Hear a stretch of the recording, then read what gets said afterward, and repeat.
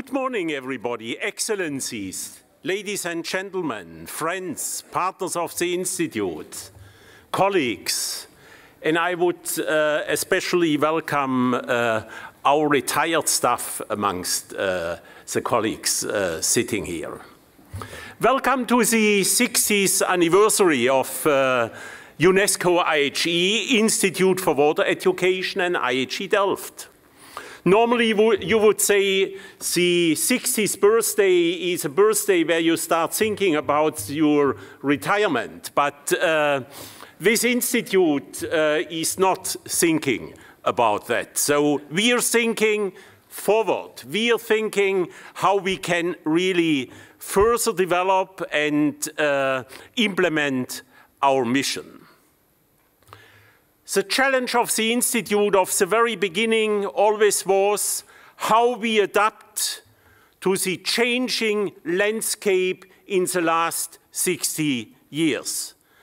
And this is still the underlying theme for the whole day and for the day-to-day -day work of the Institute. Learn from the past, act in the present, and plan for the future. The Institute has an illustrious history of contributions to science, society, and development, and had also always a clear focus on water-related problems, based on the more than 700 years of experience this country has with, uh, with water problems. The adaptation capacity of the Netherlands to the changing water challenges became very soon internationally renowned. And it was for engineering and technical competence. And if we reflect the earliest activities of the Institute, we clearly see a practical emphasis on technical and engineering solutions.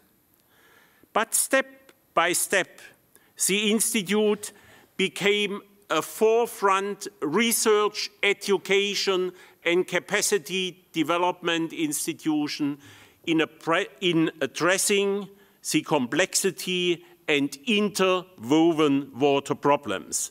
They are no longer amendable to disciplinary approaches to avoid unintended consequences or collateral damage.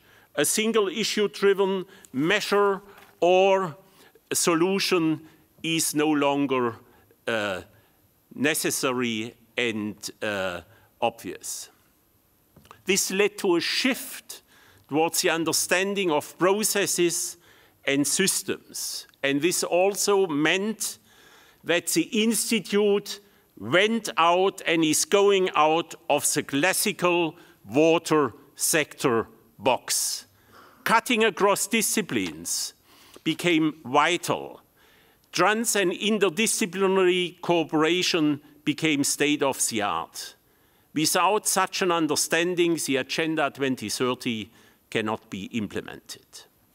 Engineering sciences, natural science, as well as ethics and social sciences from today form today the basis of the Institute's work. And there is an element which is an add-on in the Institute and is of equal importance. This is highly skilled, motivated, dedicated and committed staff in the Institute. You can't deal with water problems and water issues without passion. But the Institute itself is not sufficient to deal with all the problems we have ahead of us. It is necessary to complement our own capacities and expertise with our partners. And I think IHE Delft must maintain and strengthen its strategic partnerships we have since a long time. Number one is that we are a flagship institute within UNESCO, but we are also a flagship entity in relation to other UN organizations. If it is, for example, WMO, but also others. And we stay embedded in this UN system and we will work to strengthen this relationship.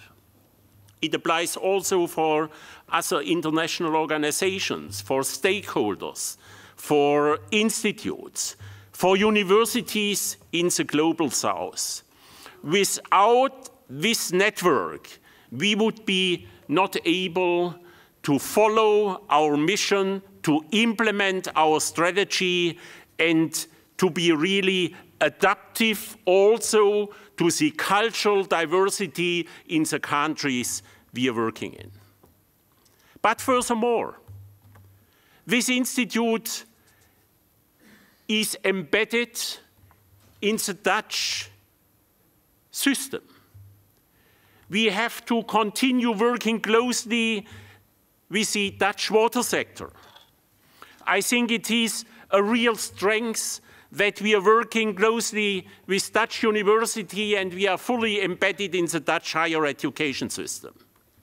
And last but not least, I think it's also important that we continue working closely with the three crucial ministries.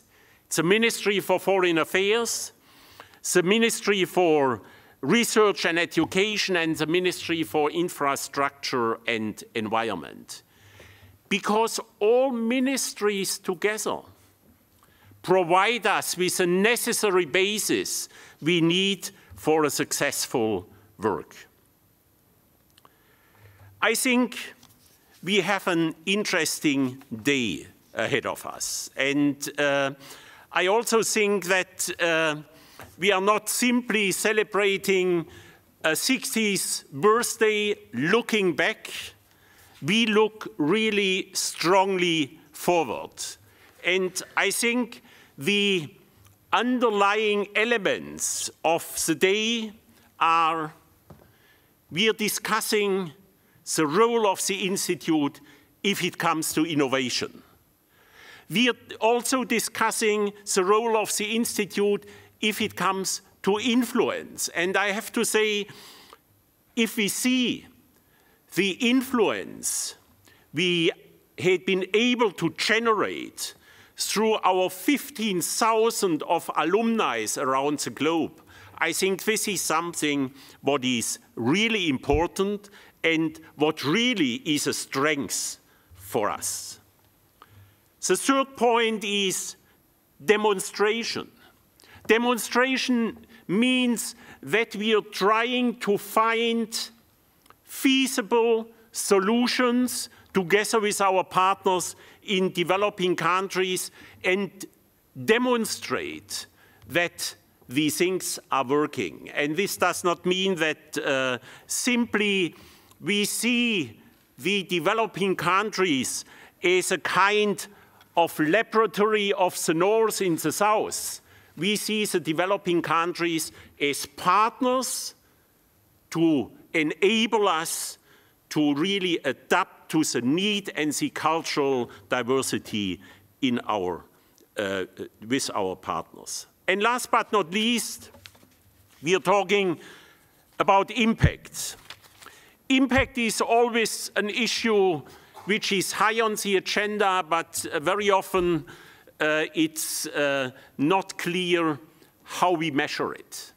And I think uh, if it comes to impact of an academic institution, of an institution who is doing capacity development, it is very difficult to show impact in a kind of short-sighted perspective. This is nothing where you simply can work in four years periods. I think what is important, and this is one of our major focus, that we really are try through our work to change mindsets And changing mindsets is a long-term investment which pays back later on uh, properly. So I wish you all a really inspiring day. And I think uh, uh, you can really see in the program that we try to involve partners, stakeholders, PhD fellows, students, and I think this will become a lively uh, day. So thank you very much for coming, and now you see in your program uh, an interesting item.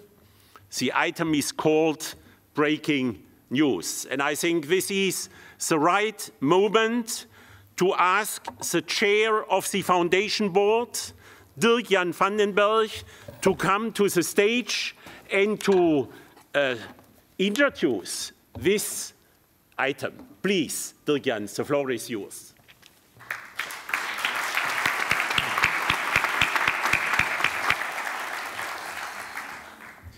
Well, thank you very much, uh, Fritz. Um, actually, when someone announces that you are going to break breaking news, and this being an academic environment, uh, one knows that the news has already been broken, right? well, nevertheless.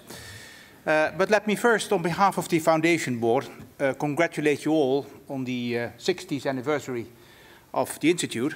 And as the uh, title of today, the impact of IHE Delft in a changing landscape, clearly signifies, uh, you have not fallen into the trap of gloating about a glorious past, but rather, you know, taking up the challenge of exploring a very promising future. And I think that's a very good thing, because obviously in all three areas of uh, work of the Institute, be it research, education, or capacity building, in all these three areas, major changes are taking place.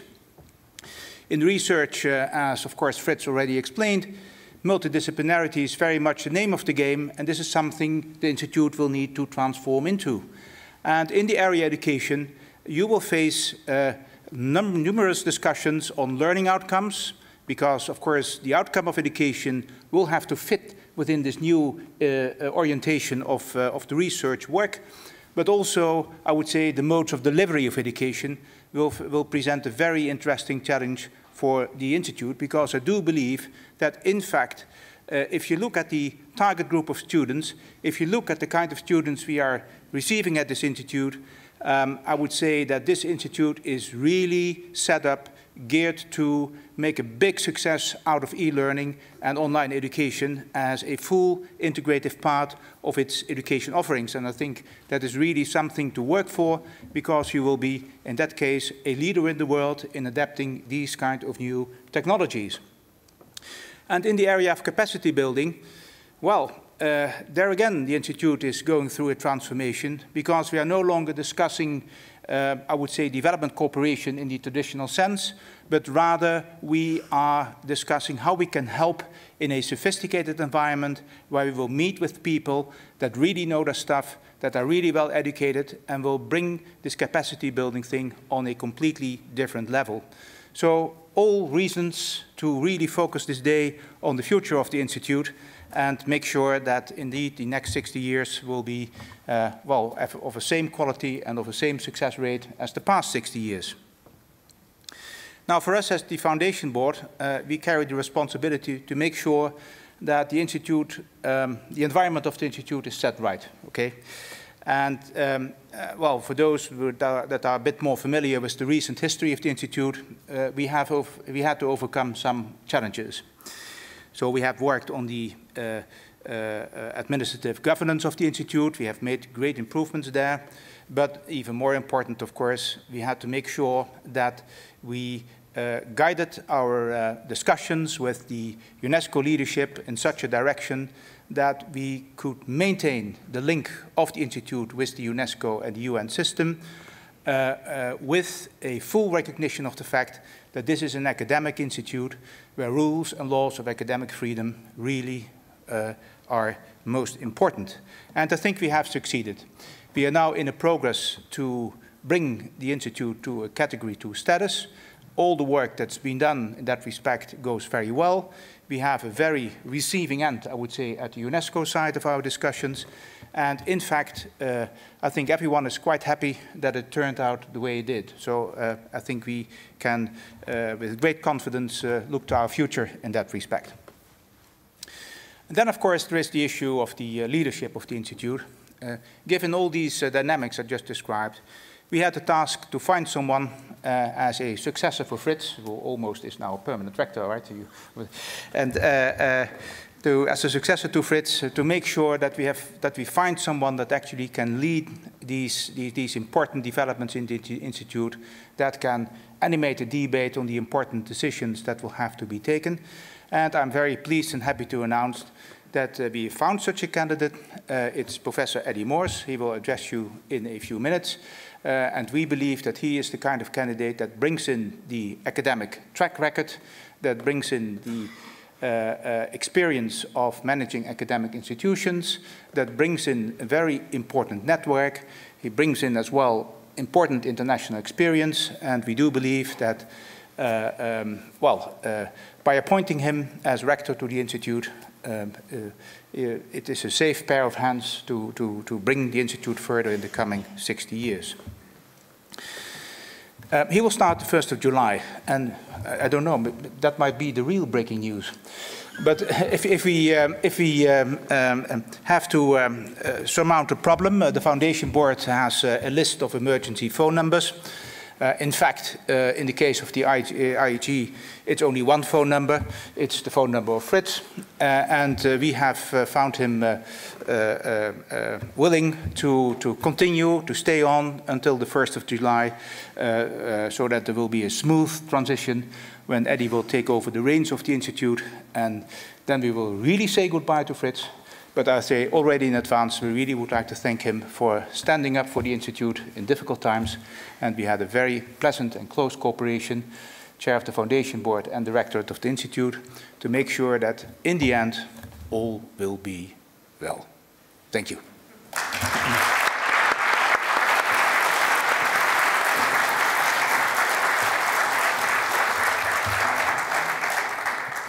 Thank you very much. And uh Eddy Moors, the floor is yours. Thank you.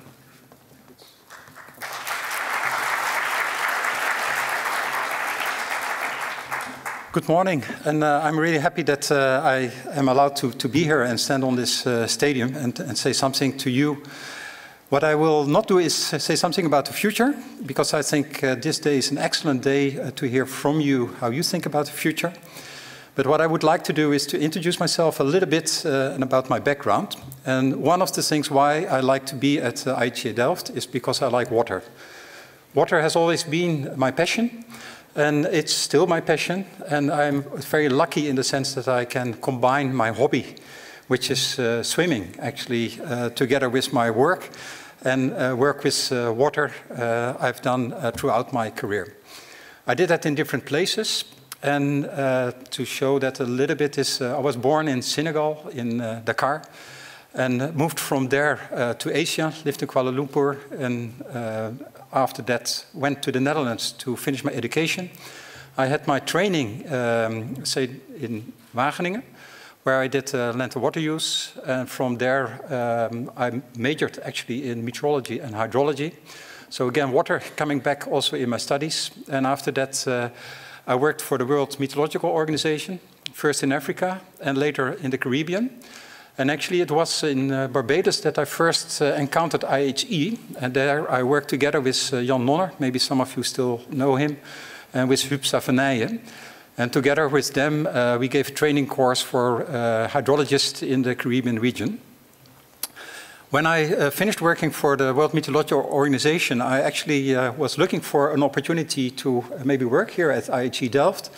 But I got another job offered uh, in, in Wageningen. That came first, so that's how I ended up in Wageningen, where I did uh, my promotion at uh, VU, University in Amsterdam, on land and water use uh, of forest in the Netherlands, uh, but actually I worked a lot uh, outside and uh, my PhD was uh, in that sense a little bit uh, particular because it was so much focused on the Netherlands. I've been working lately very much in, in, Bangladesh, so I'm very happy that I see Your Excellency here and I'm also very interested to hear your words. And I know that uh, we've been talking already a bit about uh, what uh, future possibilities are there, also in a closer cooperation with Bangladesh. But I also see that with a number of you whom I met in different occasions where I see good linkages and good possibilities to build on the future. For my personal background, uh, I have a daughter and a son. Uh, they're both in the age that uh, they should have finished their studies by now. My daughter did. My son is, uh, say, very much interested in rowing, so that's why it's taken him a little bit longer to uh, reach the deadline. But I do hope that that will also come soon. Um, I do hope also uh, to move actually a little bit closer to Delft or towards Delft. I'm living at the moment in the Betuwe, which is too far away looking at the different traffic jams and not easy to reach by public transportation. So I hope to come here and I hope also to visit uh, IHE Delft a couple of times during May and June to also use the opportunity of uh, the presence of Fritz but also of Edmund uh, to take over uh, some of the responsibilities and have a very fast start in uh, July. And I also hope actually to talk a little bit more extensively with uh, a lot of you uh, during that time, but also the first couple of months after my start in July. So with that, I'm really looking forward to the outcome of today, but I'm also looking very much forward to working together with you, say, for the next couple of years, to take a next step with the Institute, which I think is a really excellent institute. Also, listening a little bit what I hear uh, from uh, people outside, so from uh, countries like uh, India, Pakistan, Nepal. If you talk with people about IHE, they all talk about one of the entry ports actually to the Netherlands if you want to study something about water. So I do hope that we can use this reputation and can build on this reputation actually to make a next step. So thanks very much and looking forward to see you all quite often. Thank you.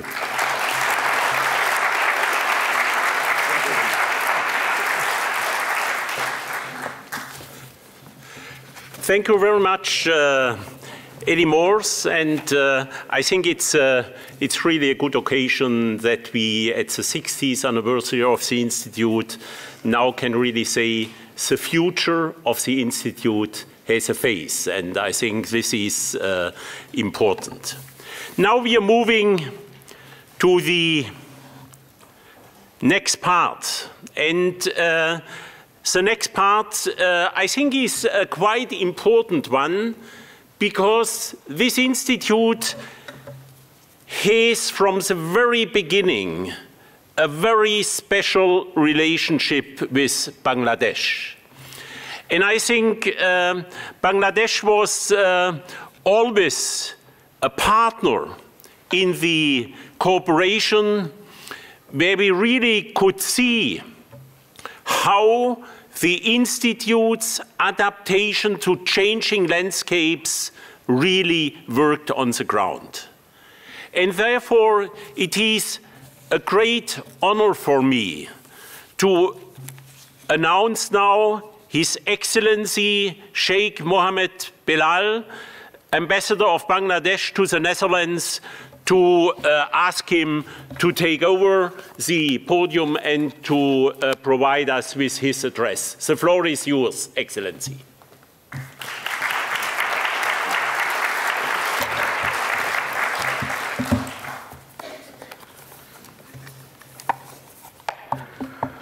Good morning, Professor Fritz uh, Holzwarth and Chair of the Board, Rector Designate Professor Eddy Moors, Excellencies, distinguished panelists, distinguished guests, ladies and gentlemen. Let me pick up from where Professor Fritz began on the much threatened concept of retirement as a public servant, bureaucrats, diplomats, retirement is something which we found to be very threatening and sometimes it's much more than what some of our colleagues come to believe. But that we come to see a, as a concept of our own warranty period. But for those of you, Professor Fritz and the likes who are in the business of touching people's lives, in the business of impact, there is no warranty periods. You will continue to exist even after your time in your spirit. Even maybe God might have some thinking for you on the other end as well. So retirement is not there for you. It's only for us, public servants and bureaucrats.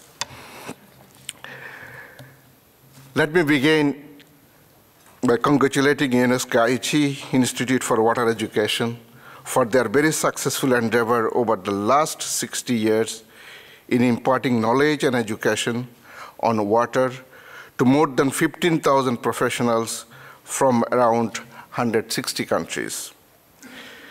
I consider myself fortunate to have been able to congratulate you, thanking you all in person for all that you have been doing for all our people in Bangladesh and beyond. I therefore take the privilege of expressing our appreciation to the UNESCO IHE for its world-class research, providing hydraulic engineering solutions to the Netherlands, and also graduate educations to a large number of water professionals for almost every, from almost every corner of the globe. The much, vast majority are from the developing world, including Bangladesh. The fact that IHE Delft choose to be in the Netherlands is a feat in itself. There is perhaps no other country which pioneered living below the sea level and in the process turned their challenges into opportunities like the Netherlands did for centuries. The Netherlands showed to the world how government business leaders, academics, and civil society must act together. IHE Delft stands as a huge testimony to that process. You did it because none of us could solve it alone. Ladies and gentlemen, Bangladesh as a deltic country and crisscrossed by numerous rivers has been greatly benefited from the UNESCO IHE. Many of our civil and water resource engineers have pursued higher studies in the UNHISK over the years. They are now, they are now contributing to the development of our country through their augmented knowledge and skill acquired from this prestigious institute. I can see familiar, few familiar faces all the way from Bangladesh here today to make, to continue this partnership and thereby to make Bangladesh solve its problem with innovations and creativity in a sustainable way. The UNESCO IHE has also been actively involved in Bangladesh over the years under different Nuffic-funded projects, mainly to enhance organizational capacity on integrated water resource management at different engineering universities of Bangladesh. Bangladesh and the Netherlands are delta. Bangladesh is the Asia's largest and world's most populated delta. Many, many of our population depend on the delta for survival, especially for their heavy dependence on agriculture and fishing. However, unlike the Netherlands, our delta is vulnerable to sea level rise and other climate change impacts, including salinization of soil and water, cyclonic storms, coastal floods, increased flood risk, water logging, scarcity of fresh water, sedimentation, etc. The management and development of water resources in Bangladesh is critically important for a number of reasons. Poverty eradication, disaster risk reduction, climate change adaptation, livelihood improvements, economic growth, and environmental sustainability, etc. Proper management of water resources is thus paramount for us in achieving the 2030 Agenda for Sustainable Development. The knowledge and services of these institutions in human and institutional capacity building are vital to the achievement of Sustainable Development Goals, especially SDG 6. SDG 6 is definitely ambitious, but it is crucial to the overarching goal of eradicating extreme poverty. 2.4 billion people still lack access to sanitation. So non-fulfillment, non-fulfillment of goal six will compromise the achievement of all SDGs. While we talk about SDGs, we need to remind ourselves about the challenges of climate change as well.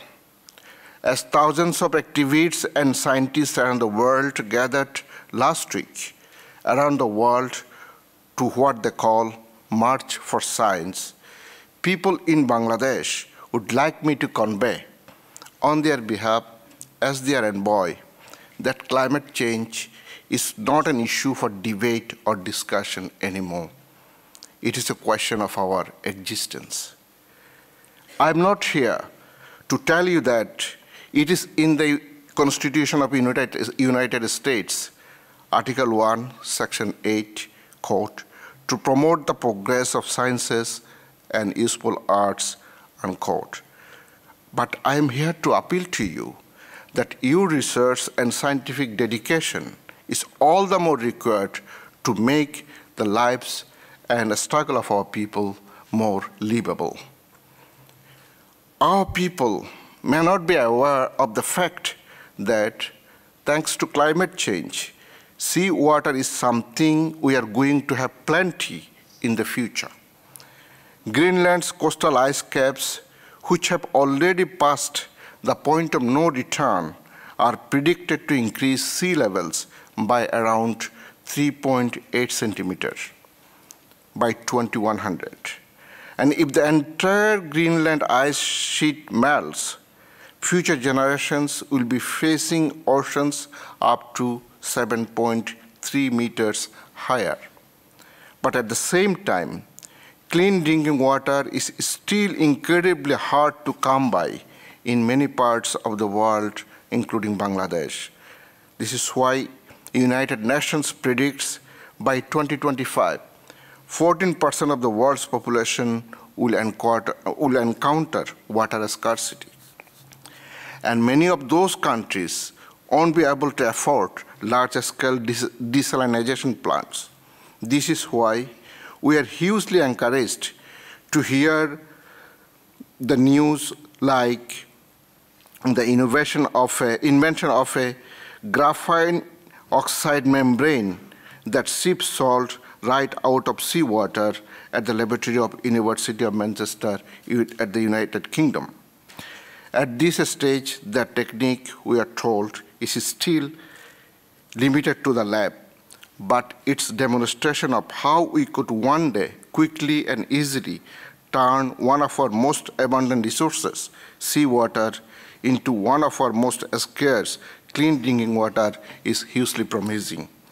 We are aware and immensely grateful to these institutions, UNESCO for their life-saving research to ameliorate, to ameliorate the problem of arsenic poisoning in Bangladesh and hope that with continued research, there will be a time when problem of arsenic poisoning will be a matter for research museum. From our side, we can assure you of our total support as we ourselves also are striving to make solutions like these more sustainable and doable through our quest for implementing the Sustainable Development Goals 2013. In Bangladesh, likewise all other goals, we put equal, if not more, emphasis on Goal 6, as vindicated through inclusion of our Prime Minister Sheikh Hasina as the member of UN High-Level Panel on Water. In her address at the meeting of the High-Level Panel on 21 September 2016 in New York, our Prime Minister urged the international community to consider water as an integral part of the new development architecture. She emphasized the need for ensuring equitable sharing of transboundary water bodies, including integrated management of river basins, and underscores the necessity of promoting access to water-intensive technologies to effectively address water-related challenges. Ladies and gentlemen, as Bangladesh and the Netherlands are countries of deltaic nature, there exists immense scope of cooperations between our two countries in the areas of delta management, water resource management, and other related areas. I would like to mention here that in this regard, Bangladesh and the Netherlands signed an MU towards resilient and sustainable delta management for a prosperous Bangladesh and a letter of intent on cooperation in the field of land reclamation and accretion in Bangladesh in June 2015. Excuse me.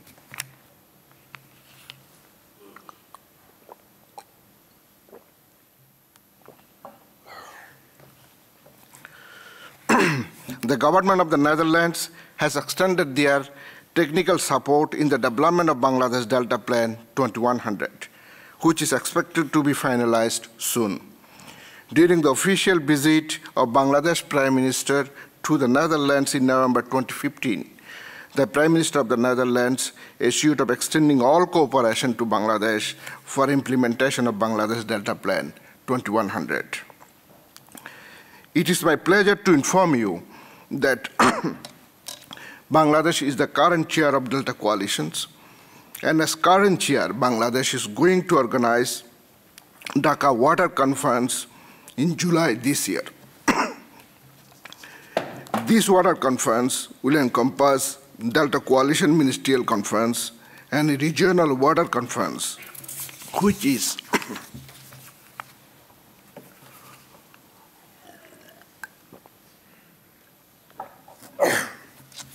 excuse me, I beg your pardon,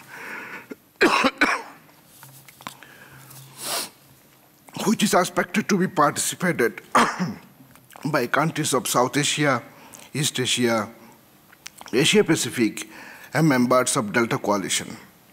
The conference will focus on action-oriented activism and momentum one on water issues with a view to building resilient future for all.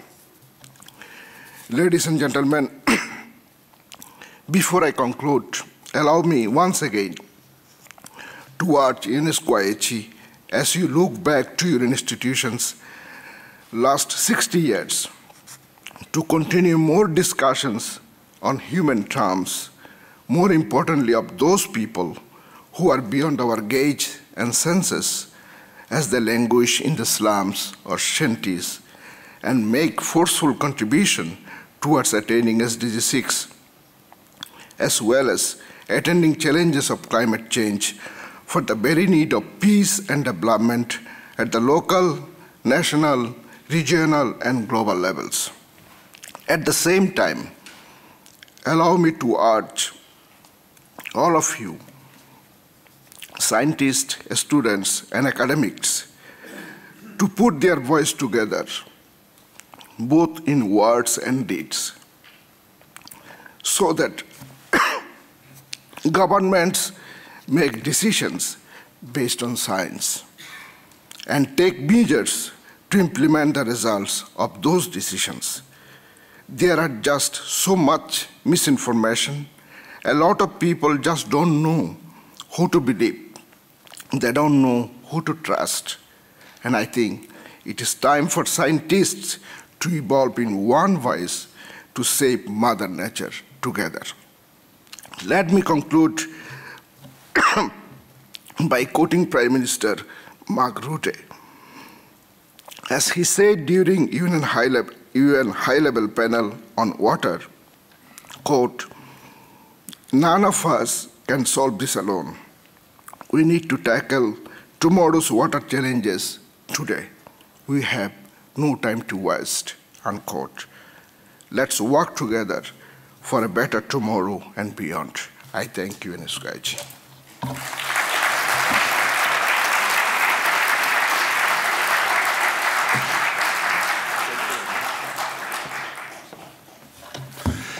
Thank you very much, uh, Mr. Ambassador. Uh, your last uh, comment uh, brings me to an additional comment from my side. I think uh, science is extremely important and uh, sometimes you have, we have to put it in a, in a kind of short phrase and I always put it in a short phrase in saying science without policy still remains science. Policy without science is gambling, and I think uh, this is something we should uh, always uh, be aware. Now, it's my pleasure to introduce to you Michael McClain, our professor for ecohydrology. And uh, Michael will guide us through the morning sessions and uh, I think the landscape and the scene is now properly set by the address of the uh, ambassador from Bangladesh. And I think now we go a bit more in concrete cases. And uh, the floor is your Michael. Thank you very much for doing that. Thank you, Fritz. Well, good morning, everyone, and thank you so much to our speakers that, that opened the session for, for setting the context, reflecting on the fact that IHE Delft, UNESCO IHE, is celebrating 60 years now. Now, it's a day of celebration. No one, however, reaches the age of 60, and no institution reaches the age of 60 without a, a lot of lessons, without, without living to that point a rich life. So, our goal today and we're so grateful for the number of partners who have joined us.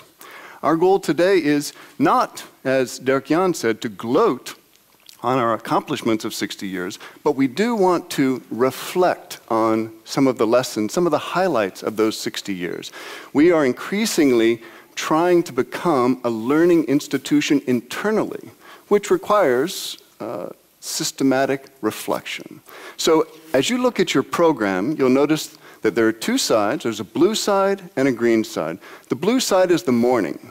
And the morning includes, as the afternoon does, a dynamic combination of sections. There will be some presentations, there will be some interviews, there will be some panels discussing. There will be opportunities for you to join in as well with your questions and with your remarks. And roughly, the morning is intended to be that period of reflection. You know? reflecting on the past, reflecting on some of the lessons learned, very much in a discussion between staff of IHE Delft as well as our partners.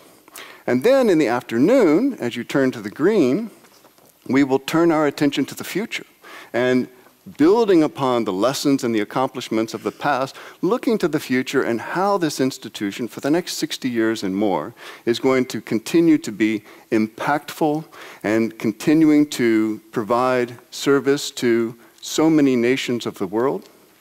So that'll be our uh, simple set of objectives for the day. In a relaxed manner, you'll notice that I'm the first speaker to unbutton his jacket. And over the course of the day, I'll probably get more and more relaxed, as I hope you do, huh? because this is intended to be a, an exchange. Now, you'll have two opportunities specifically at the close of the morning session and at the close of the afternoon session, when we have a larger panel discussion, you'll have the opportunity to, to, uh, to ask your questions. And in the meantime, it'll mainly be a dynamic between selected staff members, uh, uh, representatives of our PhD program, of our master's program, and some very important partners. Because you also do not arrive at 60 without having, having strong and meaningful relationships with partners around the world. So I, I hope you'll see those reflected. Now, we learned in the opening words that our partnership and relationship with Bangladesh goes all the way back to the beginning.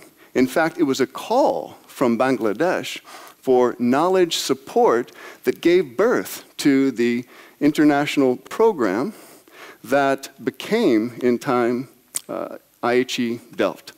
So we'd like to begin by, I'd like to invite Chris Zevenbergen onto the stage. Chris, please come on up. Chris is a professor of flood resilience of of Urban Systems at IHE Delft and also at the Technical University of Delft. And Chris, you are also leading DeltaCap, which is yes. our current program with Bangladesh and capacity development. So I'll allow you to invite on stage the members of your panel. Great. Thank you, Michael. Good morning, ladies and gentlemen, your excellencies, panel members. May I ask you to come on stage? We are very fortunate to have you here in, uh, to celebrate our anniversary, but also to participate in this uh, conversation. And yesterday we had a pre-meeting, and we were discussing that we had to sit on a sofa to have a candid conversation about a serious topic. And we concluded that it's a new experience for all of us, isn't it? True. yes. So please be, be seated. Thank you. So um, we have 20 minutes discussion, which is, is quite short. And uh, I will start with introducing you to, to the audience and then start to throw a first question to Dr. Quassem. And also I encourage you to, to reflect or to intervene and that we have a, a vivid discussion. And, and I know that you, uh, given the meeting we had yesterday, that you have a, very specific opinion about um, how IHE is doing. And uh, you have also some, I would say, some own ideas how to, how to proceed. So we would like to, to have that information for you. So Dr. Quassem, uh, Dr. Quassem is uh, a nester uh, uh, of our alumni family. Um, he uh, graduated in 1979 and then he obtained his PhD in the US and then came back to Bangladesh and became, in your last part of your career, a Director General of the Water uh, Resource Planning Organization, organization uh, which supports the national government. And you are all still very actively engaged in, in the Delta Plan and you are advising the, the, the government. So we are extremely happy that you are here, and, and I will come back Thank to my you. question soon. You are our PhD fellow, our, our star, I would say. And uh, you are now working on, um, on a project where you, research project, where you are looking at the Delta Plan in Vietnam and Bangladesh, and later on also in the Netherlands, and you're trying to extract some lessons. So you are very well placed to take part in this discussion, and we're looking forward to that. And then we have Professor Shah Alam Khan. And Professor Shah Alam Khan is a, a person who um, has a great academic distinction in the field of delta planning and management. But he's also very famous, I would say, in the Dutch Delta family. Everybody knows you. You are involved in many projects with the University of Utrecht, TU Delft, uh, Deltares, uh, UNESCO IHE. So you are very well placed to have an opinion about how we are doing and how IHE is participating in the process. So my, my first question to you, Dr. Quassem. Um, you have been an important figure in Bangladesh shaping the policy in water management. And if you look at the role of UNESCO IHE, I must say, what is your opinion? How do you see the, say, the modus, opus, uh, uh, modus operandi of, of IHE and how it evolved in time and, and where are we now? What do you see in, in the transfer and the shifts? and more importantly, what, what lessons do you want to convey to us? First of all, uh, your question is too difficult for me. because IHE was established in 1957. And at the time I was not here. But anyway, so, uh, I will uh, very briefly narrate my journey to IHE, through IHE, and along with IHE.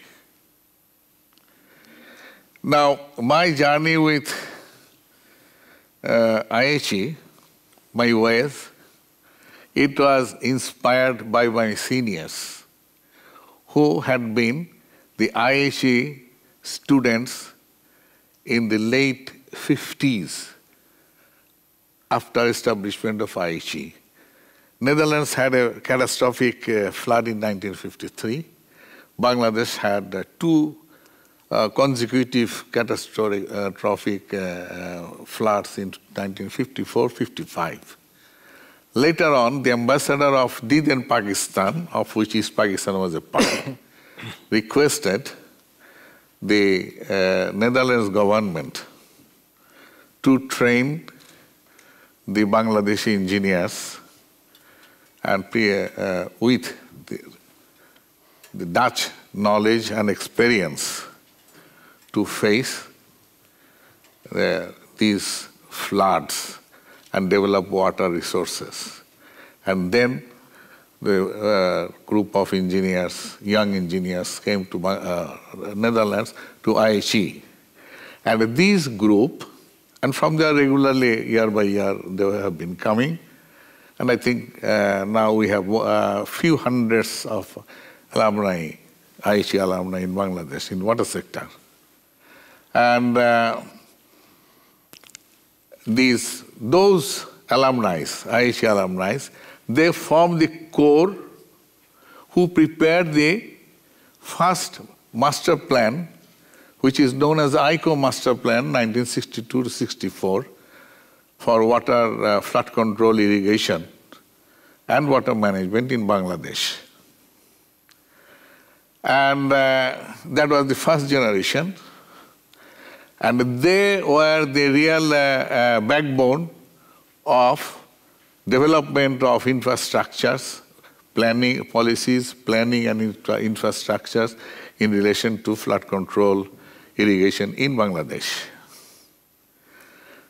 And the uh, IHE graduates in Bangladesh, they played a very important role in our uh, uh, uh, next second attempt of formulating a master plan.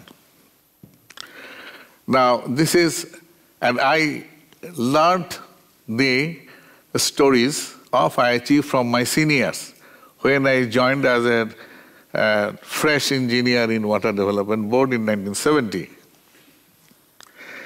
And then my journey started uh, through IHE started in 1978 when uh, uh, and I found IHE an international assembly of international assembly of not Dutch assembly of water sector engineers from Asia, Africa, North, South uh, uh, America, Australia, the whole world. In my course, there was one uh, who did MS in USA, but came for the IHE course here. I asked him why. So his uh, reply was, I have, I know IHE is a very practical-oriented education, practice for the practicing engineers. That was IHE and people looked that way. And uh, it was an, a center of excellence also from another point of view. The teachers of IHE were the best, I think, uh, uh, ones from different Nether universities of the Netherlands. From Austria, I know my, uh, our uh, uh, design uh, our uh, mm, design of uh, dams was from Austria. We had a hydraulic who gave us hydraulics from UK. We had one from USA and one from Australia also. So from different parts of the world. That was the excellence of uh, IHE. But I missed at that time, number one, female students, only seven, eight uh, students in the whole uh, uh, institute. Social dimension of engineering professionals, like skills, management skills, communication skills, then networking skills, these soft uh, skills, that uh, those things I missed. But now I find a lot of uh, girls, young and old, uh, I mean, uh, hovering around uh, IHE. And uh, I think IHE has now uh, some multi-dimensional approach also, multidisciplinary approach also. And I, that was how I saw and what I missed at that time. And now my journey uh, also was uh, to, through Netherlands was also at IHE. What I missed in uh, IHE, that I got at ISS. I have post-graduation at ISS also. And I'm very proud, always I proudly say that being an engineer, I had a distinction from there. I think we should stop here. No. Okay, okay, okay, thank you. Thank you very much for your contribution. Professor Shah Alam, yeah. you, you are involved in, in many projects, as I, I just mentioned, and um, you have a very specific opinion about that it's time to reflect, eh, to consolidate what yeah. we are doing. And could you elaborate a bit more on that, and specifically what should be the role of IHE? Yeah, uh, thanks, Chris, first uh, for the kind introduction.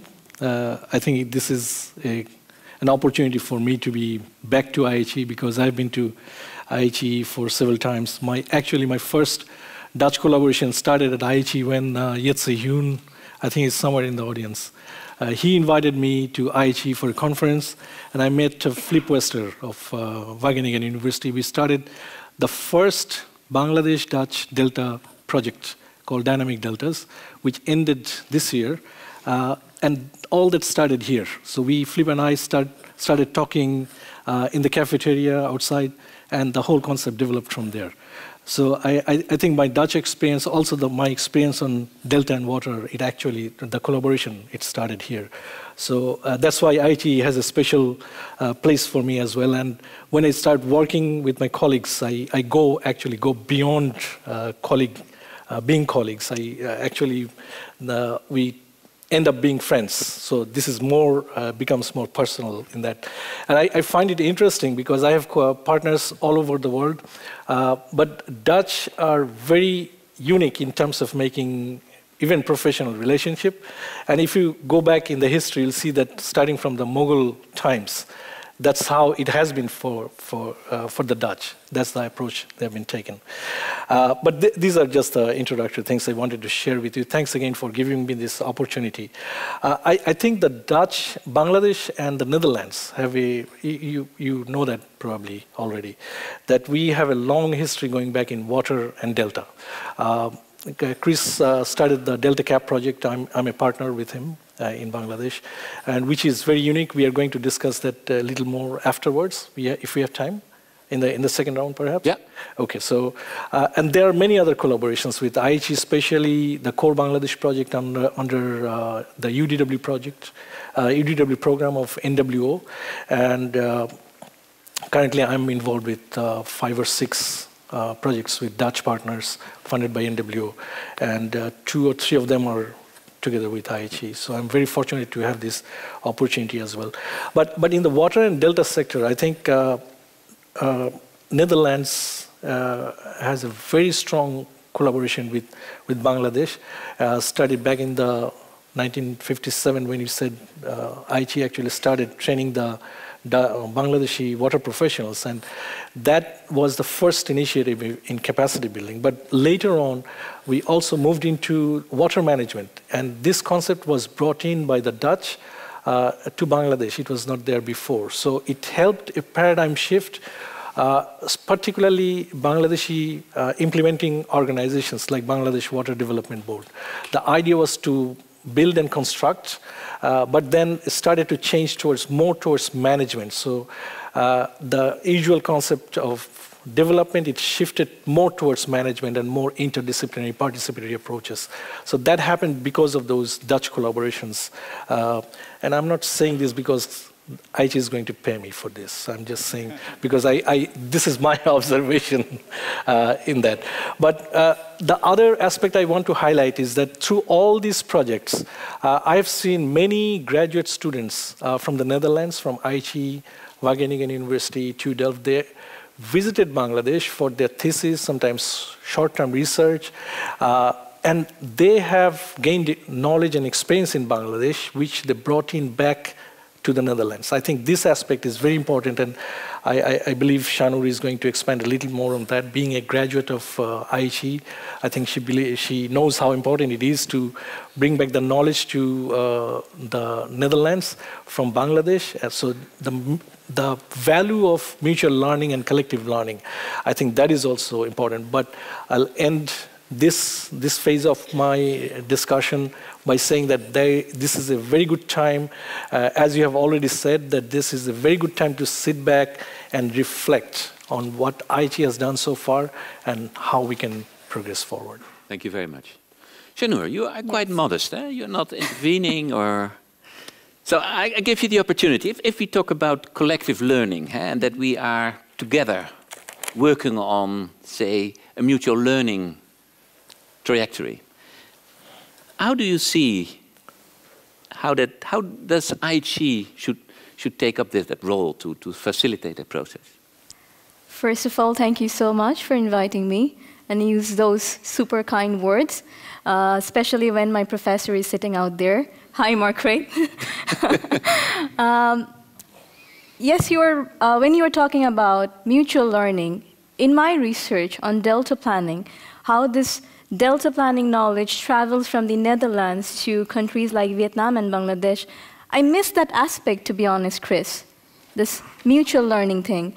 Um, if I am allowed to share what Delta planning is, like the Dutch Delta planning, this is a package of knowledge uh, which has been labeled commonly as Dutch Delta planning approach, and this is being traveling to uh, different countries like Vietnam and Bangladesh. The first stop was Vietnam. Now it's in Bangladesh. The next destination will be Myanmar.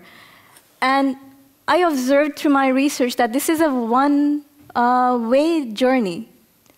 Not a, so where is the mutual learning part there? And this knowledge approach, this package also have uh, expertise who are uh, Dutch in nationality, but they have more working experience uh, on, uh, in different parts of the world rather than having more working experience uh, within the Dutch Delta program. Mm -hmm. So they are kind of bringing in a blended flavor of water and delta management practices. And then I also observed attempts of replicating the ideas of what is commonly known as Dutch. Mm -hmm. um, then, when the, that, this flight takes off from the Netherlands and reaches those destinations in Vietnam and Bangladesh, it follows by a series of attempts of getting adapted to the country context. Mm -hmm. So there, then I see a scope for mutual learning, but not a pathway where this mutual learning is so flowing. So Professor Shah Alam's suggestion to, to reflect eh, and to see what have we done so far is also what you su strongly support. Is that's, that that's what you think? Yes, I think. Shanur, is that what you suggest as well? Yes, I think there should be a two-way uh, flow of knowledge and mutual learning. Yes. Which is missing. I, I have a point yes. about uh, IHE involvement in this Delta plan. Now, uh, I mentioned that uh, the first uh, national water plan in 1962-64, these IHE graduates were there. The second attempt, uh, the second plan was, master plan was in 1985, 84, 85. At that time, a multidisciplinary team visited, uh, came to IHE, and they had training, tailor-made training on uh, uh, uh, planning.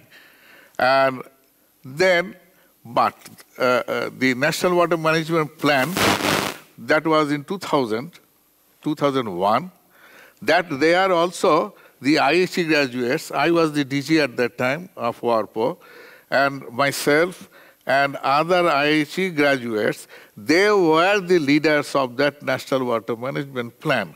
But I found IHE's ro role in the uh, Bangladesh Delta Plan here. And I'm very happy to know that uh, this Delta Cap the uh, IHE is going to do that. But I strongly feel that the IHE should have given a, uh, build a capacity for the Delta uh, uh, team, mm-hmm. Delta team, about the Delta planning. That I very strong feel, and that I uh, miss very much in the plan and the approach uh, in all aspects of uh, okay. The Delta plan. We have 20 seconds. Can I go very quickly? Yeah, very quickly, very quickly. Focus on the strengths of uh, uh, IHE, strong water science and uh, technical aspects, uh, technical disciplines. International expertise, I think that is a very uh, strong thing IHE has, and a global pool of alumni. You have a, that is, I think, very unique to the Dutch institutions. Position IHE very strongly and strategically links with Embassy of the Netherlands in Bangladesh, and also I see His Excellency here. So you have already made contacts uh, with uh, the Bangladesh Embassy in, uh, in, the Netherlands. I think these are very important to position IHE, uh, build st strategic partnerships with Bangladeshi institutions, and value collective and mutual learning. We have already discussed that. Strengthen interdisciplinarity within IHE. I think uh, you IHE has that, but I, I, I, don't see, from outside at least, I don't see very uh, much cross-boundary uh, uh, connections between different chair groups. I think that that's an area you can work on to work together uh, on specific uh, research themes or uh, projects. so these are the things I think that could be things to consider for the future. Shanur, one last. To complement with Dr. Qasim. Yeah. I observed uh, IHE's presence in Bangladesh as a Dutch institution, but in the Netherlands it has a more international flavor and it, it promotes itself as, a as an international institution. Yeah. So sometimes I, I ponder about its, uh, how do you call it, its own nationality. Is it Dutch or is it international? It is international. it is international. Thank you very much. You're. Thank you very much. Thanks. Thank you very much to Chris and the panel members. Thank you. Very insightful remarks. Uh, some congratulatory, which we always appreciate, but also very pointed huh, at what we can learn from the past. And also, it's wonderful to see the, the, the, newest generation of Bangladeshi water leaders challenging us, challenging us on this collective learning theme. Let's return to that as we go further in the program. But now I'd like to invite our next, uh, in this case, interview, and I'd like to invite Klaus Schwartz to the stage first. And Klaus, I'll allow you to introduce Marco. Klaus is an associate professor of urban water governance at IHE Delft. And he's also head of the Water Services Management Group, which focuses on management and governance of water supply and sanitation provisioning in developing countries. Klaus, thank you. Okay, thank you very much, uh, Michael. Um, may I invite uh, Marco Schouten uh, to come sure. up to the podium? Uh, Marco Schouten is the uh, uh, CEO of uh, Vitens Evides International. Um, he's also a former colleague at UNESCO IHE at IHE Delft, where he worked before he became a staff member of Vitens Evides International. Um, may I ask you to sure. take a seat and then we can uh, start our small conversation. Um, we were asked to discuss the partnership between IHE Delft and Vitens Evides International, and particularly to see how this partnership uh, addresses the needs of the water supply and sanitation sectors. Maybe it's a, a, good idea to first start with a small introduction of Vitens Evides International. What, what kind of organization is uh, Vitens Evides International? Okay, thank you very much, Klaas. Well, first of all, thank you for inviting me. It's a great honor to be at this, this very glorious day, 60 years. Um, to talk a little bit about my organization, Vitens Evides International. Um, it is a little bit of a strange organization. Maybe a little bit like IHE, which is also a little bit of a strange organization. Uh, Vitens Evides International, we are essentially, uh, we are coming from the Dutch water operators. So the Netherlands, there are 10 Dutch drinking water companies, and they provide water through these, well, like these glasses. And um, we do that for the last 150 years. And we have able to, to, to, to reach, well, to become best in class.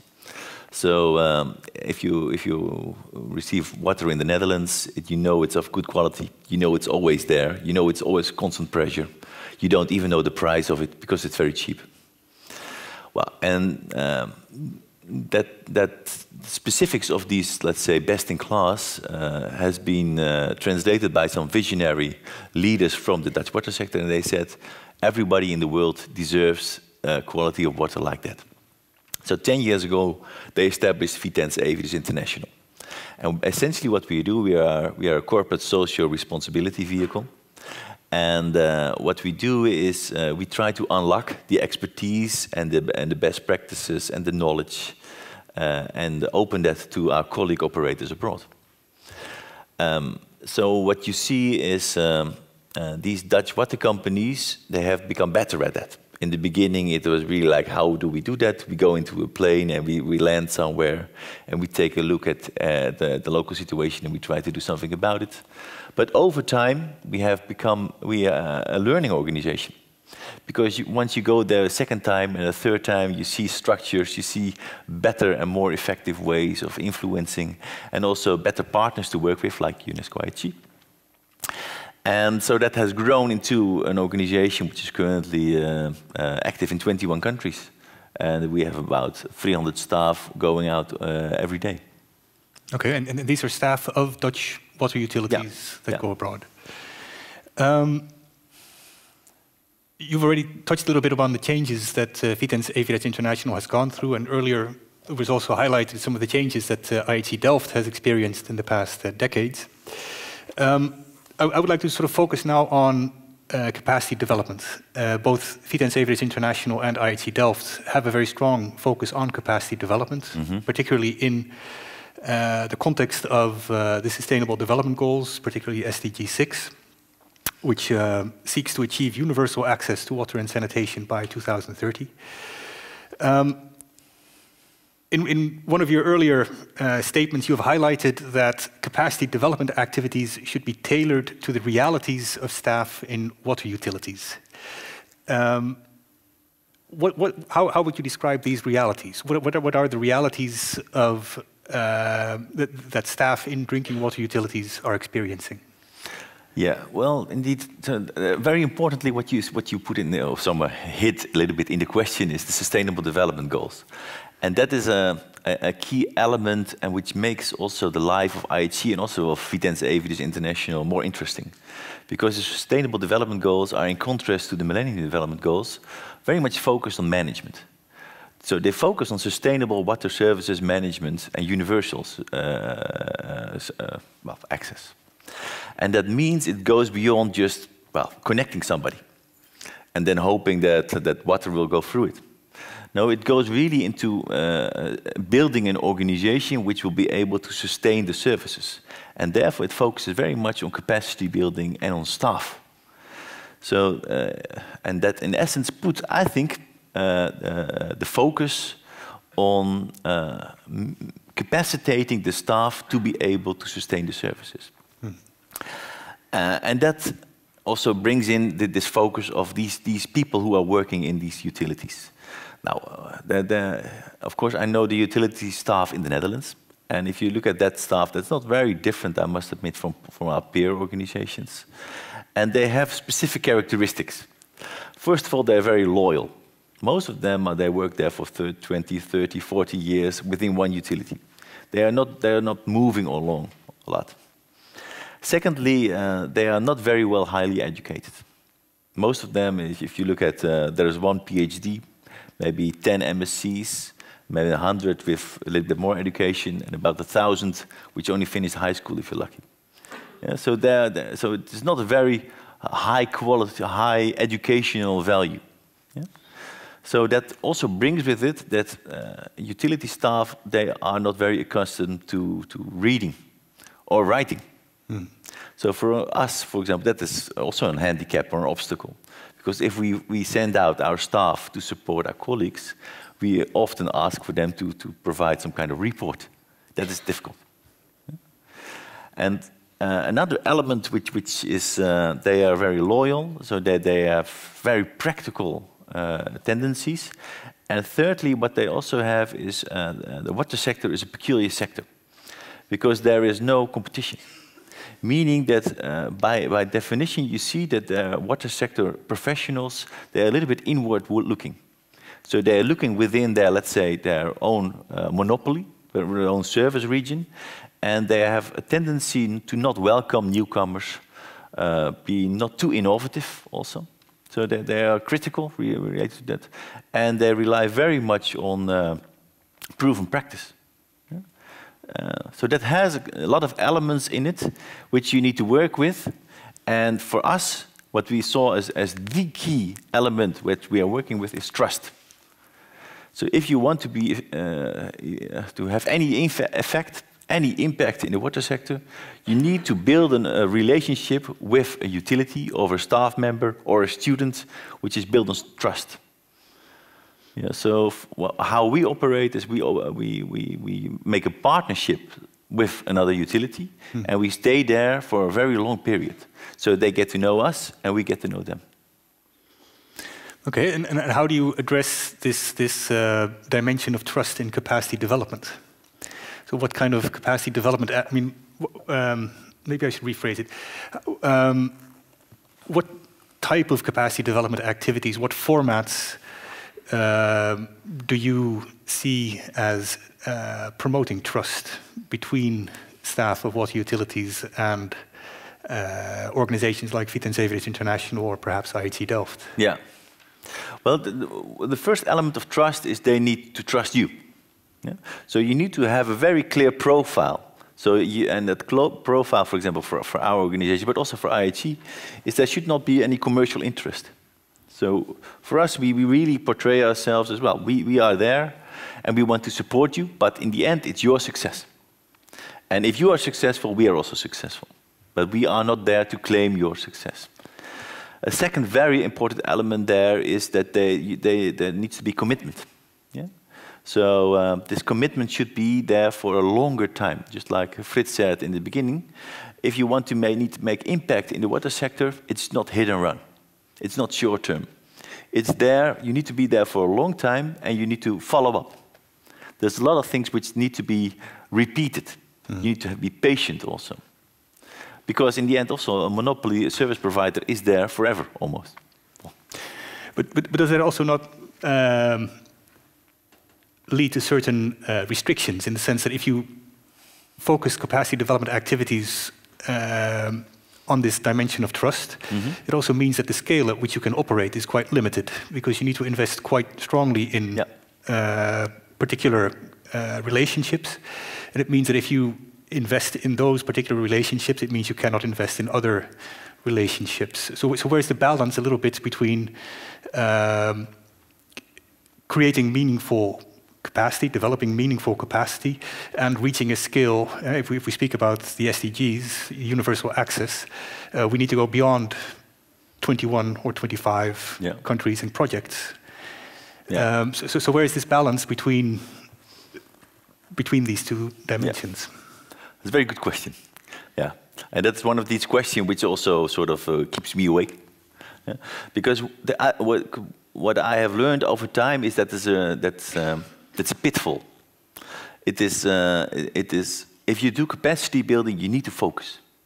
You cannot do, uh, as in, in the USA or in England, they say, spreading thin. If you spread thin, the impact will be very small. Mm -hmm. So you need to understand the local situation. You need to understand the local decision makers, the managers, the key players, also the local contextual features, and then you, your, your impact will be big. Yeah? And uh, uh, you cannot take all of it. For example, of course, we, we are a CSR organization, so we get a lot of requests from a lot of countries. And, uh, and, and the, the well, uh, you're easily, uh, let's say, uh, asked and also tempted to go to new countries and, and, and new utilities, and, uh, and there's, there's also money available, and to go there and to do a project. But that really doesn't really make much sense if you cannot sustain it if you go there and you go away. So you need, really need to protect yourself to make sure that your impact is bigger by making very selected choices. And I think that's also for IHE a very important step.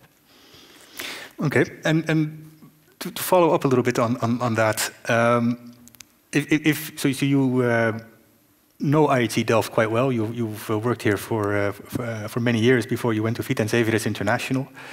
Um, you also are quite well uh, aware of the capacity development activities programs that we have. Um, to what extent do you think that the existing capacity development activities that IHE uh, has uh, fit well with uh, the idea of developing capacity of staff of water utilities in the context of SDG 6? How, how suitable are the capacity development activities of UNESCO IHE or IHE Delft?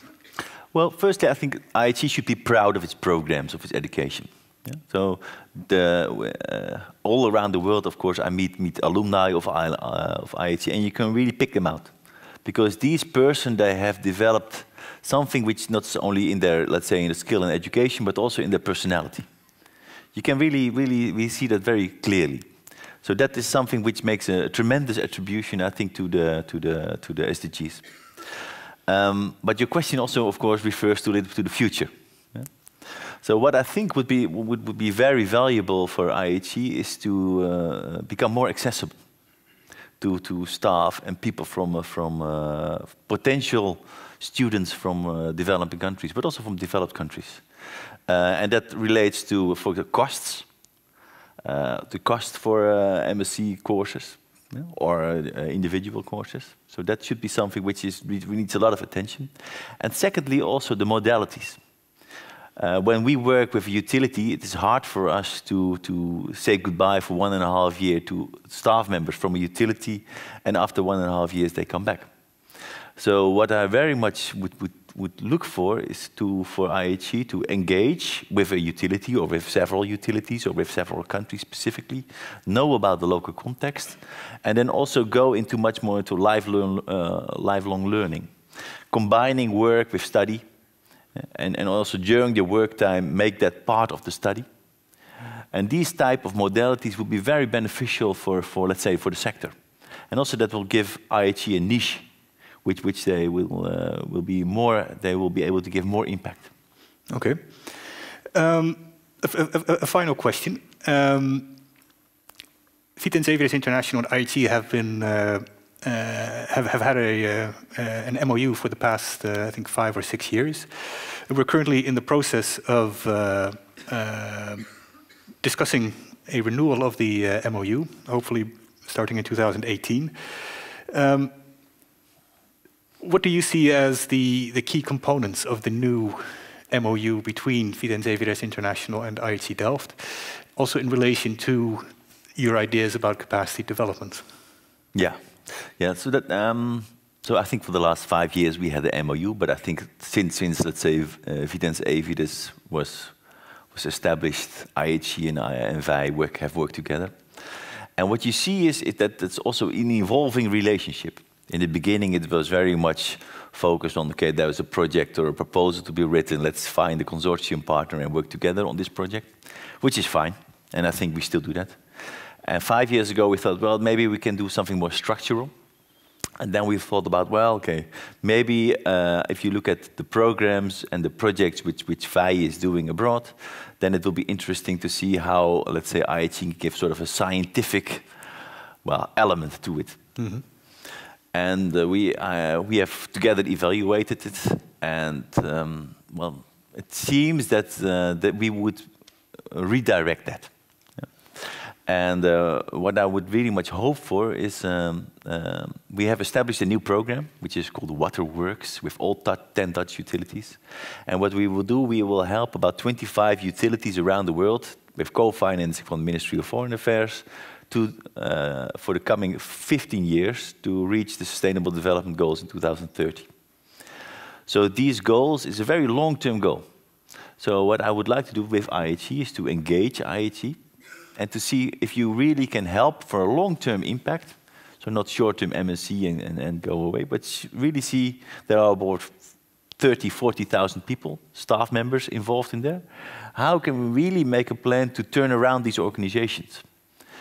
And a key element there is in these organizations, um, it, for example, human resource management is just not there. So how do you develop employees to be really committed and to be really uplifted? And that would be really an, uh, a new step because then that's something which you can monitor and you can also look every year from time to time to what extent you are indeed succeeding also in capacity development, not only in re reaching the SDGs, mm -hmm. but also in building on the capacity development in these utilities. Okay, well, th thank you very much, uh, Marco.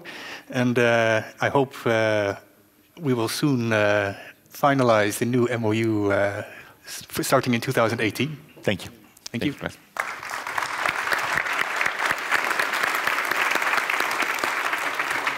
Thank, thank you both. Uh, excellent, uh, excellent discussion points and, and questions I'm certain are emerging. So are some of you out there making your notes? Please don't lose uh, those ideas for specific questions and topics that you would like to discuss at the close of the morning. Something impressive was happening up here. It was, an, it was an engagement of this Dutch foundation with a private sector organization, a private sector company. We recognize that over these years, the international landscape of capacity development is changing greatly. Universities are more engaged in, in international training on site and the like. The private sector is, is, coming in uh, ambitiously to raise capacity as well with a different perspective, huh? a real delivery kind of private sector view of it all. So much for us not only to learn from those experiences, but also to consider in how we are going to remain a valuable member and bring some added value to that growing community internationally.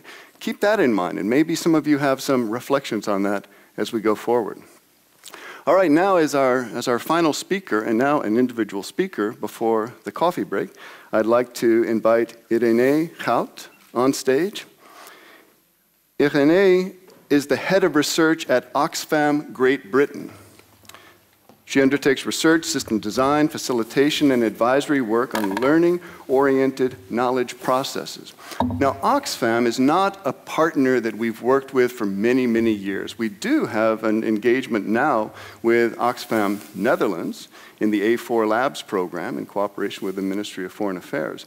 But Oxfam Great Britain has, has not been a partner. So this is, is an example of, of bringing in a brand new voice to our communication because we recognize that Oxfam is, is, is among the, the very impactful organizations in the world. We're looking for impact. And also an organization, as we'll hear from Irene, that is devoting significant resources and effort to systematically improving our understanding and our ability to have impact. So we're anxious to hear your point of view, Irene.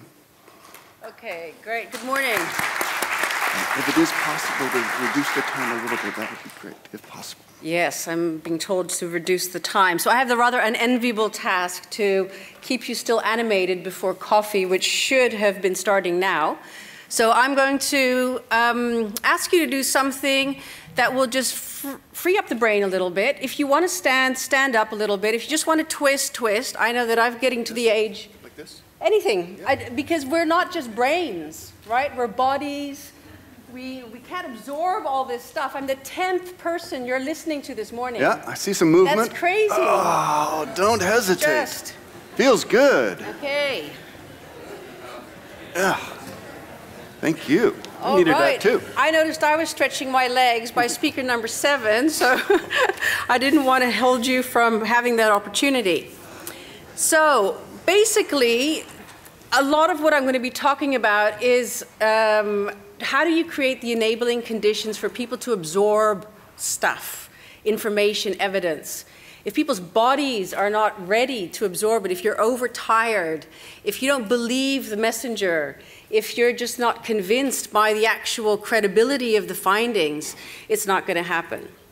So um, I'm going to tell you a little bit about the research realities in, uh, the, in Oxfam. I'm Dutch. It's great to be back in the country of working trains and tall people and people who I thought could pronounce my surname, but I didn't realize you were a foreigner, so um, anyway, um, I get very strange surnames, I have to say.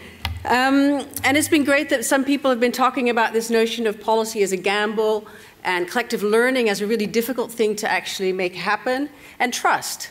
And a lot of what I do is about building trust trust in the question, trust in the data, trust in the interpretation of the data. So um, I almost studied at Delft, by the way, almost. And then I was living in Burma at the time with my parents, and my sister crossed that Delft on the registration form and put Wageningen because she thought I would be unhappy here. How weird. Anyway, I was very happy in Wageningen.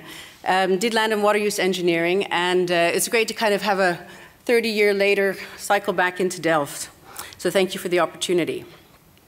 So I joined Oxfam Great Britain about a year, just over a year ago, and it's been a really steep learning curve how, about how does research How's it used by an organization? How's it generated in an organization? And what does it mean for an organization such as Oxfam, which is part of a worldwide influencing network? And I'll tell you a little bit about Oxfam as a confederation because I think it's really important to understand the knowledge process. Um, and one of the main issues that I've been really trying to grapple with is how do we make people curious? For people to use science and for policy not to be a gamble, they've got to want to, to, to absorb the information that's out there. And um, this is my chosen picture, not just because I'm Dutch, um, uh, but because I want to talk about, and I'll come back to the metaphor at the end, um, I want to talk about knowledge generation as a, as a process, and I'll explain the, the cow metaphor in a moment. Um, this year, uh, is uh, celebrating its 75th, so we beat you. However, you know, if, I, if you guys are planning your retirement, we should be planning our funeral. We're certainly not doing that. And in fact, our, our 75th is kind of these funny moment. It's a funny moment because we're not quite sure whether to celebrate it, given the incredible, incredible existence, ongoing existence of intractable poverty and humanitarian strife. For the first time, Oxfam is dealing with four uh, what we call category one famines in Africa. It's never happened before. So there's actually not a lot to celebrate.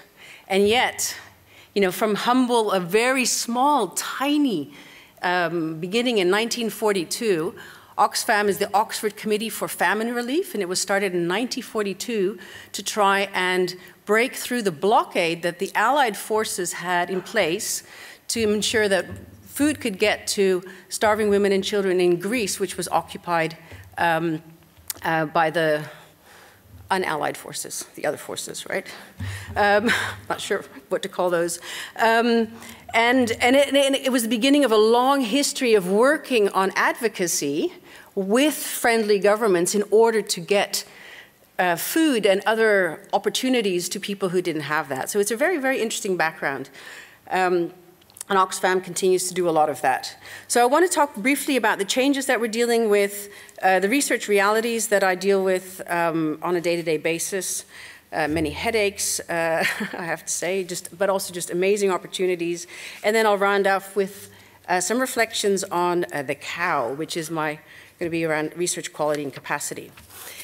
So key, cha key changes and challenges at the moment in, Oxfam, in the world of Oxfam. Um, Oxfam is a very political organization. It, um, and one of our, it's very value driven and um, it's, it's, huge, it's huge. The Confederation is very large. It's 20 affiliates, of which Oxfam Great Britain is one and by far the largest. We're about half the staff, half the money, half the, the kind of, well, certainly the history. Uh, but we've got Oxfams in, in Brazil that are also fundraising. Uh, we've got, and then we've got 94 offices around the country that all now have a very decentralized way of operating. Um, and we're about 10,000 people and counting. So if you compare that to a UN agency, I was quite surprised to hear that UNICEF's about 12,000. We're in that same ballpark. You know, I always to think Oxfam was quite small, but actually it's quite large if you look at it, at all of us, and we're about half of that. Um, but one of our key challenges is, um, is the political shifts that we're dealing with. I, I moved to the UK pre-Brexit, never follow me around the world, um, pre-US elections, and we're really challenged by what a world in which uh, we're realizing uh, there's a growing skepticism of evidence and a lot of manipulation of data for particular audiences. How do we deal with wanting to be an evidence-informed worldwide influencing network. You know, what does it mean for our killer stat? We produce lots of so-called killer stats. It's a word I hate. I'm trying to kill the notion of killer stat internally. But, but it's something that we have always thought was really powerful. You just punch people in the face with eight billionaires owning the same amount of wealth as the bottom half of the world's population. I don't know how many of you know that killer stat that, comes out, that came out this, this year in January. At the Davos reports, uh, at the World Economic Forum, raised he global headlines. Um, that comes from my team. So we produce phenomenal global inequality data, but this notion of just a headline, when 84% of people in, for example, Mexico distrust the media, if that's your theory of influence, you've got a real problem. So this, uh, this what, uh, what the other speaker was talking about, collective learning. How do we make people receptive and open to that kind of information? So we have a huge political challenge, and we need to unbubble ourselves. Um, and we're actively doing that. I commissioned a team member to write a paper on the rise of populism and what it means for our strategies do, that deal with evidence and deal with messaging of evidence and deal with who we have conversations to and who do we listen to. If they're not receptive, we can do so much science, but as your previous rector, current rector, not quite sure what his status is, said, um, uh, it's only just science. Yeah, it just stays, it just stays data and science. A second one is that we are decentralizing. And so um, a lot of, uh, Ox Great Britain had a lot of power in Oxford to decide what it was going to do. We now have 94 uh, offices that are saying, well, you know, we're planning to do A, B, and C, and we're, I'm, I'm really trying to figure out, well, what relationships do I need to make with the Global South? I cannot possibly have relationships with 10,000 people in 94 countries.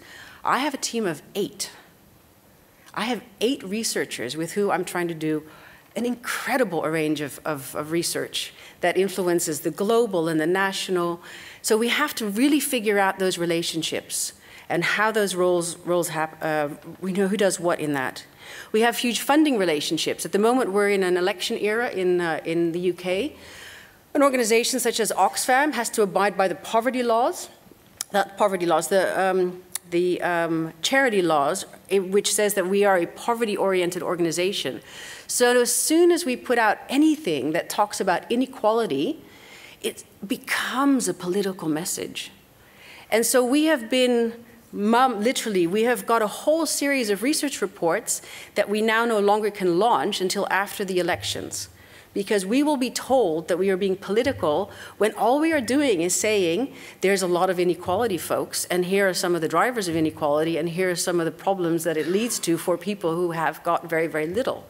It's not a party political message, but in a, bin in a binary political system like the UK or the US, it is, it is political, it is party political. So we have a really difficult, um, uh, when it comes to funding, you know, we get a funding benefits as a result of our charity status. We have to really be very careful with what we are and aren't allowed to say. I get media training as head of research because I get, and we get, I get legal training as head of research because we get told the fine line that we're allowed to walk between what we're allowed to share and therefore what I'm allowed to commission and what we're, how we're allowed to interpret the data. Um, another key change, and that's been a very positive one, is uh, the Global Challenge Research Fund in the UK. So I don't know how many of you have heard of it, but it's one and a half billion pounds of, over five years, one and a half billion pounds of global, of funding for uh, research on uh, in, kind of, in, I suppose, the intractable development challenges. Um, and what's great about it is that it means that organizations like Oxfam become necessary for universities and academic institutions to be able to say that they're having impact.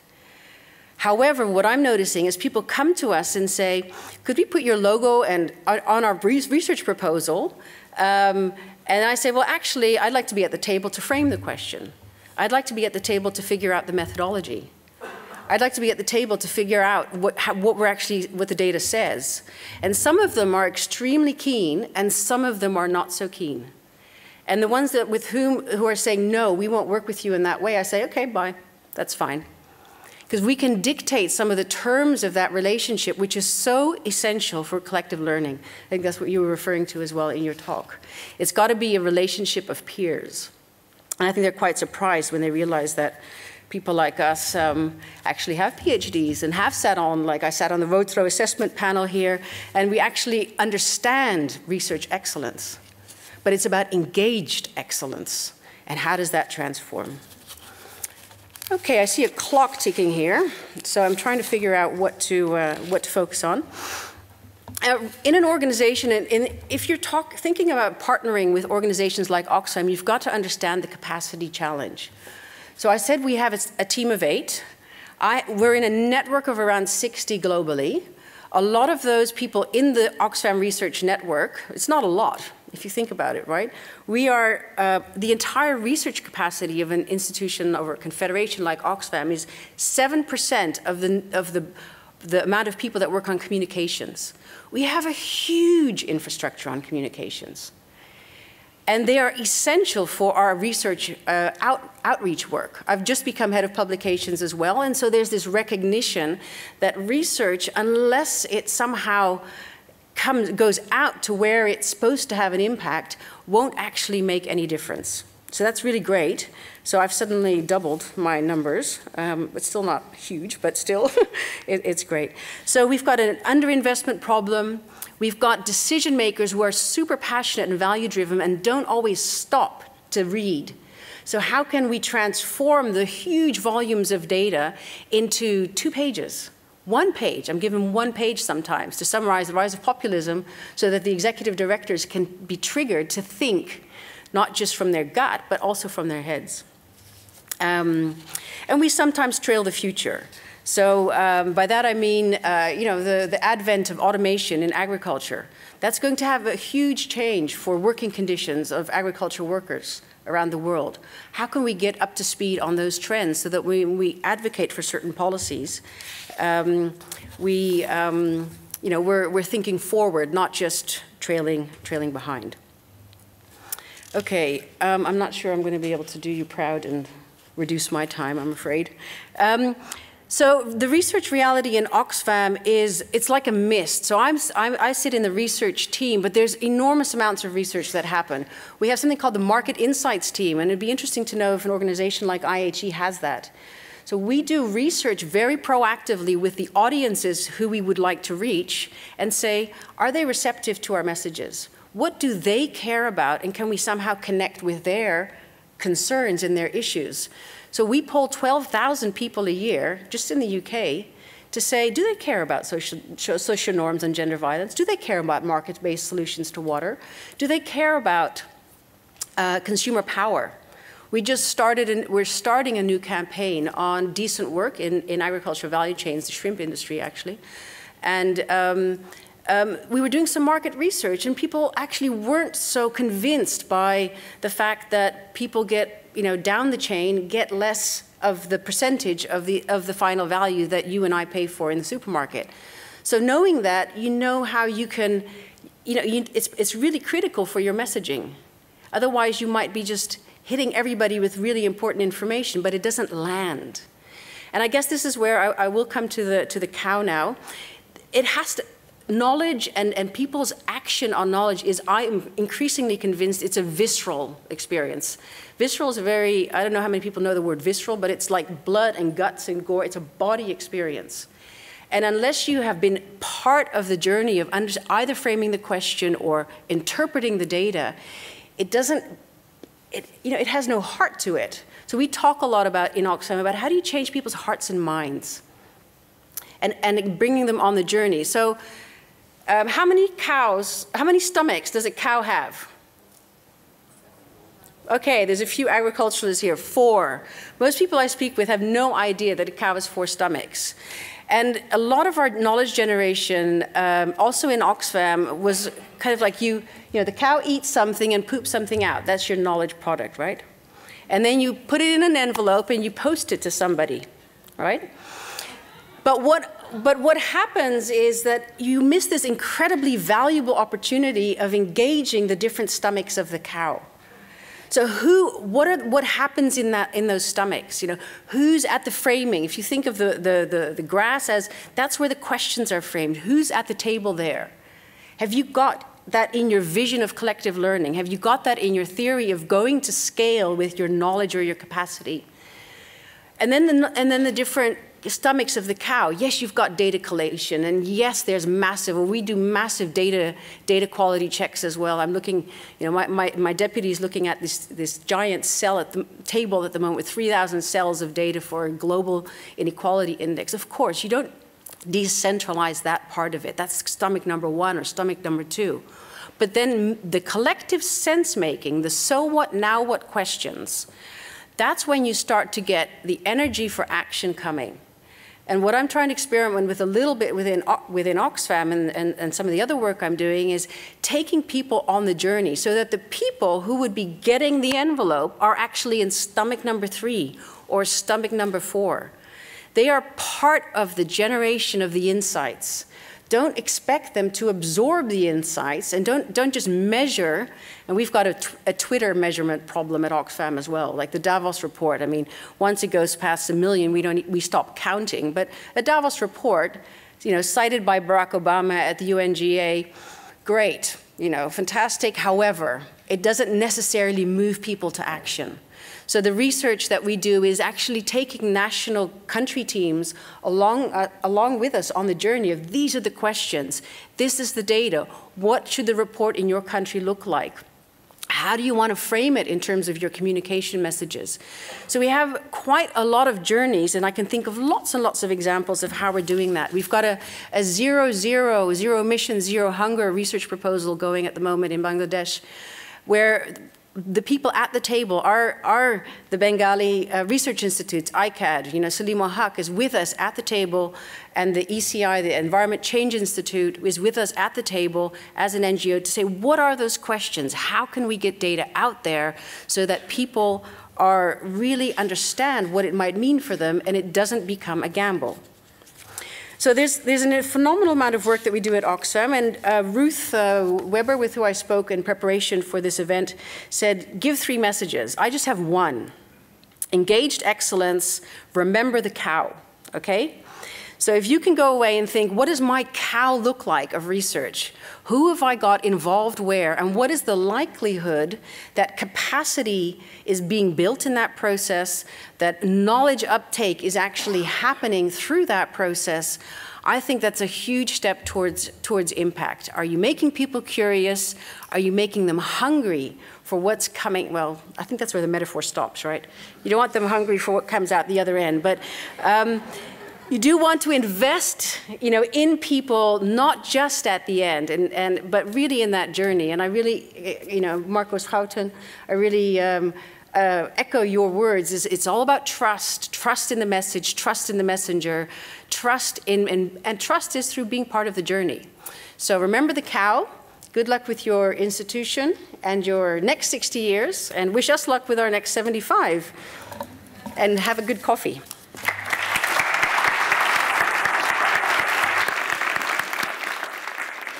Thank you much. Uh, thank you very much, Irene.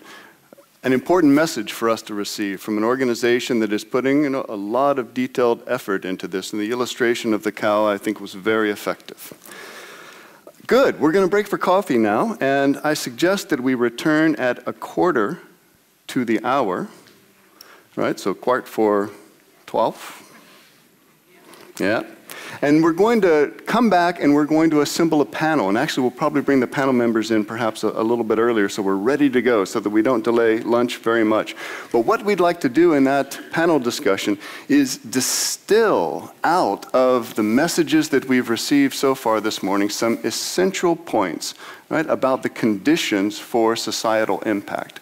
So let's take what we've learned and let's focus that into a few messages. And we'll share that in, initially as a discussion among the panel members and then bring you into the discussion also to ask your questions. So perhaps uh, you know, use a little bit of your time at, at lunch to think or at coffee break to think about that and perhaps discuss it with your neighbor. But we'll see everyone back here at a quarter till 12. Welcome back, everyone. You see, we had already started the discussion up here, not realizing it was time. We have one hour now until lunch, and I've learned that it needs to be an hour because the, the crew that's assembling our lunch out there needed a full hour from the conclusion of our coffee break, no matter what time it was. so we have this hour, and, and I think we're going to use it very profitably. As I mentioned, we're going to begin with a bit more discussion, a bit more reflection here with our panel, but then turn it over to you to welcome your questions and also welcome your input. You'll notice we have one new uh, person who's joined our panel.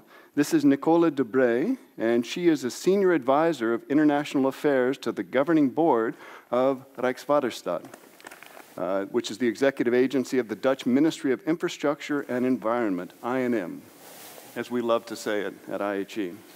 And Nicole has worked in various positions in the Dutch central government before starting her work at Rijkswaterstaat in 2007.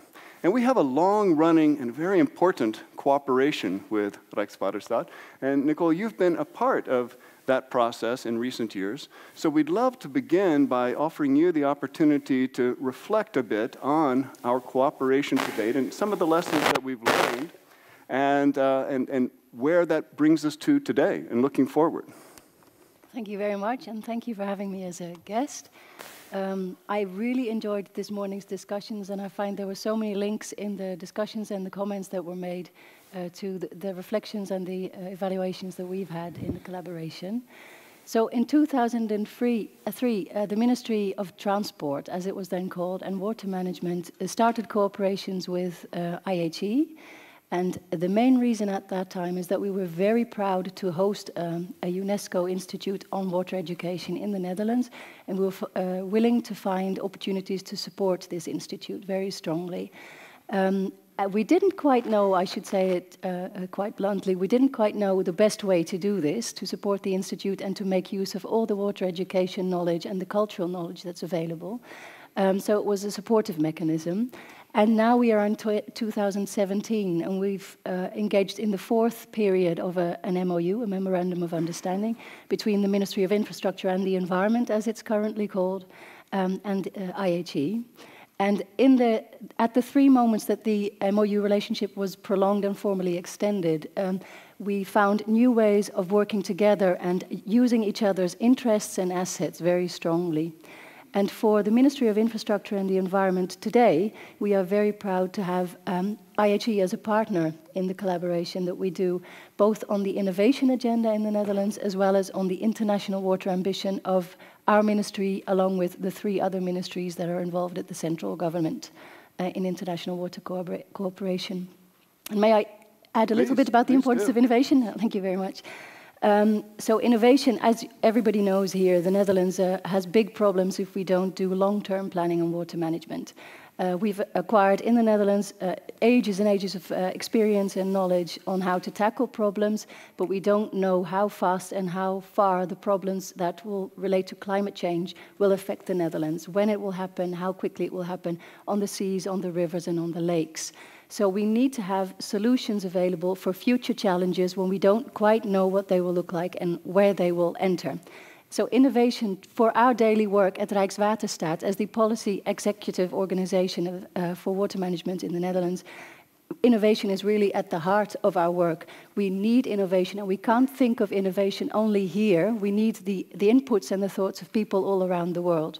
And this is actually uh, where we find that new knowledge and new ideas in other countries can help us. And the PhD and MSc students of UNESCO IHE very strongly help us to get data and research done to bridge the gap between uh, scientific knowledge and uh, applied innovations. That's one. And the, the, second part where the central government's really happy to work with IHE is that we've decided that we shouldn't keep all this knowledge and experience that we have in the Dutch context to ourselves. We should share it with countries, deltas in the world that really need it. And IHE is an important partner in capacity building, in research, and in policy advice as well. All right, Nicole, thank you so much because I, I, believe that we don't often appreciate well enough our role as this, this bridging institution with, of course, Dutch knowledge being shared and best international practice being shared worldwide, but also you know, bringing those examples and those lessons and those new perspectives back into the country. I mean, that sounds a lot like collective learning, doesn't it? Shanur, earlier you challenged us on the topic of collective learning and mentioned that in your experience thus far, it seems to be a predominantly one-way direction of knowledge exchange. So perhaps some, some ideas on you know, how we can approach improving our practice and, and actions there to make it more effective two-way communication. Thank you, Michael. To be honest, at this moment, I'm still pondering about those mechanisms. But what I observed that at IHE, we have a very vibrant mutual uh, learning in the classrooms, where the Dutch knowledge are being promoted and taught. And on the other end, uh, all those water management practices and innovations uh, from Asia, Latin America, Africa are also being shared. So it's a very vibrant place of learning. Why can't that be a practice or a mechanism? Mm. And since IHE is doing this for 60 years, past 60 years, maybe we all can think about taking this out of the classroom in this kind of bilateral cooperation. And that, that is why when I was hearing uh, Marco's and Irina's talk, especially with the metaphor of cow, uh, that also kind of uh, provoked my thoughts that that can also be a mechanism uh, using this kind of metaphors also. Yeah. And IHE uh, is a very, in a very good strategic position in such bilateral cooperation. Thank you. And so I, I think, you know, earlier we, we heard a, a, very sound recommendation that we, we are a technical leader internationally. We need to continue uh, strengthening and sharing that strong technical capacity, but finding new ways, know, new metaphors and examples to communicate complex issues more effectively would be very much to our favor as well. Dr. Khan, can I invite you to react to that and add to it? Yeah, I, would like to see collective learning from one or two different perspectives as well. Uh, what you said are very valid too. Uh, what we are practicing now in our research uh, we have a research project called Core Bangladesh project. This is one of the UDW projects that started last year. And in this project, we are actually, uh, we have invited the business communities to come with us and to build uh, solutions to uh, small to medium scale flooding in Bangladesh. So, and this is the only project that has actually started building it before even the research took off. So while we are still thinking of the research, reframing the research questions, they got into the field, talk, started talking to the people and things like that. But we ensured that all the stakeholders, the local level stakeholders, the local communities, the local mechanics, the local Polytechnic Institute, and other stakeholders, they are with us, the NGOs, at the same time the local government institutions. Uh, we made sure that they are with us. Uh, so this early engagement is very important for collective learning. Unless you get them on board at the, before conceptualizing the research, uh, this thing will not sustain. So the knowledge can be created, but this will not stay there. So this is one point I wanted to make. So this is one practical approach for participatory learning or participatory research. Yes, very much. Uh, so based on this, uh, we engage also the students later on. So the students from Bangladesh and probably from the Netherlands as well. I think they'll be involved. The private sector, we are trying. We are not yet very successful, but we are also trying to engage the private sector in, the, in this research process as well. And decision policymakers, I think they are already engaged. So this is one thing we, are, uh, we have attempted and been, have been successful so far. Uh, for collective learning. So in this process, we are calling this a learning space. Mm. So this is a learning space for all of us, for the researchers, for the students, for the business communities, the local stakeholders, the local communities, for everyone of, uh, and we learn it, learn together in this. We learn from each other. So this is one approach I think uh, would be very unique. And, and, a very effective approach, I believe it yes. would be. And, and, and, your, your focus on you know, reaching out and a stronger engagement with stakeholders is something that we all are just learning and coming to realize more and more that it's a part of our success. But Marco, you described the, the typical water sector professional as being a little bit inward looking and perhaps not so open and gregarious to engagement of stakeholders and, and perhaps, you know, a bit set in their ways and not particularly innovative. So how do we reconcile what we understand is the need to reach out and engage and innovate with a bit of maybe our, our natural character and tendencies? Um, well, uh, uh, maybe what, is a good example is oftentimes delegations come to the Netherlands eh, and they, they visit our treatment plants and also the, the water boards. And, and they're always very impressed because our labor laboratory looks nice and we have a huge treatment plant and a wastewater treatment plant also looks shiny and happy. Um, but what I always tell them is, is you shouldn't really look at these, these technical things, at these buildings, and these treatment plants. This is not really the strength of the water sector. The strength of the water sector is not locked in this technological innovation. The strength of the water sector is in, is in maintenance, operations, doing something all the time in a good way. Mm. And that relates very much into the culture of an organization. Yeah? The integrity of each and one of the employees, of the, of the management, but also of the policy makers around it. Yeah, so you should not look too much at, let's see, in my experience, if you want to go a step ahead into all kinds of technological innovations, but much more into organizational innovations and even innovations in, let's say, in personalities. And that is something I think IHE should really can con contribute in a very large manner. All right, thank you. I agree that that as well. And Dr. Kwazan, may I invite you to join the yes, conversation? I would very much like now you are, uh, uh, in the beginning we started, we can be a little relaxed because we have enough time. Clock's ticking, though. okay, we can stop it. Forget about it. And you know, the, the Bangladeshis, they loved talking. Please, we love listening to you. now, this is very interesting how now, for me, I can uh, say this collective learning, this, these are, for me, these are uh, high-sounding academic buzzwords. I understand very less. But one thing I understand, this mutual learning can very little be in a room. That has to be in the field. That's right. Now, when I was here, my mentor was Professor Verhoeven. He told in the class, I, I was uh, just telling somebody here, so when you have a problem, or the farmers come to you with a problem, very difficult, you also don't know the answer. Ask him what could be the solution. He will uh, tell you the solution. He will suggest. Then apply your knowledge and experience that has been throughout my life, that has been for me a lesson.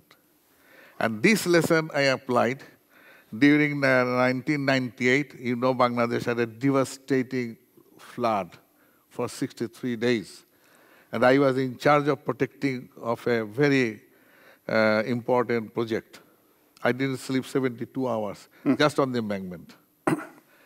and in the morning, a major army was called in. Major approached to the executive engineer with a problem. He didn't listen because we don't like the army people. then he came to me. Sir, please come and see. I immediately ran with there, and there I saw a, a piping. And I thought that this piping, within an hour, the hole will be uh, was, uh, I mean, washed out.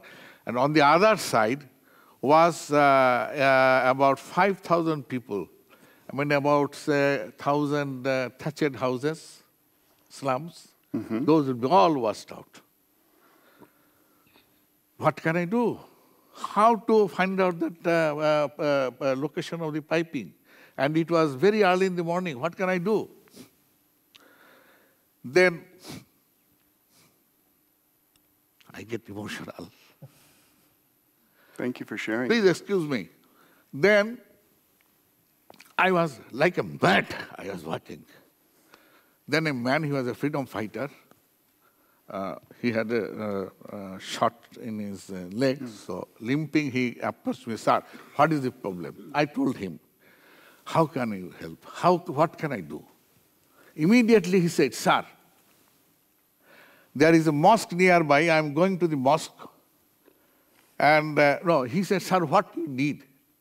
I need everything is closed now. I mean, uh, 5 o'clock in the morning. I need to block fast to find out uh, the location. Number two, I have to close it. I need bags with uh, uh, brick bats and sand. And uh, shops are all closed, nothing there. Then uh, he said, then I said, I need people. He said, Sir, there is a way. What? There is a mosque nearby. So he ran to the mosque. And then he used the microphone of the mosque and then he uh, called the people. That is in, in danger. Please come. People, believe me, people rushed. And some went to, the conductor fled away. Nobody was there. Even my subordinates fled away. Only I was there of the department. And then uh, the people, I don't know how they, they took themselves, uh, decisions themselves. They went to uh, uh shops because they know where they can get uh, shops. We had gunny bags where they will get uh, sand. And then they got, they brought it. And then uh, some started filling. And then they, you must have seen the Chinese, they do. So one by one. So about quarter mile, uh, uh, they made a line, so one after another. And in the meantime, a group of say, 10, 15 uh, young boys, people, they jumped in the water we believe me, within 10, 5, 10 minutes, they found, shouted, Sir, we have got it. Amazing. Sir, we have got it. And then we saved that. It was the people. And people's participation. This is learning how to manage this crisis with the people, how to uh, uh, manage this with the people how to use the local resources, how to use the local infrastructure, the mosque, microphone in the mosque. I never, never had thought because I, never, I don't go to mosque. This is participation. And uh, this is learning also. I'm not going to explain uh, further. And that man still have contact with me, those people. Thank you so much for sharing. And the message last year was uh, in, in uh, uh, 50th anniversary. I, uh, I had a, a, message there that we, these seats of higher education, it's a challenge for them who will uh, not, who will take these farmers, these people first and they will not consider their authority challenge to their, as a challenge to their own authority, because in Bangladesh it's very uh, uh, strong that we don't like to accept public participation because we don't want that uh, they uh, share our uh, power and authority. So this year, our uh, Anyway, that I'll come later. So this is that we have to learn there, sitting at the universities, in the conference room. I, I don't believe it's a very little. You can achieve, we can achieve very little. But it has to be in the field. Thank you. Thank you. I was saying thank you so much for sharing that personal experience because there's no doubt that it's in those intense personal moments that, that we learn and that those lessons are ingrained as deeply as they can be ingrained inside of us. And I think we all learned as well from you sharing that. And it ties back nicely huh, to, to, the, to the necessity of, of opening up our minds and our, our community to bring in that, that wisdom and, and the engagement of others. So, Irene, May I ask you, as our uh, cow specialist? exactly. I was just getting that image out of my mind. But excellent. bring it back if you'd like. But uh, I'd love to hear your reflections. I mean, you're, you're, you're having a crash course in the IHE community and family here. And you are you know, someone who's coming in with, from an outside perspective at the mm. moment. And any reflections that you'd like to share? Wow. Um, I'm surprised that collective learning is considered so novel, I guess. Mm. Um, I, am really surprised. And um, I think that you probably do more of it than you realize. Perhaps. um, uh, what I'm intrigued by is, is, is the what. Well, one of the things that came up when I was, I was listening is what, what are you assuming? How are you assuming that change happens at scale? So um, at Oxfam, we're talking a lot about our theories of scaling, right? So do you think that scale happens by uh, MOUs with private sector? That's one leverage point, right? Do you think that it happens by building the capacity of not one but 100,000 people? Do you think that it happens by influencing policy? And um, do you think, and in Oxfam we're very strong on, on, on that as a value, is do you think it happens by people power? Right? And investing in movements and investing in the knowledge base in movements. So I guess one of the reflections I had is I'm not sure I heard a lot of clarity about that. And is that even a question that you ask yourselves? Is, is um, what are you betting on when you're betting in a particular capacity building effort or a particular relationship or a particular way of doing research? Um, and then is the, the game plan, is the operational plan commensurate with your theory?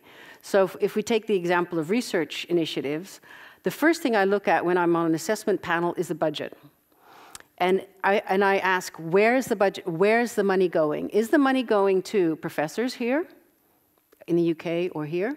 Is it going to um, organizations who are going to be part of the movement of change um, there, wherever there might be? Um, is there investment in money in convening? You were talking about, I, I, really echo your thoughts. We have to invest in that long term conversation and that long term engagement. Is there money going into that? Is there money going into sharing the glory? When I joined Oxfam, I, I had to tell my, my colleagues it's okay to put your name on a publication. That wouldn't be an issue here in the world of academia, I suspect, right? Everybody wants their name on all publications. But it's that notion of where the glory and, the, and, and what, how do you understand ownership? So actually, there's a, there's a lot of questions there for me about your theories of change and then how are you, are you actually making that possible with where, where you're investing your, your money and your efforts? Um, so I, I guess I would challenge you a little bit on either making that explicit to me, because I didn't hear a lot about it, or just telling me that you don't think about it, which is also fine. All right, no, ex excellent points, and I know that we have some people in the audience who are, are, thinking more deeply about this and probably can share some more perspectives. And, and for, for me, you also alerted me to the fact that you know, we are one institution, we are part of a community of partners working together, but the world of change is so much larger than us individually even us and our partners. And it's about understanding where to embed ourselves in the process effectively, you know, to plug in and make things happen that we also need to think more and work harder on. But let's save your points. I'm sure a few notes have been made in the audience. Our clock says six and a half minutes, which means what's left in an hour, half hour with the, with the panel. But I'd love to get to, to, to you as quickly as possible. So may I just uh, offer to the panel, if, having heard from everyone now, if there are any final reflections or additional points before we go to our audience. Ah, yes. This is on uh, societal impact. So I, I think it would be better to discuss that very quickly, what we really mean by societal oh, impact. quickly? Very quickly, yeah. because I, I, I, was not very clear about that. Yeah. All right. Thank you. Well, maybe what we'll do this is can, we can be elaborate, but we might even invite some perspectives yes. on what societal impact is. I, thank you. I think that would be a good way to kick off some discussion. Um, also, I was quite intrigued that nobody mentioned the word power or politics. Mm. Um, and we're assuming learning is neutral, there's no contestation of findings. I'm hearing from my neighbor that it's not, it's not, it's not political or it's not not political. it's very political. Okay, so we agree. It's very political. So how do you deal with power? You know, MOUs are created through quite fierce negotiations in my, my experience. So how do we deal with that? All right, challenging. And with power and participatory learning, uh, in many research, uh, in Dutch PhD and MSCs, Bangladesh is a case study there.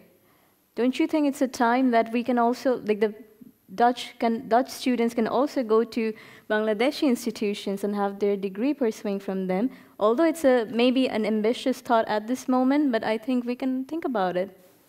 Let's think ambitious thoughts. Let's Societal think ambitious impact. thoughts today. Thank you. Dr. Wassam, you signaled earlier that you might have one more message for us. Me? Yes. Yeah, that is, but that relates more on uh, reflections for the future. Ah, well then. But if you want, no, I'm, and, uh, no, I, I don't find my name, so I have to tell now. But you've got the word. We, we would, we would welcome, you will be a member of the audience at that moment, and we would welcome it. But if you want to give us a, a teaser, a highlight of it. The power of the mic. Come on, take it. Power? Power of the mic. Take it. You've got it, power. Oh, power of the mic, right. Yes. Not this mic. It's a great power. Now, I have, uh, I, in fact, I have few suggestions. That is, uh, the, that's for the future. That's number uh, uh, one, that IHE uh, should uh, or can, I shouldn't say should, they will decide, they will think should or should not, but they can uh, uh, think of uh, having uh, institution, having uh, say institutional support for continuing education and knowledge development in Bangladesh. I talk, I, I mean, all uh, what I talk about Bangladesh in, in water sector. That was an initiative in late 90s, but again uh, that uh, uh, died out. But again, uh, uh, there is a possibility uh, IHE can think of. And we can discuss la- uh, uh, during lunch more in details. All right. Number two is bring in social dimensions of water resources development in policy, planning, design, execution, and operation and maintenance. Ah, good, tying it back to some of Irene's, Irene's points. So uh, number three is, uh, no, this I mentioned, just I had uh, uh, another, that what, that I did in 1998 flood, that was my IH education and my ISS education. Okay. So some element, social dimension has to be brought in uh, here. Number three is all the alumni, I mean from Bangladesh, most of the alumni are government. They are the leaders of the water sector community, either uh, in the government, I mean holding out of last 10 DGs, Director Generals of Water Development Board, nine were uh, IHE alumni. Only the present uh, uh, incumbent is AIT alumni. The next one again will be IIT alumni. For about four chief engineers of public health engineering out of last five are IHE alumni. So these IHE, these alumni who come here, they in fact they are leaders at different stages of government, different levels. Also they are leaders in the consulting community. Now many have started contracting.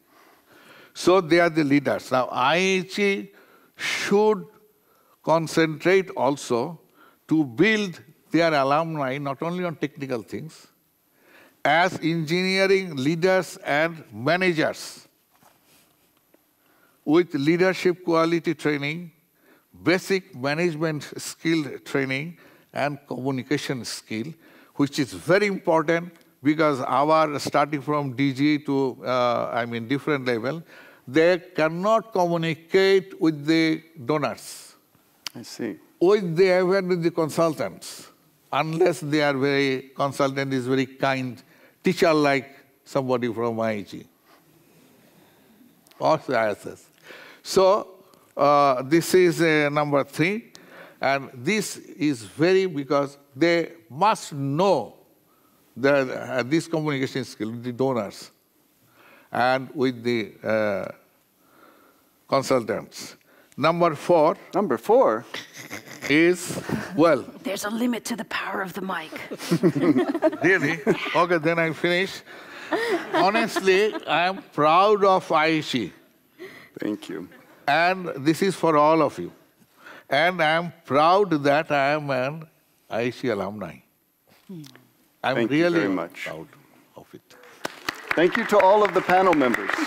And the IHE alumni in Bangladesh is very active. Chris knows. And uh, there are uh, uh, my friend Yatsa Yoon knows, and uh, many of your teachers know. Thank you. Thank you. Thank you again to all the panel members. So, transition. I'm going to throw this to you. All right. And thank you to you for your enormous patience uh, in, in holding off with, I know, what must have been many questions and, and points you'd like to raise yourself. But now we're entering into that moment that it really is all about you. And you please feel free to direct questions that are unanswered to any of the panel members, our speakers, interviewees, and the like this afternoon, to further elaborate, perhaps on the points that they've made, or to just bring your own points into the conversation. Now, I think you know these are becoming quite common today, but you notice we don't have folks running around with microphones, so we're going to need your help for this because this is the microphone that we'll be sharing, and I think we may even have another one. And it's really simple. The way it works is that when you want to talk, we toss it to hear you. me? Yeah? Now, it'll test your skills a little bit, both catching as well as um, throwing, but it's soft enough that no one should get hurt. But if you would like to just hand it along the chain of people, that's also possible. All right, did I see a first question here? All right, here we go.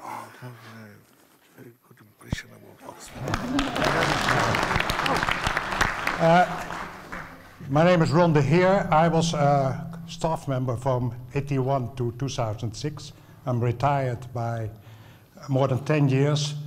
Um, there were a few things what triggered me this morning in particular.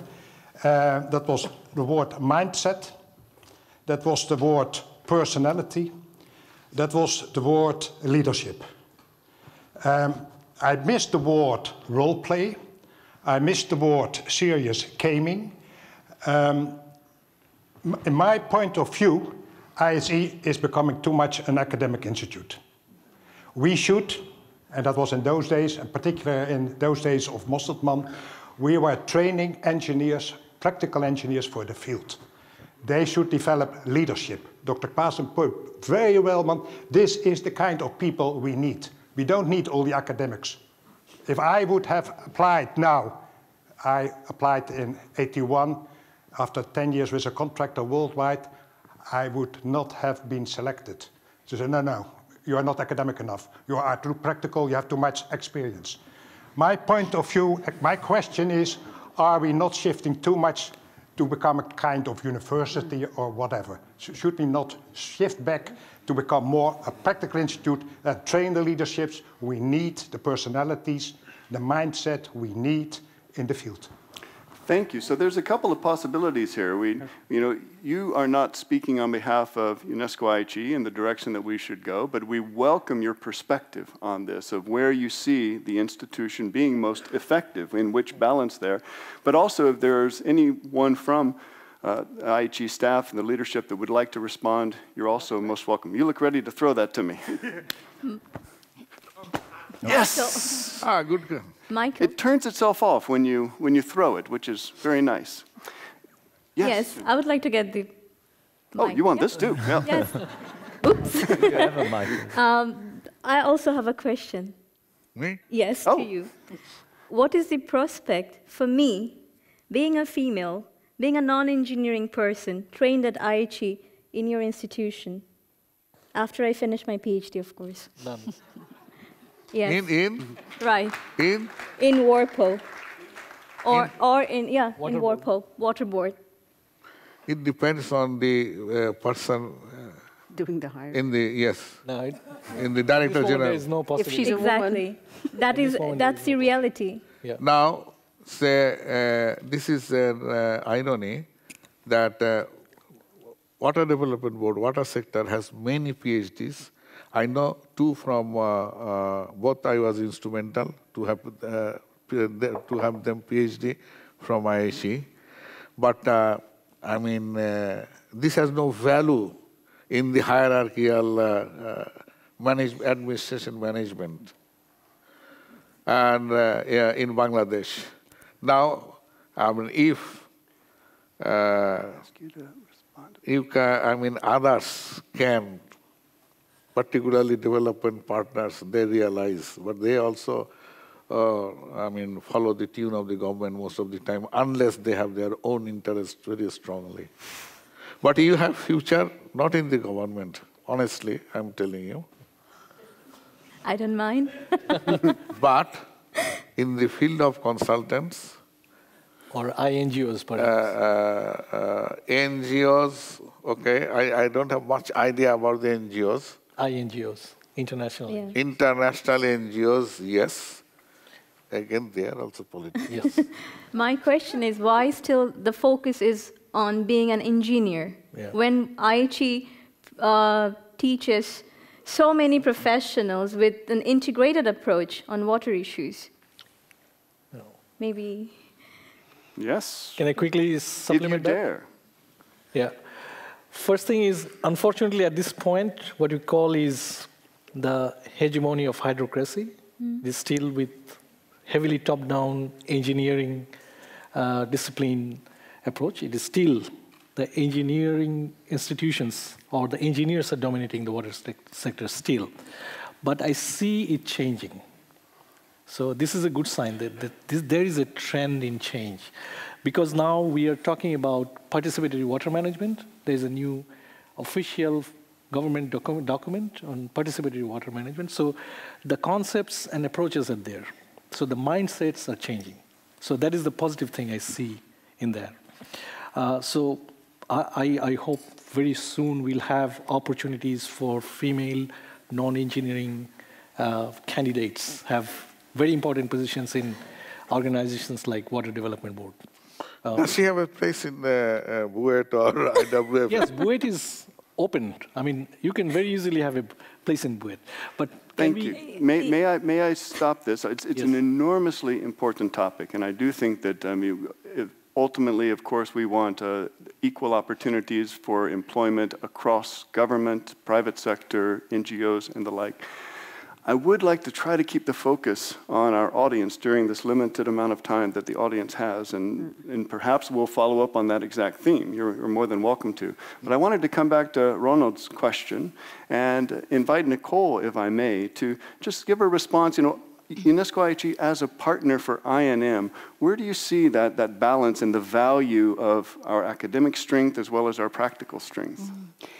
First, I'd like to make a, a, personal response. If you have too much experience and practical skills for academia, please come and work at Rijkswaterstaat. we always need uh, people with lots of experience.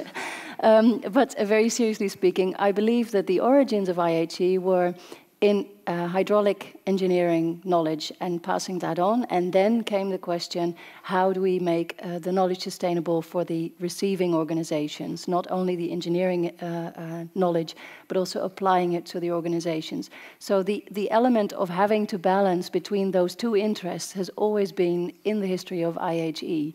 And I would strongly recommend that it stays in both. My own preference from the Rijkswaterstaat point of view is innovation, applied science is very, very, very important given the enormous uh, size of the water management problem worldwide and also in the Netherlands. Um, but I do believe that you can't apply knowledge uh, when there is no common ground, no basic uh, uh exchange of knowledge and uh, field field situations, field conditions. So I do believe don't choose, do both, um, but within uh, the right combination. Thank you, Nicole. And I, I, believe that we as an institution recognize that that's one of our strengths, that we, um, that we understand and we operate effectively in the academic as well as the applied community. But certainly those applied skills are distinctive and something that we must hold on to. And I'm sure there's greater perspective on that also from other, uh, other folks from IHE. But I did have a, another question indicated, so here it comes. that was my fault. That was my fault. Oh, there's an, oh, thank you. You'll be next. Uh, Yes. Thank you. I would like to endorse what was uh, spoken before. Maybe to introduce myself, I'm Joseph van Oudenhoven. I am an alumnus from 1970. And so it was in the, stage that it was practical. Uh, I want to go back a little bit further. In 1960, I had to decide about what to study. I wanted to go abroad. I was 16. I want to go abroad and be useful because we're talking about the, uh, yeah, the contrast between poor and rich countries. And I thought I'm more attracted to the human sciences, but if I want to be useful later on, when I go abroad, I better go to a technical study to be useful. I went to Delft, hard time to be technical, uh, finished that, worked with United Nations, and there I found that United Nations was like 30 people in the field, 100 pe- uh, 90, 60 people in the offices. They were not very effective. After a while, I left them.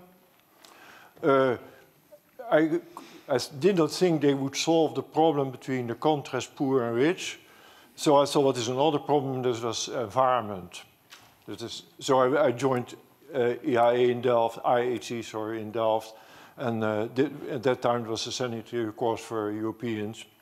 And I was the only Dutchman, which, so I came back in the country and I was only among uh, foreigners, which was a great time. Mm-hmm, I'm sure. Then I got the opportunity to study in the United States uh, at Harvard, which is reasonable known. And after a while, I thought, you know, this is a sterile institution. They really think we are great as, as Harvard, and they are maybe great, but they were sterile in a certain way. They're not inspiring. They were really self-congratulating. So I thought, if I want to use my experience as a civil engineer, if I want to use my experience as an environmentalist, and if I want to change the world, I shouldn't go with the government because they don't do too much. I shouldn't go to the universities because they, they are a little bit sterile. Maybe I have changed. Maybe. So I should go, go work with the industry and try to change the world within the industry. And sometimes you lose, sometimes you win. It's always a fight. You are lonely but I think I could achieve more there. So that is a little bit to endorse all what you were saying before. We need to be practical, we need to be academic, but we have to have this combination. Now, uh, my question now for the impact, it was more background. I didn't know what I was to, say all this, but okay, you know how it is. Uh, that box. About the impact is that uh, what I miss in the whole conversation is, and I mentioned a little bit about government policy. For me, authorities and politi politicians should be long-term thinking because the normal people are short-term thinking. What is in practice is that politicians, uh, governments are short-term thinking. They look for their own uh, elections. You look at the United States, you know, everything is being changing and so. So uh, more and more we people are long-term thinking people. And if we want to have impact really for change, if I see that there's still contrast between poor and rich, and we talk about it, talk about gender, we still talk about it, it's not changing, or very little. So if we really want to have an impact as an institute, I think we should change the politics. We should more have impact on politicians and thing, for the long-term thinking. Thank you. Oh, here comes. Well done. Thank you for those points. Huh? Okay. I'm going to share the I'm going to share the microphone here, but we have the first question or remark from here. And Elias, you'll be next, and if you'll pass it up after yourself. Okay, thank you, Mike. Um, my name is Heather Murdoch. I'm from Canada, and I'm a master's student here. And uh, I have a quick comment and then a question. Um, I was really interested in what was being said about scale and also about the theory of change. And I think actually what um, Shanur was saying ties into to a lot of this. Um, there's a, a, group of us from the Water Youth Network that went to World Water Week in Stockholm last year. We put out a white paper, and it was about the capacity gap in the water sector and how do we address this and, and what's the youth perspective on this. And I think some of the things that you pointed out, um, gender issues in the sector, as well as people from a diversity of backgrounds, whether that's different areas of science or social science or the arts contributing to the water sector, is a challenge in addressing this gap, that we need to value the diversity of skills to help address the, the gap. In fact, that's how, that's one of the ways that we're going to, to close it. And um, I come from a country with a very strong, um, strong set of professional institutions. So if you want to do any technical work related to water, you better have an engineering license. Um, but there's a lot of people who have a lot of skills that can contribute to those types of projects that I think sometimes aren't included. So I think we also have work to do. I mean, Canada leads in some ways with respect to water, but we also have a lot of work to do in, in this integrated approach. Um, so that's sort of my comment. And then uh, my question is related to this question of scale.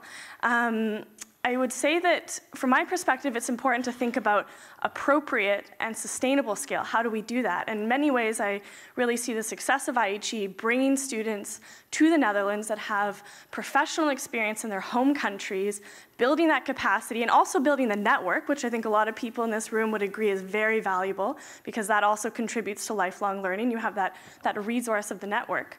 Um, so how do we how do we do that? I think that that's happened in some respects, but how do we really scale in an appropriate and a sustainable way, um, and and do that you know do that successfully into the future? So that's my, my Thank question you for on that scale. question. Thanks. So ideas, responses on scaling. Yes, Marco.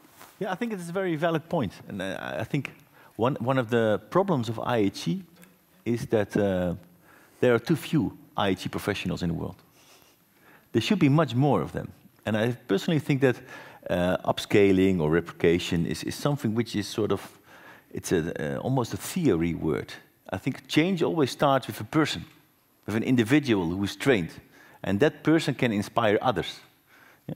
So what I would say, if, if there would be a future direction for the IHE, if I can say anything about it, then, well, we have currently about 200 MSc students. Well, that should go fivefold to about 1,000 MSc students. Then we, we start talking about uh, influencing politics, putting people there who are IHE professionals, who have indeed, like Ronald said, uh, applied knowledge, practical knowledge, how to change things. Because change comes from persons, from individuals. Thank you. Thank you. So I, I, also agree with that, that you know, each individual is an enormous potential source of change as they work through their careers, as they work up through the, the chains of influence that they have other perspectives about other maybe levels to engage on the scale impact question. First you, Nicole, you. then um. Also in response to the, uh, the heartfelt remark of uh, the speaker about the long-term uh, mm -hmm. efforts to uh, diminish the difference between poor and rich and the environmental impacts also. Um, one of the ambition, parts of the ambition of our current government is to um, help uh, other governments think of long-term planning uh, facing water management problems. Our Minister Schultz, who was here to sign the MOU, she has uh, made a personal effort trying to um, tell other countries, help other countries think of long-term water management funding so that it doesn't just happen, water management efforts, when a flood has taken place or when a flood is unavoidable, but to think of it in advance as the costs for uh, reducing the damage or uh, reducing the, uh, the risks are smaller than those for mitigating the damage that has, been take, that has taken place. And I think this is one of the, it's a small-scale effort, but it requires a lot of policy effort um, uh, to spread the message. This is the thing that our government is doing, and the IHE is an important partner in spreading this message. That was also um, emitted by our Prime Minister. And, and so the, the, the, point of scale isn't necessarily lots of people doing it, although I strongly believe that the more people are educated and have scientific knowledge, the better. Uh, but it's also about where to address the message and how do you team up as the Institute with the people who may help you to bring the message abroad. It's not all about doing it yourself, because then we would need an IHE that would cover the Netherlands or any country as big as ours. Thank you. Renee, did you want to contribute? Yeah, I wanted to push back a little bit to your theory of scale, Marco, because I think that that's where um, uh, we, we, tend to think about one times a thousand, right, as the way to scale. And American foundations have invested a little bit in, uh, over the past 10 years or so, in, in th their strategies around what works at scale. And they won't fund those kinds of efforts. They won't fund the one times, they won't fund the replication types of efforts, some of them, right? It's obviously it varies. But they say the ones that they, they try to look for where people are being um, I guess strategic is the best word, about where the leverage is. And sometimes you don't need the engineer or the, the non-engineer or the whoever, the, the skilled person who comes out of IHE, but you need to scale a message or you need to scale a practice. It doesn't always have to be innovation either, right? Because we lack the spread of just basic good practice. Um, and so then the question is, well, what do you want to scale? Um, in order to get the kind of societal impact that um, you were talking about. So I, I think that that's why we really need to be very thoughtful about that whole journey and I come back to the cow and its digestive tract, is what are we assuming happens along the way in order to get to very, very fertile fields, right? And um, so I, I, think we've got to be careful that it's not just about replication, but it's about leveraging the bits that you need in order to get to an, imp an impact on the ground. Thank you. I think, I think that's a comprehensive response to, to the question. And also, we're moving a little bit from one topic to another here, and I know that we're not spending sufficient time on any single topic, but just so you know that there are three people in the audience who are gathering or collecting information and taking the minutes essentially, and of course this is being recorded. So even these, these ideas and these seeds that are being planted with, with your questions, your remarks, and the responses here are, are, are all being recorded with the potential to build on going forward. Ilyas. My name is uh, Ilyas Masih. I'm a lecturer here at UNESCO IHE. I'm also program coordinator of one of the master program here, water management. I would like to underline three word, words I hear. One is uh, engaged research, no. applied research, and societal impact. And I would like to share that uh, at UNESCO IHE, we receive funds from uh, Ministry of Foreign Affairs, and through our DUPC program, I say that uh, we have a lot of opportunities, what you said, uh, to engage with partners, sit together with them, prepare questions, methodologies, and really conduct research on the ground for societal impact. And when it comes to PhD, I think we try to do applied research, but that element of engaging with stakeholders is a bit limited. And now I come to the point as a master program uh, coordinator, we see a tendency that when it comes to balancing the cost of uh, MSc programs, we have 18-month uh, MSc program whereby 12 months are for taught part and six months are for research path part. Some of the donors even don't allow people to go in the field and conduct uh, field research. And the others who do also uh, try to uh, recommend to cut cost on that part. And we as an institute has to take position because we are taking, uh, talking uh, for the future. Would you like to give us uh, some suggestions how to engage, for example, with the donors or what our approach should be? Because we, uh, master programs are also one of the pillar uh, we have, though their research is not extensive, but important drops in the ocean of, I mean, uh, applied research.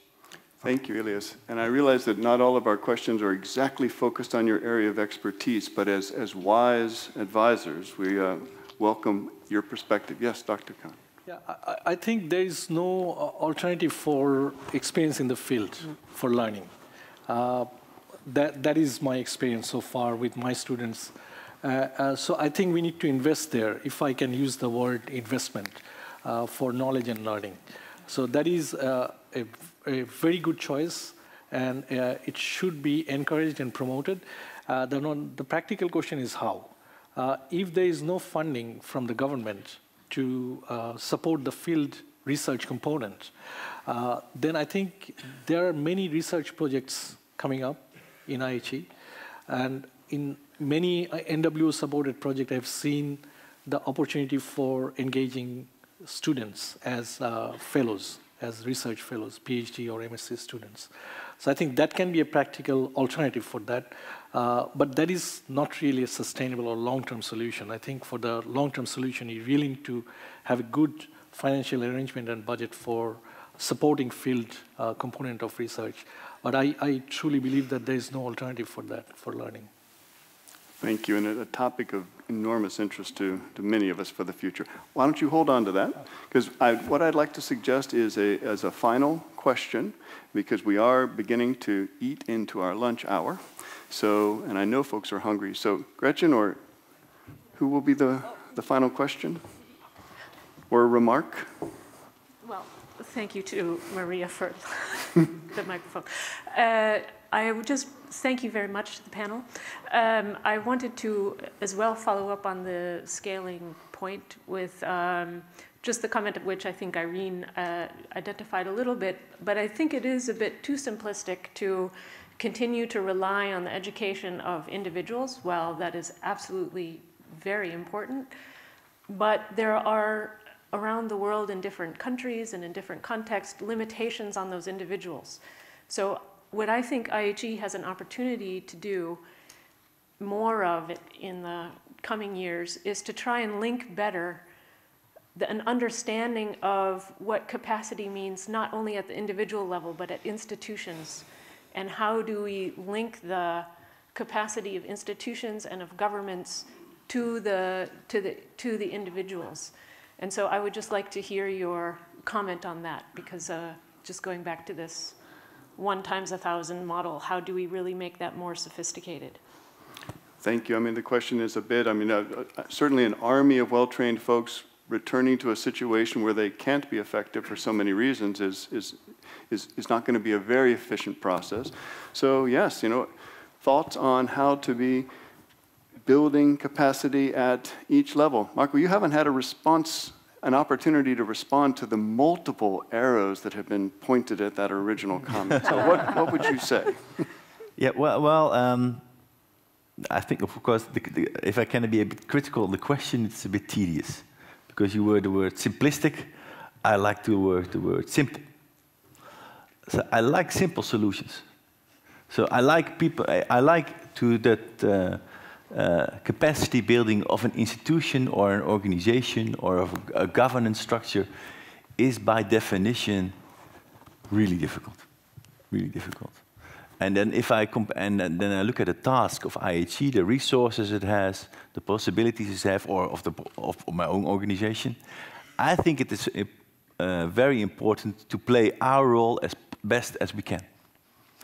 And therefore, I think IHE is an educational institute and they educate professionals, individuals. And these individuals, they need to inspire. They need to bring the change. Um, other actors, of course, are also very important. Local governments, consultancies, water operators, World Bank, a lot of people, a lot of institutions. And of course, these institutions are filled with individuals.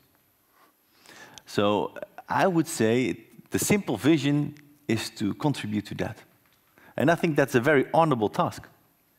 Something you can be, you can be invaluable in the water sector. Because I think very few institutions look at it that uh, way.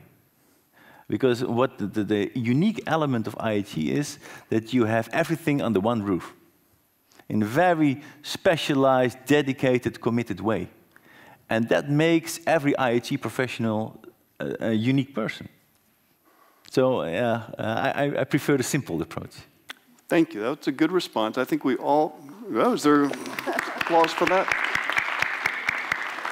And I do think we all recognize that that is just a, a foundation of the institution, and we always first refer to those 15,000 plus alumni that are in the world that we're so proud of and that we know are out making a difference. And as we look to the future and, and the ways that we can increase our impact and distinguish ourselves further, the, the issue about something being difficult, something being very ambitious, I think as we look for the future, we're looking to do very ambitious things and we're looking to do very difficult things effectively, right? Because the more effect and impact you can have on those especially difficult questions, the greater value you have, the greater value you have in the world, to your partners and the like. It's an enormous challenge, but uh, one for us to take on if we can. Thank you. I know there are more questions out there, but I also know that folks are hungry.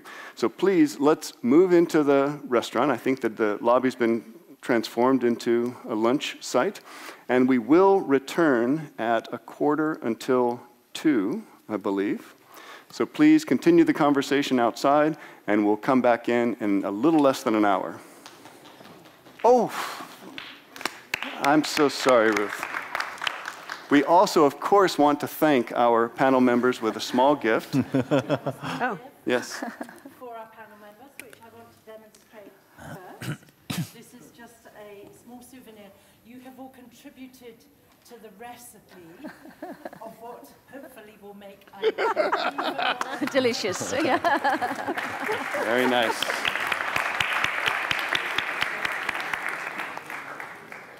Thank you.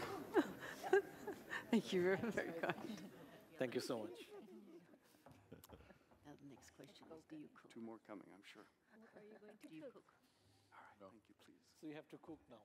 Thank Who are you going to give that to? Thank you very much. Thank you.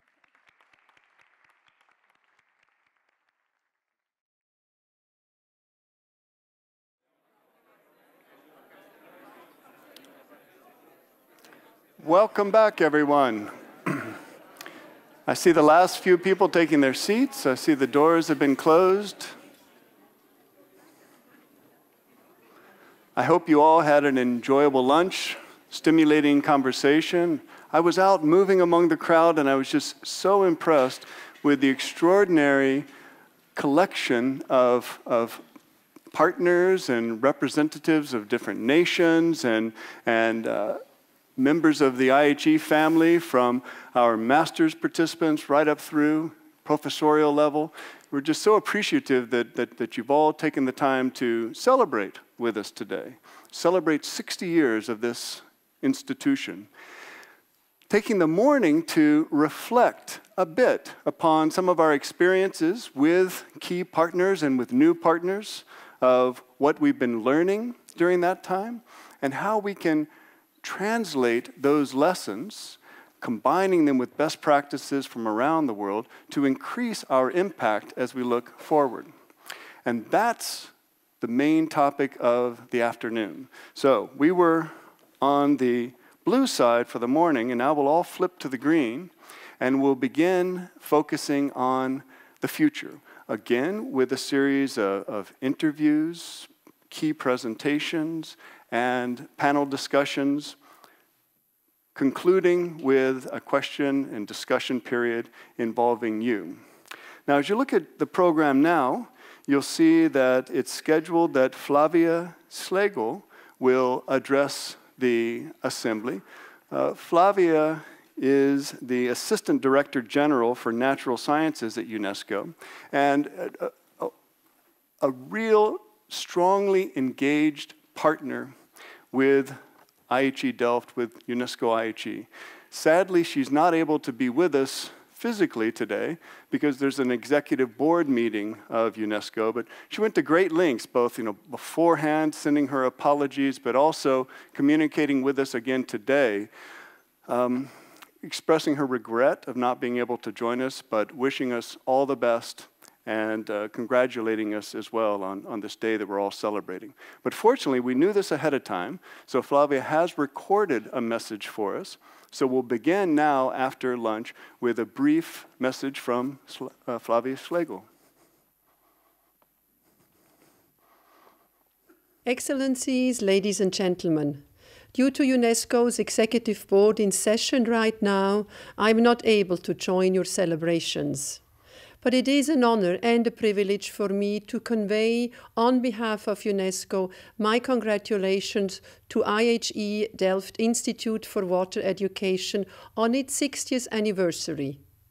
UNESCO feels proud to have the IHE Institute as a beloved and highly appreciated member of UNESCO Water family.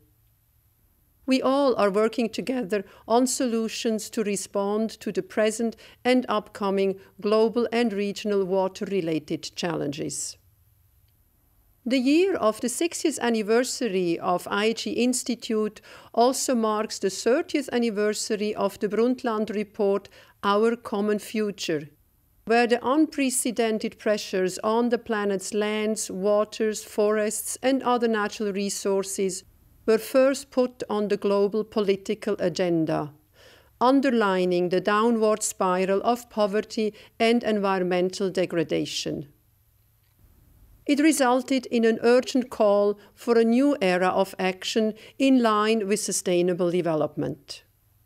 I would also like to mention the UN Conference on Water in Mar del Plata, Argentina in 1977, already 40 years ago, where there was a call for action to avoid a water crisis of global dimensions before the end of the 20th century.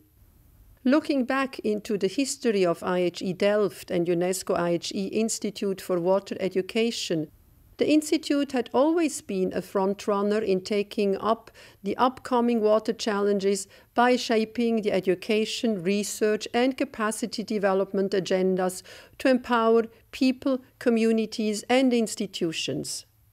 The close cooperation with UNESCO's science sector and intergovernmental hydrological program has been at the core of the Institute since its inception. Water in a changing world, with all its risks and uncertainties, is still the challenge for the water sector itself and furthermore for water leaders and policymakers.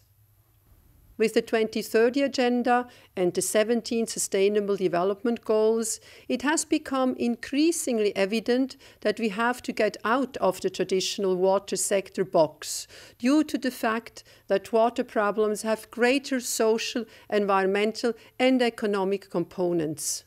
And SDG 6 on water sets ambitious targets in this regard. IHE Delft is well prepared to respond to these challenges. The cross-sectoral approach, cutting across disciplines, the cooperation and engagement with universities, development organizations, and implementing agencies, particularly in the Global South, are vital to continue and further develop scientific excellence and impact on the ground. For me, IHE Delft will stay a unique flagship institute in the UNESCO water family generating tangible impact through education, research, and capacity development. Furthermore, IHE Delft will play a crucial role when it comes to the implementation of the water-related SDGs. Successful implementation needs more than technical answers. It needs a change of mind.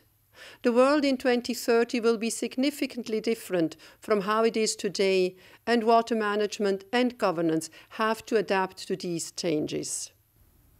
UNESCO's holistic approach to water makes adaptation more feasible.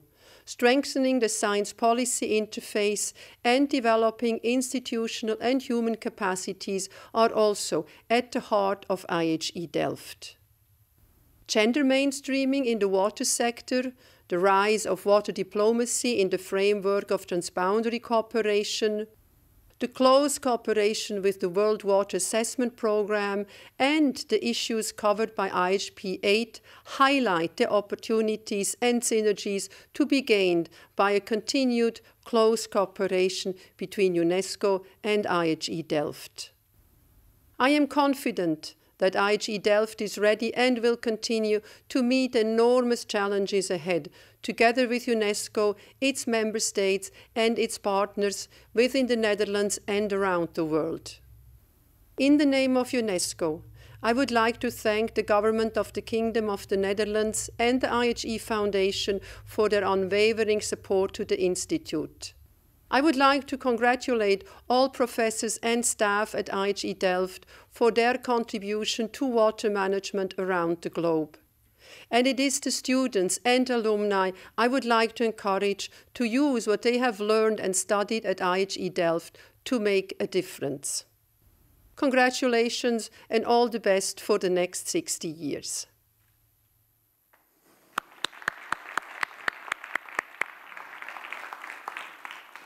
Thank you very much, Flavia. I'm sure a warm feeling is rushing over her in her executive board meeting as she feels and senses our gratitude. So UNESCO, a, a key partner and long-term partner uh, in this institution and for the future and for its success. Another, as Flavia mentioned, is the Ministry of Foreign Affairs. Uh, the ministry has supported this institution for many, many years, and we've worked in partnership so that we're able to also support, to the best of our ability, the, the, the, growing and the evolving foreign policy of the Netherlands. And we're very happy that just last year we began the second phase of our programmatic cooperation. This is an extremely important initiative for the institution. Many of our staff members across departments and disciplines are engaged in projects around the world. And uh, this partnership with the ministry also continually encourages and stimulates and challenges us to increase our impact. So a lot of uh, that talk today of how are we going to achieve greater impact will contribute you know, to, the, to the success of that relationship. Well, we're very happy that in the flesh we have a, a representative from the Ministry of Foreign Affairs. So I'd like to invite Kees Rade to the stage, please. Kees, uh, is the Director of Climate, Water, Food Security, Energy, and Natural Resources in the Ministry of Foreign Affairs. And in addition to that, you are the Ambassador for Sustainable uh, Development. So, a fantastic uh, list of responsibilities within the ministry. We're happy to provide you with a stage to uh, share with us the message you brought today. Thank you very much. Good afternoon to all of you, excellencies, uh, ladies and gentlemen, friends of the water sector. Uh, and to be honest, to add to your list of impressive functions, I'm also Arctic ambassador, which again is, is I must say, one of the most fun parts of my, uh, my function. Um, I have, uh, as you can see in the program, I have been given 20 minutes to, um, to, to, to, explain to you a bit our view on uh, developments in the water sector and the role of IHE Delft in that, uh, that particular sector. And I will use these 20 minutes, actually only 19 minutes so much left, so I have to really start. But we really want to make use of this opportunity to really explain to you our views on this, uh, this, this se sector that is so important for the Netherlands, as you all know, but certainly also for the world. Um, so it is a pleasure to have the opportunity to speak to you today at the occasion of your 60th anniversary and to congratulate you all with this milestone. And when you turn 60, most people start to ask you questions like, when exactly are you going to retire? Or what are you thinking of doing when you are a pensioner? Or what will you be focusing on in the next few years you have left before you retire?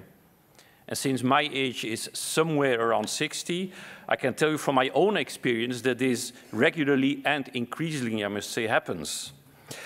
But today, I am not going to ask these questions because I don't want you to retire when you are 65 or 67 or whatever is the pensionable age today. We need you to be there until 2030, the date set for the realization of the SDGs, including, of course, the very ambitious goal around sustainable water management, but hopefully also for many more years after 2030. Flavia mentioned six, next 60, well, perhaps even more than that, hopefully. And let me start by looking at the years between today and 2030. What are the main challenges we will have to deal with? What is the landscape IHE will have to work in? First of all, I think that every analysis of this period has to start with the word climate. We did agree on a number of ambitious targets in Paris, and by 2030, we should have significantly reduced CO2 emissions. But we will probably have to conclude, in view of new evidence to be presented to us by the IPCC next year, that these targets are not ambitious enough, that we'll have to put the bar even higher. And in the meantime, we can expect impacts of climate change manifesting themselves more and more, for example, in changes in water availability, be they floods or droughts. Furthermore, substantial population growth in many parts of the world will have serious consequences for food and energy production and economic development. All productive sectors demand water, which increases the need for integrated water resources management. And not all countries do have a proper infrastructure to guarantee equal distribution of water. There are many competing claims to solve between drinking water and water for industries, between irrigated food production, energy supply and ecosystem services. between countries that share the same river basin, and between rich and poor. So there are many challenges to be picked up the years to come. And from a water perspective, but maybe we should go one step further and focus our attention more on nexus planning, where competing needs of all sectors are taken up. And this requires more intensive interaction with other sectors, from food and energy, food and energy to minerals, and even to the security sector, since a shortage of water can enhance tensions between countries and groups. And to do this all in an effective and well-informed way, we need the expertise of knowledge institutions like IHE Delft to help us with those. So please, may I ask you never to retire. Let me outline what the Netherlands government sees as the main ch water challenges for the years to come. What are, we, what, have we, what are we already doing about these, and how do we see the role of IHE Delft? First, we firmly believe that proper management of global public goods, like water, is important to realize a stable and prosperous world.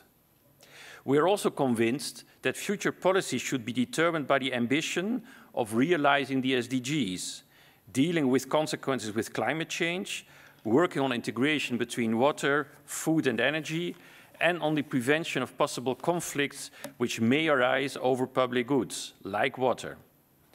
And a traditional focus on countries should be complemented with a regional uh, river basin approach where division of water over various sectors and between countries can be more easily addressed. Within the focus area of water, we work on three themes. Integrated water resource management, water use in agriculture, and access to water sanitation and hygiene or WASH. All contribute to the realization of the SDGs. And in addition, we focus more and more on transboundary water management or water diplomacy, since we expect that regional tensions over water shortages, floods, or the unavailability of clean water will increase in the years to come.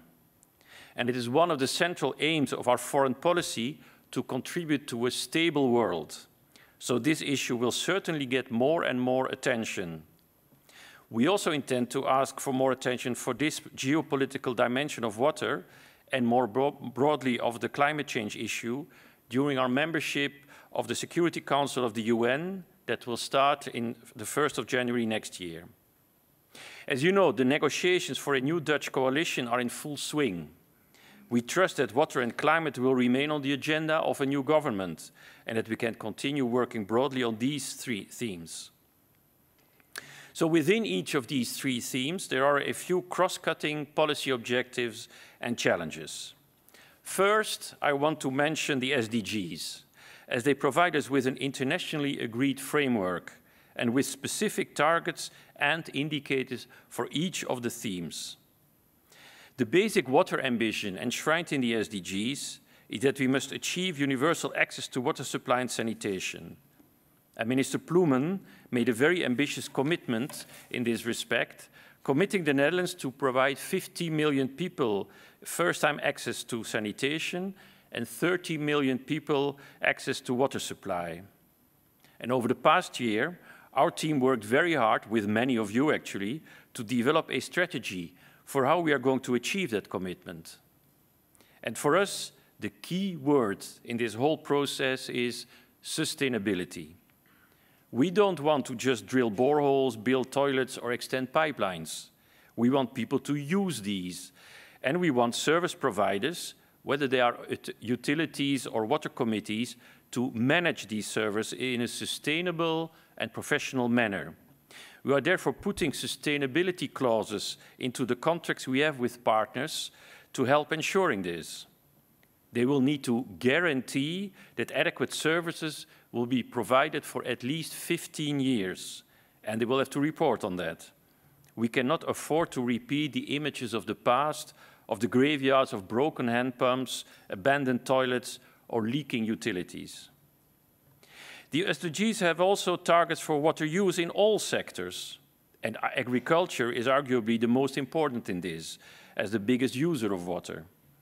And the SDGs ask us to increase water productivity, have more crop per drop, This in turn requires us to have better methodologies for water accounting. And together with FAO, IHE, and IWMI, we have recently launched a database which shows where water in Africa and the Near, and the Near East is used efficiently. Integrated water resource management has for a long time been a key focus of the Netherlands. So we are very happy that the SDGs also have specific targets for this dimension of the water issue. We cannot achieve the other targets without thinking in a more integrated manner. There is no use in creating access to drinking water supplies if the water resources are not managed sustainably. There, be, there, may not be an incentive for increasing water productivity in agriculture if it is not clear who will benefit from the water that is being saved. And the Netherlands will focus specifically on integrated water management in urban deltas, as those are the areas in which many of the complexities and interrelations between water sector are most acute.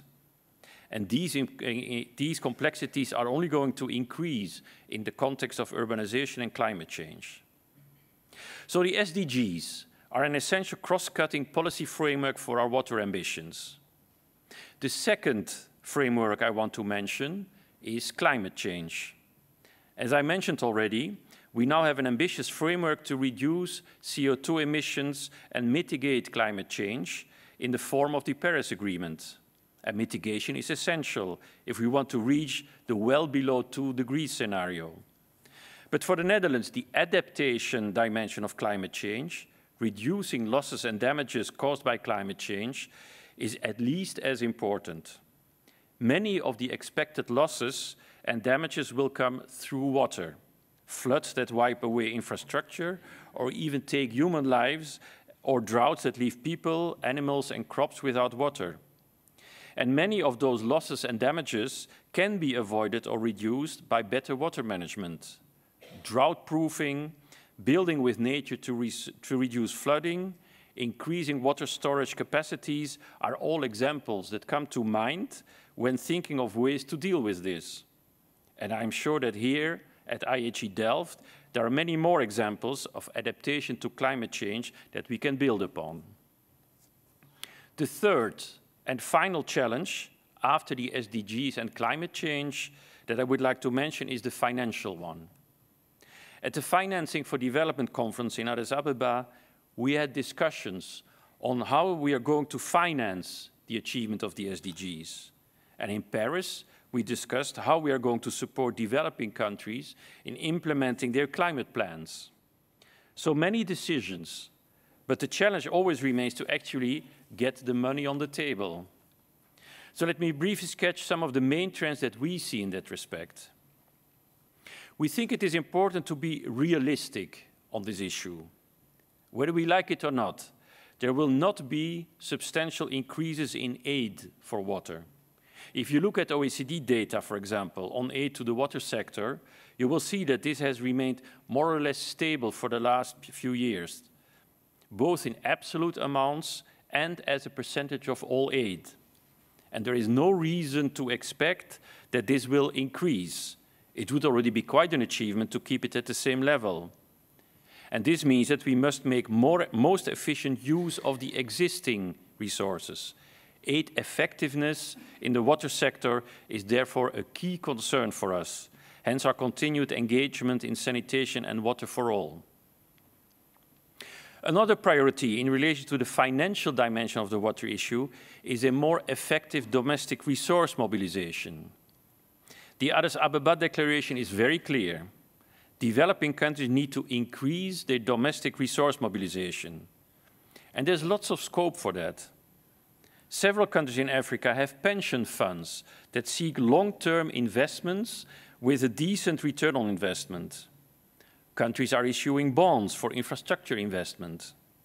We, as water sector, can capitalize on these opportunities. But it means we must get our house in order. I mean, would you be happy if your pension savings are invested in a utility with non-revenue water rates of 50% or one that is running at a financial loss? Only if we have well-performing and regulated utilities can we capitalize on those funds. And that is why we are supporting the establishment of water financing facilities, modeled on the concept of the Waterschapsbank, that aim to mobilize the financial resources on the local capital market. And we have made a positive start in Kenya and are looking for possibilities to roll out this concept in other countries. A final element I want to mention in this financial chapter are tariffs. Unfortunately, in too many places, the tariffs paid by users for water services are non-existent or simply too little. And it is often the poorest who suffer. They need to resort to much more expensive alternative options when a utility doesn't provide water because its financial balance is precarious. So having healthy facilities starts with good tariffs that allow sustainable operation, whilst, of course, ensuring affordability for the poorest.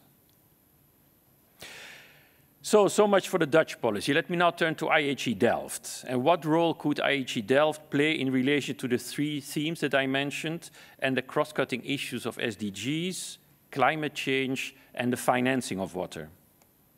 We believe that IHE Delft is very well positioned to work on these challenges, as addressing these is above all question something of knowledge. Our contacts with partner governments show the increased demand for sharing of knowledge. They do not see so, us so much as financiers, but as a partner that can, broken, that can broker technical knowledge and expertise. And IHE Delft is, of course, a strong provider of such knowledge.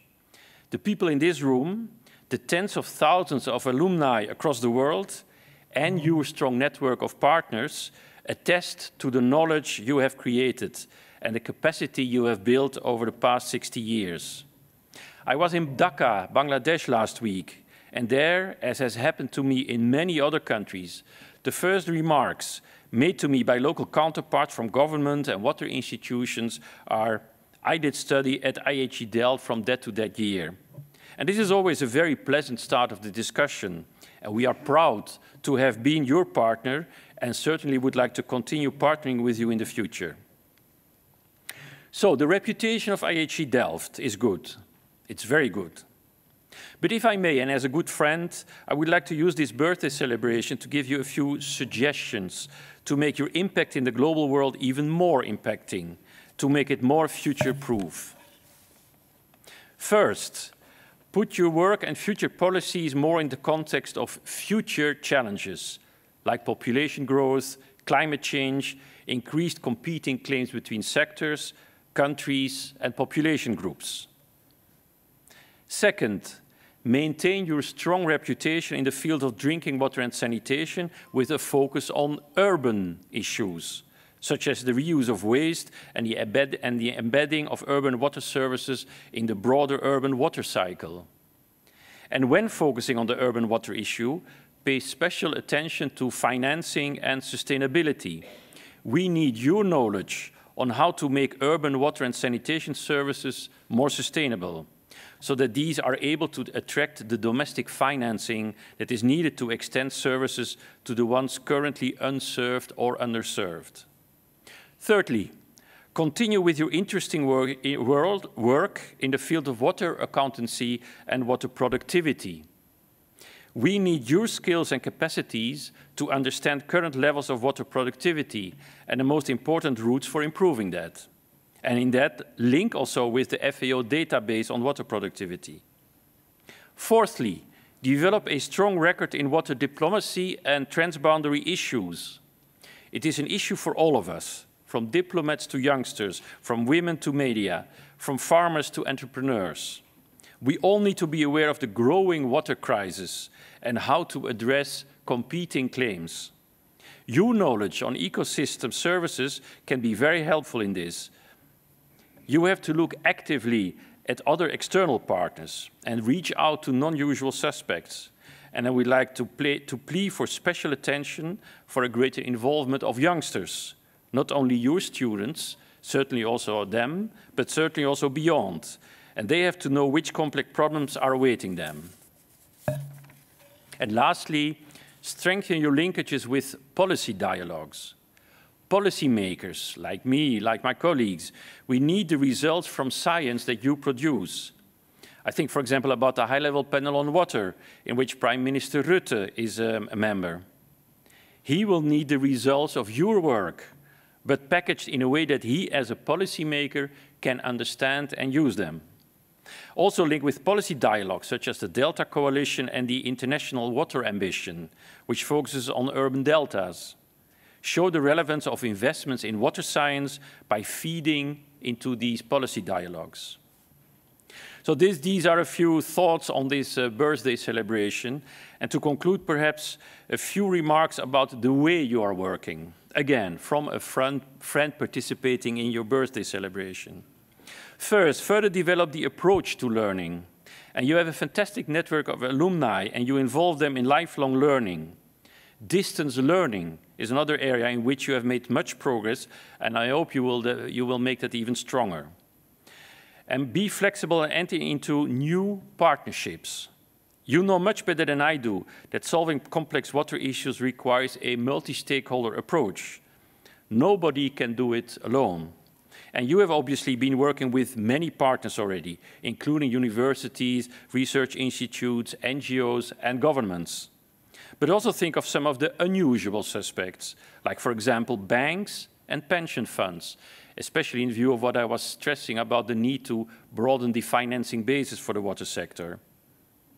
And last but not least, anticipate that financial resources for development cooperation won't substantially increase, not in the Netherlands, and not among other donors.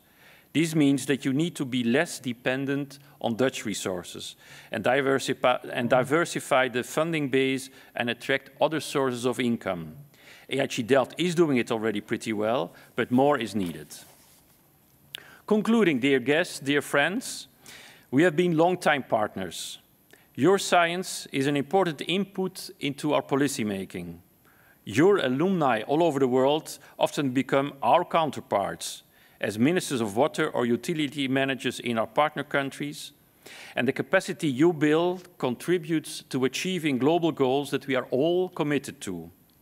And I sincerely hope that we will be partners for the future as well. And that it is not a birthday on the way to retirement, but one in a long row of anniversaries to come as we collaborate to achieving some of the global water challenges. And let me at the end also express our gratitude to Fritz Holzwarth for his leadership during a turbulent episode of IHE Delft. And it is certainly because of your commitment to the Institute and the openness and transparency that you have shown, shown while being at the helm of IHE Delft that we are able to have a really very nice, pleasant celebration today. So I thank you very much for your attention and again, hope you will have a, a very fruitful continuation. Thank you.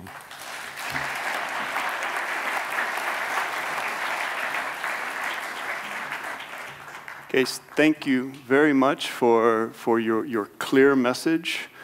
Advice as well, advice coming from a friend is always taken with much more seriousness, and you can be sure we were taking notes as uh, you were providing your advice for the future. Well, very good. And in the program now, we have a moment for a musical interlude. So I'd like to invite Abdi Mehbar to the stage. Many of you will know uh, Abdi. He is one of our family, an extraordinary musician, and we're fortunate to have him uh, entertaining us today as well. Abdi is a PhD fellow at IHE. He's originally from Iran. He's also, of course, a musician playing the santur and the piano. Today, he's playing one of his improvisations on the santur. And you've been playing since you were 10 years old, and it shows. And we're the ones who are benefiting from those many years of practice and preparation. So, for Abdi.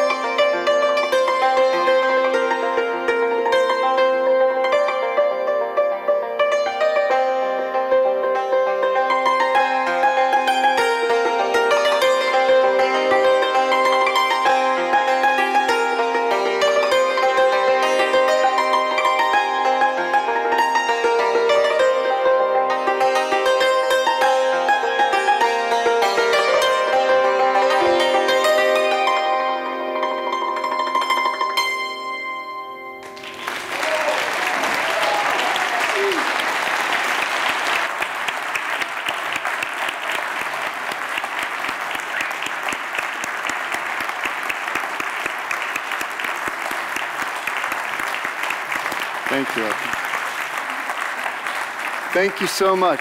I can, I can hear an encore call coming from the audience, but we really must uh, continue. Thank you so much. It's a, it's a gift, and I know that, uh, I mean, how relaxed do you feel now after that uh, musical massage, really?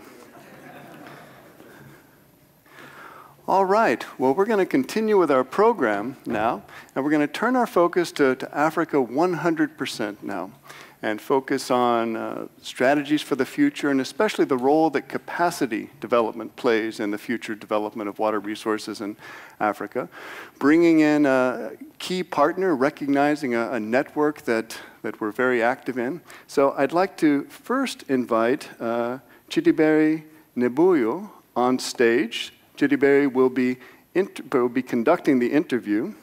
Uh, Chidi received his Bachelor of Engineering from the Federal University of Technology in Owerri, Nigeria in 2010.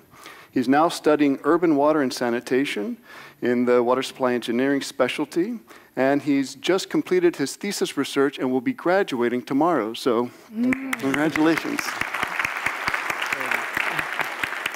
Chidi is also among our most active uh, participants in the program. We were talking just at, at lunch about uh, the many roles he has above and beyond his own studies, and therefore, you know, the sacrifices and the dedication he's made to his class as a whole.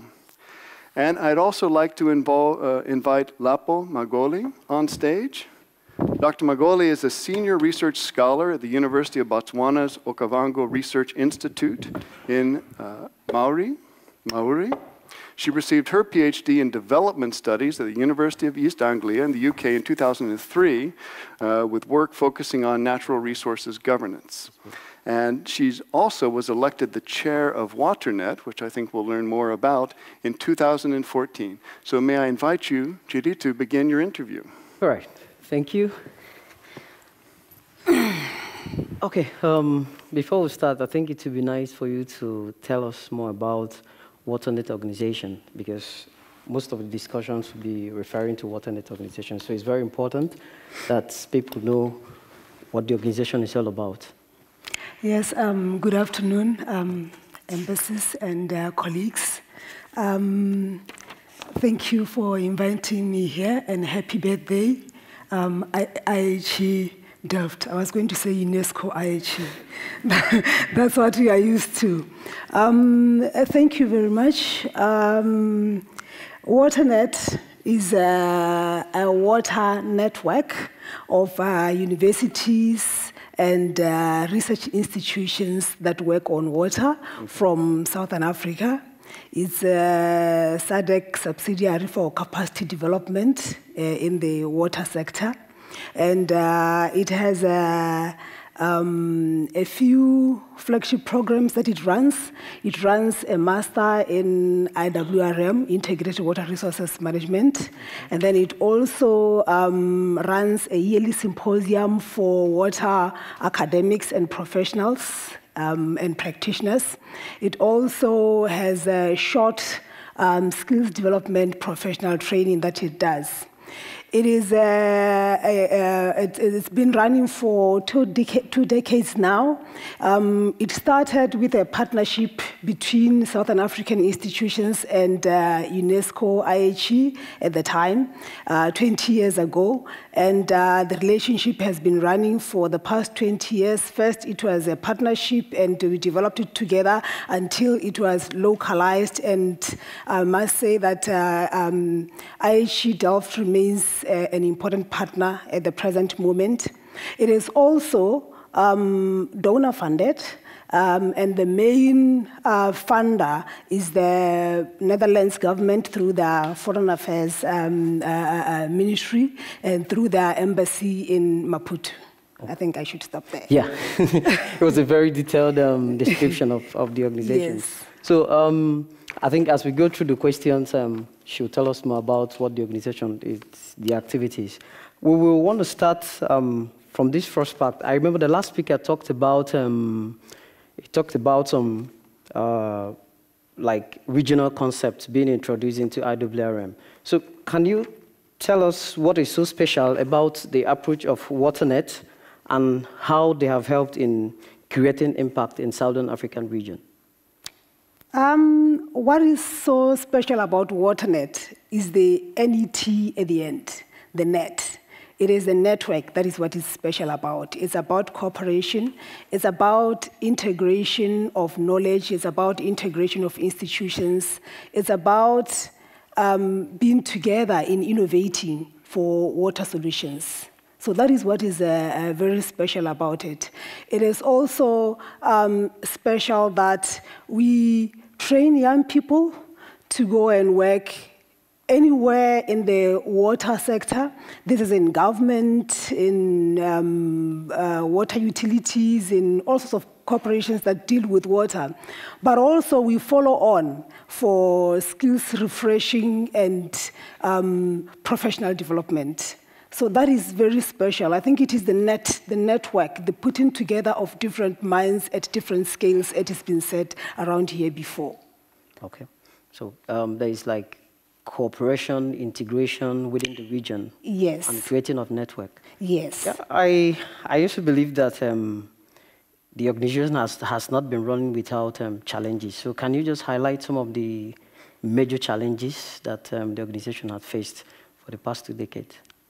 Um, of course, the obvious one that everybody knows, okay. yes, is the funding. Okay. Um, we are a donor-run uh, institution. We depend on donors um, uh, from, you know, I have talked about the, the Netherlands government, we have EU donating and so forth and so on. So uh, sustainability is an issue for, for WaterNet.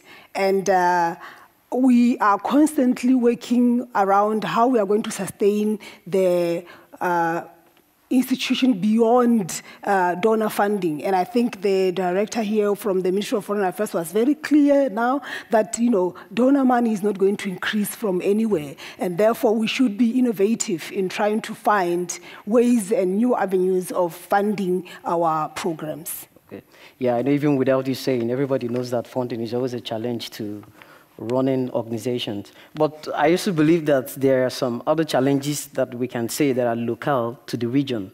Like apart from funding, what are some of the challenges? Because I know it's a network of like um, close to uh, more than 15 institutions. Mm -hmm. So what are the challenges like running a regional concept that is involving yeah. like four or five countries? Are there, apart from fund, can you just highlight them? Yes, I, I think integration is something that takes time. It also takes trust you know, knowing that um, while I'm part of a bigger vision, my own vision as well will be pushed. So we have a lot of members that are coming in, of course, to contribute to the vision of WaterNet, but they also have their own vision that they would like uh, to, to push. But also, the other thing that we've been struggling with is a constantly changing relevance where situations are changing in different countries, and therefore you try to be relevant for all your members. So also innovating around being relevant and therefore being able to harness support locally has been one of the challenges that we've had. Oh, you, you made a very, one of your points is innovating because of your, the problems are changing maybe as a result of climate and other things, or as a result of policies, maybe instability and others. Yeah, and also the other challenge that we've heard is uh, just in the whole concept of integration. We have found it to be a very costly concept. I'll give you an example. Our MSc, its structure, uh, our MSc in Integrated Water Resource Management, its structure is a very costly structure because we want to continue to understand the region. We want to produce a product that understands the region and is able to contribute. And therefore, we have um, um, two universities offering the core course, but then we have four other universities offering specializations within the same course. So we have our students actually having to travel around the region before they can acquire their master in order for them to understand water issues in the region. And therefore, we found that integration is not cheap, both in time and in uh, funding. Okay, good. Good. Um, for the past like yeah, it's almost uh, the organization is on for like 17 years now. So how have you been measuring your impact over the region in the respective countries? Uh, okay, like, like I said, we are trying to balance academic work as well as practice in terms of water innovation and solutions. And therefore, we have a lot of academics in the network. So the first impact that we measure is uh, with the quantity and quality of our publications. We have a special issue whose impact has been, has been growing, impact factor has been growing, so we are looking at that as well. And then also interest in our yearly symposia, which has also grown and therefore um, we, we, we, monitor that over, over the years. The, the, the, the, symposia has grown from strength to strength, and uh, of all our programs, it is probably the earliest one which is going to mature from needing donor funding because participants and members are able to fund themselves. We also have heard a tracer survey uh, for our alumni uh, just recently, where we have asked the question, where do they go? What do they do? What's their influence when they're out there? Is the employer happy with our product? We have also looked at that and got uh, quite uh, positive results. We have about more than 500 um, alumni throughout the whole region. And uh, happy to say that most of them are still in the region working in ministries and in all sorts of water um, institutions uh, in the region. And then also the changing rhetoric. We have realized that colleagues and uh, um, from government and from academia are now warming towards other sectors being able to participate and uh, find solutions together. Okay. So those are the ways in which we have been trying to measure our impact. Yeah, I think your last point is very clear. It's um, training uh, professionals for the region that, um, so there is no brain drain uh, ex expats don't travel out because um, they are trained and they, they, they, work in the region, contributing to its development. Mm -hmm. okay? That's good. So um, you also talked about Fonda. You were talking about a little bit. we've talked about things like um, sustainability, not just in the solution, but also in the funding, how the organization is being structured, how it runs. Yeah, we've talked about donor organizations like um, how the NIDO and all the rest of them.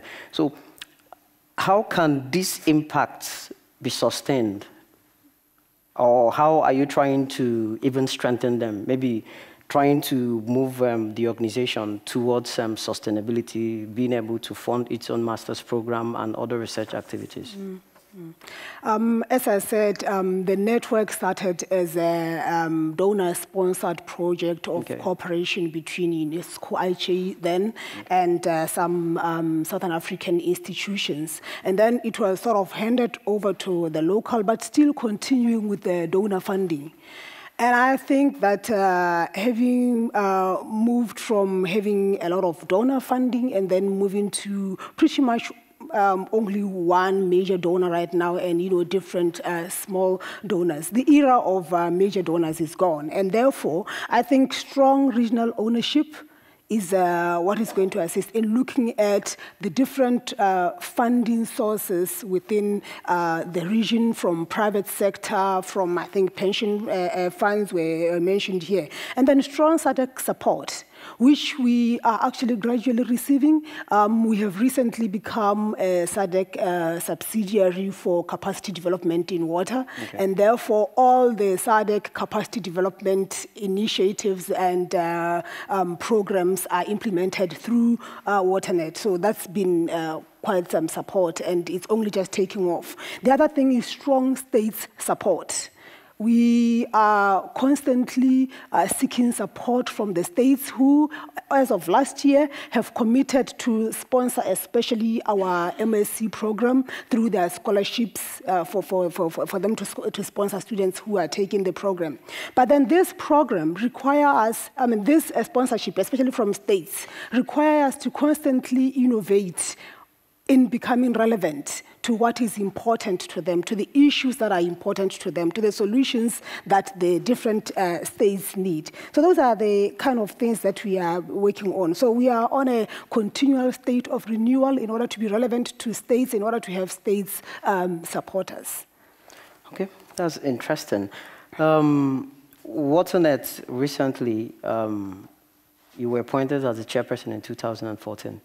And for such a big organization, having a woman to, uh, to become the chairperson is um, an example to all big organizations as it relates to uh, water management rules. So how can other organizations, maybe we can use also IHE Delft as an example. Maybe, for instance, we also have to have um, a woman as uh, rectoress of IHE. It's also possible. yeah. So how can we have, how can we have big organizations in the water sector encourage more women to become involved in um, influential water management positions? Yeah, um, I truly hope that I was not elected because I'm a woman. Okay. I. yeah, I think we should nice. Thanks. I, I, I, hope I was elected because of the recognition of my contribution, okay. that I can contribute to the vision of WaterNet. But uh, I, I do know what you're saying. I am a woman, okay. and I am, I am not an engineer. So when I was elected in my acceptance speech, I promised them that it is going to be fresh because I am neither a man nor an engineer. And WaterNet was for a long time dominated by engineers. So, you know, um, so those two things are, are important. But um, I'm hoping that I can contribute to the vision of uh, WaterNet, and I'm hoping that that was recognized. And therefore, I feel that women and any other person should be recognized for their contribution in their own right and their strength in their own right and not because they're women. I hope there won't be a there will be a time when a woman is in, is in a position like the one I hold will not be asked that question. Okay. nice. uh-huh. But then I also hope that uh, um, the young ladies out there will see me and other women in certain positions and know that they can. Good. So, yeah, I will make a few points based on this last question you answered. One, it's very important to have women like you provide role models for the upcoming women. But it's also on the other side, it's also very important for also the young women to show that they have something to deliver, not just because you're asking for gender equality. That's also my personal view anyway. You, you understand? So if we say, yeah, a woman should, very good, but and then what? You have to deliver something, you understand? Yeah, so then the other point too is, the other point is, I, I, like the perspective you talked about. You don't have a technical background, but you're coming from the policy aspect. Today we've talked about things like the social dimensions of our technical solutions. So you bring, you complement what the technical people do not have. So it's a round peg in a round hole. Uh, for me, it's, it's fitting, you understand? So I think you fit the bill. So we can give you a round of applause again. so the next question is, um, what are your thoughts on the role of youth involvement in creating and sustaining impact in the water sector in Africa and the world at large? Okay. Um, yeah, thank you for, for that question. Okay. Um, it's good I had a young person interviewing me. but again, I think, uh, you know, every person or group of persons are unique and have a, a, a unique perspective and uh, are essential as the, a part of a whole. Yeah. You know, and uh, um, I think that uh, our youth are special in that they are a part of today and a part of tomorrow. They are a part of today, about today because they have a fresh perspective, but also they have energy. But then if we harness that energy and fresh perspective properly, then we have them tomorrow as people with experience and wisdom. And I don't think you can beat that. Yeah, I, I will really, really make also like to compliment what she said on the youth involvement. I, am speaking for the youth. I'm a youth. It's also very important. I'm also part of the Water Youth Network. We, we talk about um, youth advocacy in water solutions, in being involved in creating solutions. You know, just like the story uh, one of the panelists talked about, um, a man that was able to rally around people. You cannot have um, young people, old people jumping into the water to look for a pipe. You need the drive. You need the energy of the youth, not just the youth, but youth that have been trained. Of course, IHE has been doing a very good job training mid-career professionals. These ones are equipped, but most of the times, what we find out is during policy makings, they are not included. You need to hear if you're creating solutions, what do they think? Just like what we're talking about collective learning. The solutions you're making for people, how do they see it? can these things be passed across? Who are those that can reinvent and transfer this to other people? So I just think that youths are very, very, very important in, in helping to provide solutions to water problems. So one last question before we wrap up this session is, um, uh, a lot has been talked about on um, collective learning we find out that, um, as one of the panelists talked about, that collective learning is not a novelty. It's not like a science that was just developed. It's something that is in practice locally. So my question is, how can we build this collective learning into our capacity development? Not making it too academical, not making it too scientific, so that people can know that through collective learning, there are some solutions. You don't need rocket science to provide solutions to some problems. Mm. Yeah. Mm. Well, um, uh, I think that uh, by leveling the platform of collective learning, sometimes we talk about collective learning in very uh, theoretical uh, ways, where we don't create an environment for everyone to be able to actually contribute. I remember there was a talk, I think it's from uh, the lady who's from Oxfam, saying that I haven't heard anything about power and politics if um, we, uh, we have had projects, many of them, let me take Africa for an example, where we get donor money to go and support implementation of a particular project. And that donor money comes supporting the already powerful. That, I think, continues to skew the platform the and therefore co-learning. That's not an environment for co-learning to work.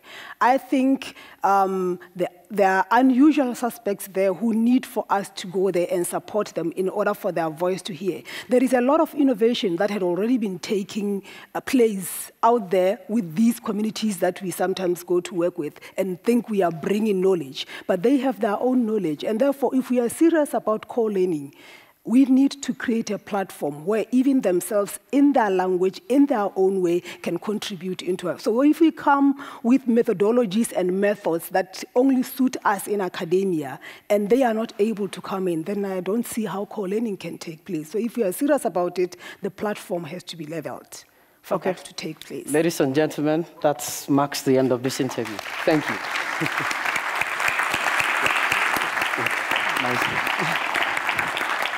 Thank you very much, Judy and Dr. Magole. There's so much to learn from the experience and the commitment over a 15, 17 year period in, in the creation and continuing development of WaterNet. So I hope that that will, and some critical points were raised in your interview and your discussion. And I hope some of you have made some notes and will bring some of these points back into our discussion at the end of the day. But continuing on, um, we at UNESCO IHE, of course, in cooperation with our partners, have been looking to the future. And over the past few years, as the, as the world also is in this moment of transition towards Agenda 2030 and realignment of, of other global programs of, of innovation and, and, and scientific pursuit of difficult answers to questions like climate change, we've been looking at our position and role in that changing world as well. So to share uh, the, the current thinking and approach that we have at IHE Delft, I'd like to invite Professor Charlotte de Fraiture to the stage. Charlotte is Professor of Land and Water Development, and she's also the head of the Water Science and Engineering Department, and has been taking on many important roles like this within the institution, helping to um, clarify that road forward into the future. So, Charlotte, the stage is yours.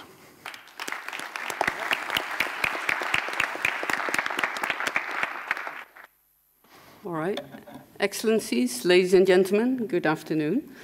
Um, many things have already been said, and I hope that I can link a few of my words and the themes you will see coming back uh, in, in my uh, address. Um, we've been talking about water problems, as we all know. Water problems are very complex, and some people would even call them wicked. Uh, what that means is that they are interconnected. There's always an upstream and downstream. Um, there are many stakeholders. There's many conflicting interests. Um, it is a, indeed a contested resource.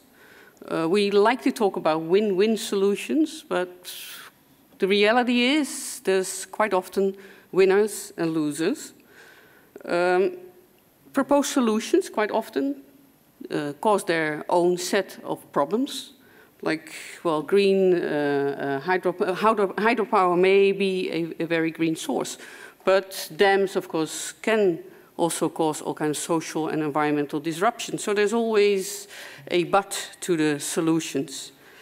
So addressing water problems is seldom straightforward. And with increasing climate change, increasing population, increasing pressure on the resources, those problems are not going to get any easier. Uh, rather, they probably get a little bit more wicked. So, this addressing the future water issues, they actually require a kind of new breed of water professionals. And just technical engineering skills, they just is not sufficient. It's not, not enough. So you will need uh, people with solid dis disciplinary skills, but also they will need to work in teams, in multidisciplinary teams. So they also need to understand other disciplines. So I, I was in a, in a, uh, a, conference last year in Iran, and uh, there the, the term specialized integrators was coined. So that means that, yes, people have to be integrators, but they, of course, also need their own uh, solid disciplinary background. So they're specialists in the field, but they'll also be able to communicate with, with other people in the field. We've been talking about individuals, but of course also the addressing the future uh, water problems also need better equipped water-related organizations, the water sector institutions, so that they can also handle those interconnected and, and wicked water problems. So if you have separate ministries for energy, agriculture, environment, and they work in silos, uh, then of course that's not very conducive to address integrated water problems. So for example, river basins uh, authorities, they need to work with conflicting interests, uh, quite often international, transnational, and also they need to handle a lot of uncertainty because, well, we, we, we think we know a lot about water, but there's, of course, still a lot of uncertainty, particularly going into the future. And also, that is the, uh, the, the landscape is also changing. So, in short, we need water professionals and water institutes who are better equipped to address our future water problems. Uh, and that is actually, in my view, the core business of IHE Delft. So let me remind you of the, of the, the title of our strategy, Equipping People and Organizations to Solve Water and Development Challenges Worldwide, Contributing to the UN Sustainable Development Goals. That is our strategy for 2015 and 2020. So there's many water institutes, there's many uh, uh, institutes working on, on sustainable development goals, but I think UNESCO, uh, sorry, uh, IHE Delft, I'm not quite used to it yet. Um, um, IHE Delft uh, takes an, a, new, a, unique position uh, in this. So, so all our participants are usually mid career water professionals and they're working in water sector organizations in developing countries and countries in transitions. So we are, we are really international, as you may have understood. Uh, um, however, we still we are embedded firmly in the uh, Dutch water sector and university system. So our capacity development activities are geared towards development processes. And, and so we strive to contribute to the Sustainable Development Goals. Now, we had a discussion last week or two weeks ago, and some people said, well, this, these SDGs, they're so broad. They are too broad, actually. They're political. Uh, they are uh, imposing goals on, on other countries. And I think those are very valid valid uh, criticisms and, and, valid points. Uh, and, and we may want to look to other, other agendas as well. However, as was already been said, SDGs are also a uh, a good framework that has been a legitimate process, a long legitimate process has gone into it. So for now, uh, the strategy, we say we contribute to the, the SDGs. So how do we do that? And the slide is already up. So um, we have three core uh, three core uh, activities, education, research, and institutional strengthening. And these three activities, they form the core of what is UNESCO IHE at the moment. Uh, and these three uh, activities, they all contribute to capacity development. Now, and I took a, uh, a, a definition from UNDP. Uh, there's many definitions of capacity development, but key words here are transformations that empower individuals, leaders, organizations, and societies. So it's not just about the individual, it's also about the institution, and ultimately also about the uh, uh, enabling environment. And I heard already quite some views on this, and I think this is a nice discussion point as well on, on where we as UNESCO, uh, sorry, IHE Delft should be. Uh, I, I, think I, I, get a little bit uh, in trouble after this talk. But okay, so so education. Okay, we we heard that uh, uh we started 60 years ago, uh, basically as an education institute. Um, with, with uh, diploma courses.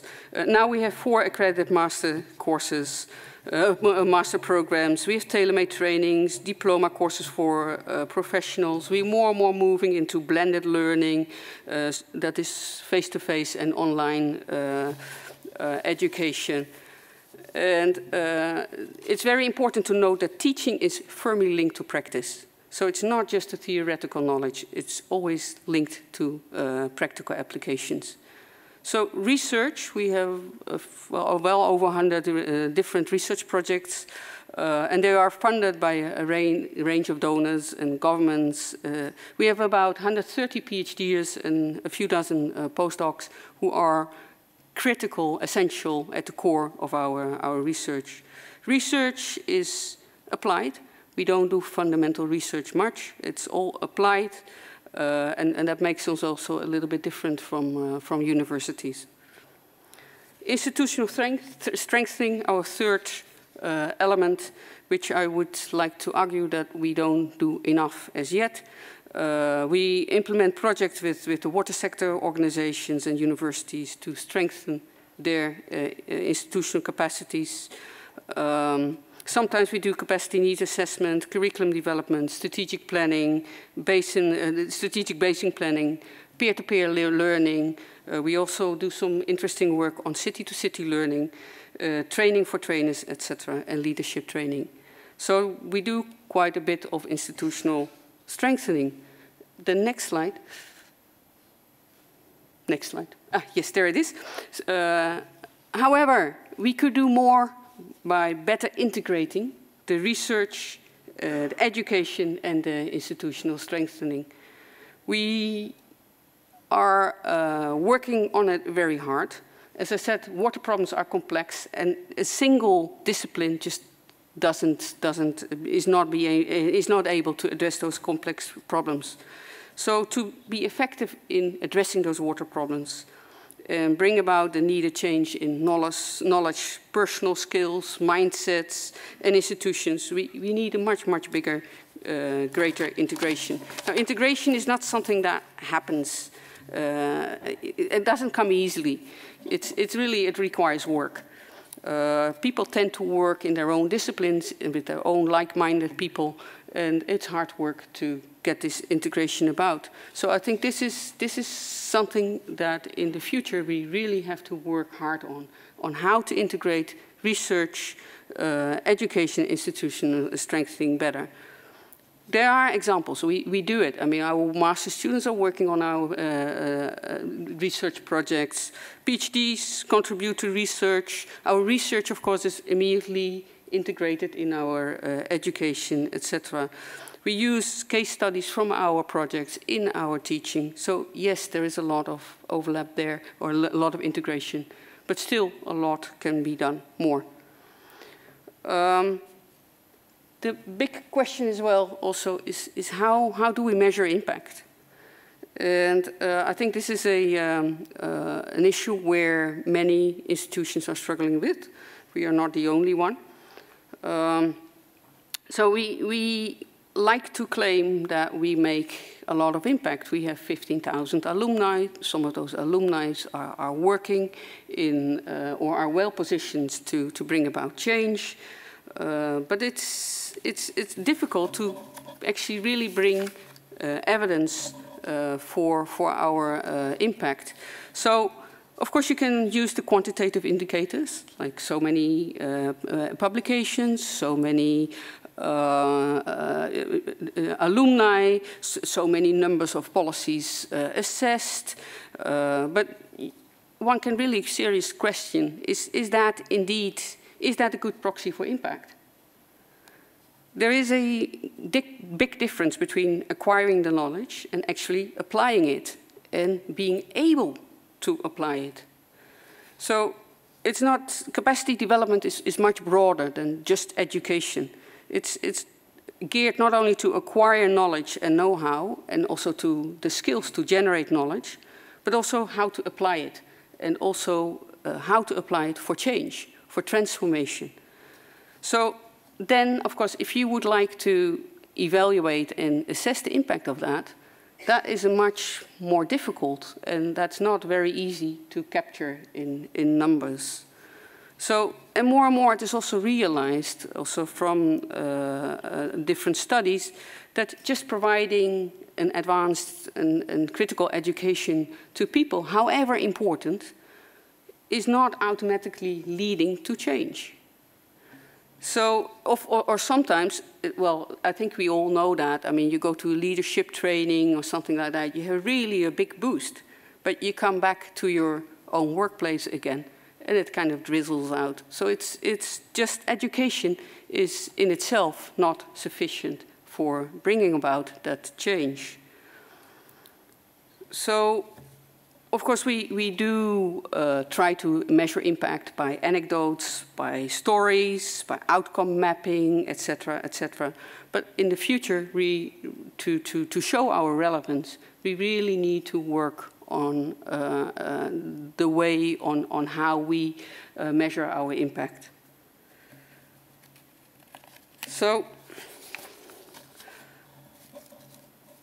The previous speaker, and I, I uh, add, to, add to his uh, comments, uh, had, was talking about the changing landscapes between now and uh, 2030, let's say.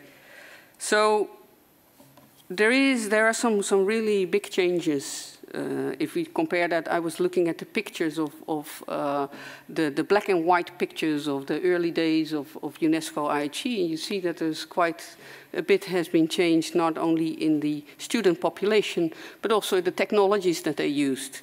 So uh, yes, you saw this planning, you saw a, a, a wall full of papers and crosses, etc., etc. So Nowadays, uh, the communication technology have, has really drastically changed, of course. Um, and, and of course, much more is, is online, and uh, that also kind of creates a lot of new uh, technologies, but also challenges. I mean, access to knowledge has really rapidly increased. I mean, just Google it, and I, sometimes when I'm teaching, I, I, I, do actually say to my the, the, the audience that, okay, just you know, that question, just Google it. And uh, you go to YouTube movies, you see a lot of instruction movies. You go to YouTube, a lot of uh, instruction movies. There's the, the MOOCs, etc. But of course, that also uh, requires different skills to kind of assess the quality of that knowledge. Is it, is it useful? Is it not useful? Uh, so the, the other uh, change that we, we have seen is, is that uh, in our target countries, in developing uh, countries and countries in uh, uh, transition, the uh, number and the quality of universities is also rapidly increasing. also, TU Delft, Wageningen, and all other universities are now providing international students or international water programs so there's, there's more competition in, in that sense. So the more reason to be unique, or at least to keep our uniqueness uh, alive. So not, not only the demand is, uh, is, is, not only the demand and, and supply equations are, are, changing, but also the, the partner landscape is, is changes, changing. We already heard about the, the finance, that the aid is not going to increase. So we need to find new models of financing. And what you see is that more, more we get more and more self-payers. And, and self-payers means that the, their governments or their uh, um, companies that they're working for are actually paying for that. So, and if I, if I could choose a picture, I, I didn't know that I could, I wouldn't choose, choose a cow, but I would choose a windmill. Uh, that's not because I'm Dutch, although, but there is a Chinese saying, and uh, I use this quote actually quite a few times is that is, it says, when the wind changes direction, there are those who build walls and those who build windmill mills. And I was just saying, I was thinking with myself, maybe this is a very succinct way of uh, making a difference between the Dutch and the American approach. So rather, and the funny thing is, uh, the funny thing is, it's, it's, a, uh, it's a quote that I've been using actually already quite a few times, but in, recent, in the recent light, it's actually more relevant than ever. So rather than sticking to the old, IHE Delft has to exploit the op opportunities that the new winds are, are bringing. So getting back to the future role of IHE Delft uh, in, a, in, a, in a changing landscape equipping people and organizations to solve water um, and development challenges worldwide and contributing to the UN uh, Sustainable Development Goals will only gain in importance. So I think this is a, uh, we will remain in the business of um, uh, uh capacity development. Education, so at the individual level, remains a core area, but there's two key terms that, that need to change, flexibility and diversity. And already we heard it quite a few times coming back in the discussions that, uh, well, our education is quite costly. Uh, 18 months uh, MSc is, is not for everyone. And uh, increasing that from 200 to 1,000 is, is probably difficult, cost-wise, but also time-wise, resources-wise. So we need to diversify uh, our way, our uh, modalities uh, of flexible learning, different target groups. So we are working on a one-year MSc, uh, we're working on online, uh, blended learning, uh, double degrees, etc. So there's many different modalities to, to bring those, the, the education. Also the content, we really need to look at the, the while the the disciplinary uh, knowledge remains cru crucial, we also need to pay more attention to the so-called transferable skills. So that's leadership, critical thinking, coping with uncertainty, facilitating change, etc. Learning skills, lifelong learning, etc. Those are all kind of the content that also we need to work, uh, we keep on, continue working on. Research, uh, remains problem-oriented, but innovation uh, uh, is, is, an important element there. Um, it should also, I mean, more driven by, by mutual learning. Uh, research now is, is, is still uh, determined by, uh, too much determined by, by us. there should be much more of a, of a mutual agenda setting in research as well. And institutional strengthening, as I said, we need to do much, much more in this area, uh, in, in my opinion.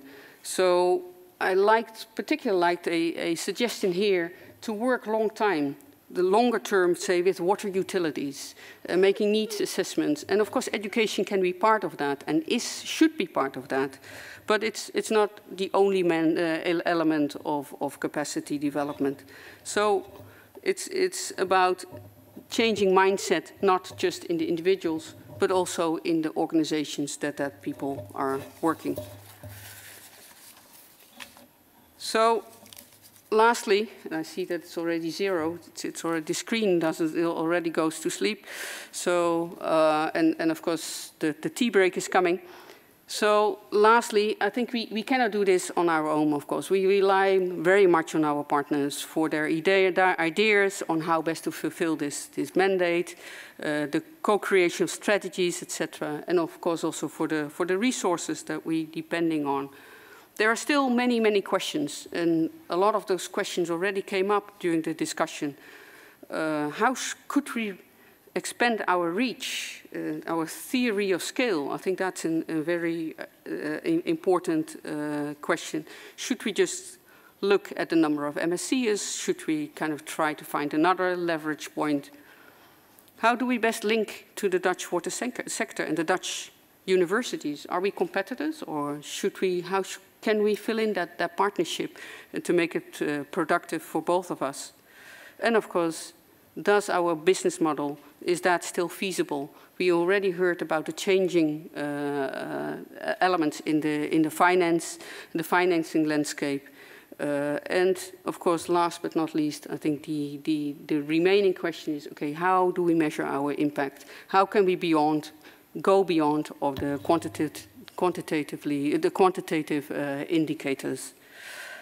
So as I said, we are not operating in isolation. We would like to invite all our partners, many of whom are represented here in the audience, and of course all our staff, to think with, uh, with us on, on how we can best continue uh, to fulfill, our worthy course, cur, well, not course, worthy course in a changing landscape. Thank you very much.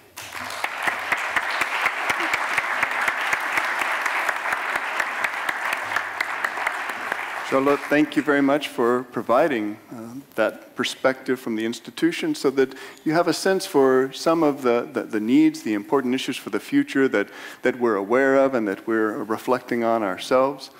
But it has been an extraordinarily rich day of, um, of ideas, of debate, of challenging and provocative statements. We appreciate it all. We've recorded it all. And we're going to tea break. We're going to return and we're going to enter into the final period where we've invited a, a diverse panel, many of whom have not spoken yet, but they've been present, they've been observing, and uh, developing their own perspective, I hope, for where this institute uh, might head, should head into the future. So We'll return. I'll invite those panel members on stage to share their reflections on the future of IHE, and then we'll pull out the boxes and we'll turn it back over to you and we'll welcome your perspectives as well. Uh, as you can see, you know, we're incredibly responsive to the community that we're a part of and, and that we serve. So your recommendations and your points will be, will be taken very seriously and built into this process. So let's break now. I'd suggest that we try to return at 10 until the hour. So we are running a little bit late, but not terribly late. So let's uh, use this period to prime yourself, maybe you know, discuss some of the points you'd like to raise, and we'll come back and we'll share them in a final session. Welcome back, everyone. So we've reached the moment of final reflection. In the program itself, we're going to conclude the, the program with a, a one-hour session, again with some invited panelists and an opportunity to hear from you. And the purpose is just to, you know, to, to digest, to reflect upon, and to, to share some of the, the key points that have come out of the day with all that you've heard and all that you've been discussing on your own in, in uh, the tea breaks and at lunch and the like. We'll begin with inviting, you'll see some new faces on the stage, new panelists. I'll be in, introducing them one by one as I invite them to share their perspectives.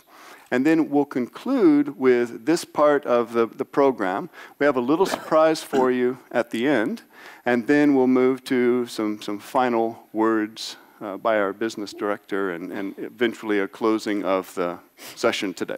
All right? Well, I'd like to begin uh, with Maria Luisa Sanguile. Maria Luisa is an associate professor of chemistry at the University of Science and Technology of the Southern Philippines, also a very engaged PhD fellow here at UNESCO at IHE Delft. Ah, Goodness. I'm, I'm not the only Yeah. one. Not after this. Also the chair of our uh, PhD association, so playing a, a very important role also uh, supporting and speaking on behalf of, of colleagues in the PhD fellowship program. So Maria Luisa, I'd like to invite you to share your reflections first with us. I- Okay. Uh, uh, Excellencies, uh, ladies and gentlemen, good afternoon. Actually, uh, I, uh, my reflection on this uh, impact is that I think each and every one of us here have an impact on the society that we're in. It depends on the role that you play. Uh, it also it depends on how you take the challenges and opportunity given to you. You could either grab it or just simply ignore it. Uh, for me, uh, just like Micah said, I am an associate professor of chemistry in my country. So I'm in the university, in a state university I'm in. I'm, my hands are all full with the four areas of university uh, areas like uh, academics, research, extension, and production. But uh, it- something changed my mind in the 16th of December 2011. Our, my home city was hit by flood. It was catastrophic and it uh, killed 1,500 people, more than 1,000 missing, and more than 1,000 injured. The, the communities in, along the river were affected. The whole community was washed out. And um, the flood was so high. It was seven to nine meters high. And I said to myself, I have to do something. I take the challenge. And I decided to do a water education. I decided to leave chemistry a little bit. I wanted to do educa- uh, water education. And I have only one thing in mind. For me to get the best water education, I have to go to UNESCO IHE. That was in 2012, here in Netherlands. Oh, okay. It's IHE Delft now. Okay. Now, uh, when I was here in Miami in 2012, I was uh, interacting and this, uh, meeting a lot of multicultural uh, classmates and friends and uh, discussing issues with my international professors in the different fields of water. I realized that I should learn more. and for me to learn more is to do a PhD in chemistry. I, I need that to learn more. Even if you gain more, you see, you need something more. Okay, now, now uh, why is it that I have to do a PhD in chemistry? In, in, instead of going a PhD in chemistry, I do a PhD in water education. it is because this is what my country needs. My, my country is in the Philippines, and we experience an average of 20 typhoon a year. and with, uh, with an, a PhD in water, of course, I could be, af- my impact would be uh, after graduation, of course. Uh, I will do consultancy in the in more in water quality, especially in the field of water quality and surface water and flood, uh, especially in the health implication of pesticide if unused or overuse. I will be more spec- uh, specializing on the agricultural side, which is the pesticide uh, contamination with overuse, and also in urban flood. Now, uh, of course, I would still love to do what I love most, teaching. Because for me, teaching, I will have greater audience. I will be teaching uh, graduate students who are also in the water sector, and, and the undergraduate students who will be future water professionals and environmental professionals. So I, I would say I would have a bigger audience. Uh, my, I think my principle in life is that knowledge earned and kept is nothing. Knowledge shared is something. Uh, maybe to have a greater impact on the water education, I have in mind is work the talk and do the talk. Thank you. Thank you very much. Well, Maria Luz, I, I can already see that you are one of those persons worth investing in, uh, in, in the model of impact through individuals, because you've just stated your dedication to, to return home and, and create those ripple effects that will emanate from your own studies. And I was also impressed how, how you indicated that in coming here, you had already made a selection about what are some of the priority needs of your country and designed your program, built a program of education to meet those needs exactly. And I don't know how often we, we recognize those critical decisions that are made by the participants coming here at the PhD level, at the master's level, always working in the back of your mind and others. I can see that measuring of what is most important, you know, what knowledge should I be bringing home? So thank you for sharing that with Thank us. Thank you also. Thank you so much. So Arnoud Molenaar. Arnoud, you're uh, the Chief Resilience Officer of the City of Rotterdam. Uh, you were also responsible for the Rotterdam Urban Water Management and the Water Plan 2. Is that correct? and you're also manager of the ambitious Rotterdam Climate Proof program.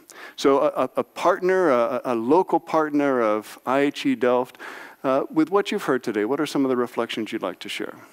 Um, well, first of all, maybe uh, to say something about the word resilience, because Mm, yeah, that, that, that's do. where I, I, I, I feel the connection also with, with, uh, with respect to, to the future of uh, IHE. Um, because that, that's, that's, that's something that I can say is, is, is, is a new, new part of the development. We, uh, and as a person, I started to, to, to work on climate adaptation, climate resilience. Um, but now uh, our respon I'm, I'm responsible for resiliency uh, from the broader perspective. So it's also about, about social resiliency, even about cyber resilience. And, and, um, and this is becoming more and more important. And that's also what the, the previous speaker said, uh, uh, that we, we are living in a, in a, in a, in a, in a complex world uh, with a lot of uh, transitions that, that are happening at the same time. And these transitions, they, they, they, they are disruptive, as, as we call them. They, they, sometimes they go with, with stresses or shocks. And, and it's becoming, f- especially for cities and the citizens, more and more important to become resilient to these topics. And then I'm talking about uh, climate change, about uh, di- digitalization, about energy transition, which is, is becoming crucial, but also the change of the governance. Um, because uh, well, the, the, the local governments have, have, have a specific role, of course, but the citizens are also organizing themselves. Um, and we asked ourselves in Rotterdam, how, which governance do we need to become a resilient city? And, uh, and, and I think there are a lot of crossovers between those topics. So looking at the future perspective of IHE, I think it becomes more and more important for students to, to have this integrated uh, look uh, and, and, to, to, and to find out the, well, the crossovers between social resilience and water resilience, for example. So, uh, and again, when I look at the city of Rotterdam, we cannot become a climate resilient city without the involvement of the citizens. And that's, that's, that's something that, that counts for, I think, every city. Wonderful. And so a, a model for learning for our participants in the cooperation with you, but also the opportunity to bring in different perspectives as, as you face some of the largest challenges that the city is, is looking to in the years to come. Thank you for kicking off with those remarks. Nasser Al Manasser. Yeah? Nasser is uh, working in the Department of Civil Engineering at Al Balqa Applied University in Jordan and is a steering committee member for several projects in the Jordanian Ministry of Water and Irrigation and the Jordanian Ministry of Environment. We also are very proud to count Nasser among the alumni of UNESCO IHE, of IHE Delft. And we're also very appreciative of the role that you serve as the Middle East regional representative for the committee that's guiding our programmatic cooperation with the Ministry of Foreign Affairs of the Netherlands. So, Nasser, may I invite you to share your remarks? Thank you very much, and thank you everybody for being here, especially at this uh, late time. And uh, pardon me because I had too much food on lunch. I, I, I was away from uh, the Netherlands for a while, so I wanted to try everything in the buffet. So I end up, you know, sleepy a little bit. Um, so thank you very, very much. Thank you, IHE Delft. Uh, I said IHE Delft because I graduated Yes. when it was really IHE Delft. So It's natural. yeah, so it's natural, huh? And I don't really need, I'm, I'm not going to claim a new certificate because I have the old logo, so I'm fine. Um, Uh, yes, actually, I graduated here um, in 2000, and uh, it was a, a, decent start for my career. Uh, my bachelor was in Egypt, a very different uh, experience. And um, when I came to Holland, it was a culture shock for me, coming from that part of the world. Around the, uh, that time, it was uh, really a culture shock for me. And I struggled for the first two months then I got to it and uh, I handled it very well. And uh, uh, yeah, and that experience actually shaped my life. I'm not going to talk much about this because it's obvious. This is the story of almost every uh, alumni. Mm. And um, I got my PhD in the North Carolina State University, and it was so easy for me to get admission just uh, because I was graduated here. And uh, they said this to me very clearly. They are uh, willing to give me a scholarship. And I did it. And uh, thank you again and again and again. So, uh, yeah. Uh, now I'm teaching at the university. I'm running a number of projects. And uh, my profession became um, working on international projects in innovation, in water management. And um, having this nice experience helped helped me um, be very willing to work in several areas. Uh, I'm not afraid of working in, with climate, with water management, with wastewater, and so on. So um, actually, um, I am trying to help IHE Delft uh, by bridging uh, uh, uh, their projects in the region, uh, building synergies among these projects, and more importantly, building synergies between IHE Delft projects and other projects by other donors. And um, so far we are doing um, good. And uh, I'm happy that uh, IHE Delft is uh, going back uh, to the region and they're going strong actually. So um, their reputation is very well uh, known and it's a fine uh, reputation. Uh, I just want to uh, emphasize on a point that um, IHE Delft not only produce fine professors to teach at universities in, the, in, in, my, in my region, but also they produce professionals who can work for the government, for water utilities. And this is something uh, I think it is unique because universities in Jordan, in Palestine, in the region in general, they send students to the United States, to UK, or what, uh, to all fine universities to be professors at the universities. When I walk uh, into the Ministry of Water and Irrigation in Jordan, I find seven or eight IHE Delft alumni. They are leaders, and uh, they are not only leaders because they got the knowledge, but they also got the personality. They, the, the mentality is totally different. They cooperate with me very quickly. They, they helped me running my uh, projects because they got that mentality. So uh, a lot of things IHE Delft provided, and uh, we can talk about this for the whole night, but uh, I think it's, uh, that's fine for now. Thank you. All right, thank you very much. All right, Dr. Kelly Liket. Kelly, you're a postdoctoral researcher at the Impact Center at Erasmus University in Rotterdam. You conduct impact evaluations in Bangladesh, Malawi, and the Netherlands, but you spend most of your time on projects that aim to valorize lessons from rigorous impact evaluations to policymakers and other decision makers. You also uh, are a person that's coming to know IHE now. We haven't had a, a long relationship before, so we would love to hear your perspective on what you've heard today and what Thank you'd like you. to share. Thanks. Yeah, no, it's great uh, being here. I feel like I am indeed in a family with all sorts of exceptional family members. um, but I also feel this family has a bit of a problem, but at least you recognize the problem, so that's great. Because um, your family is being Ubered. Uh, which is a verb now, uh, or Airbnb'd. Uh, so you're the taxi, and there's the Uber. Uh, so what do you do, right? That seems to be the question at hand. Um, my first observation is uh, that uh, my prediction is that you're going to be okay being Ubered because you don't depart from the defense mechanism to ask, how can I ensure my existence? right? If you do that, you are going to be Ubered. But you fundamentally want to reflect with all of us, so this has been the best family dinner ever.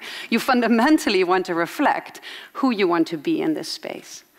And I think one of, the, one of the things that is scary is to say, oh, this is what I already do. I do research, I do students, I do. And you ask, how can I do more of it? Or how can I do it in a better, more innovative way? Also online, or also this. But the essential reflection is not doing that, right? It's really asking, who do I want to be in this space of new challenges and new players?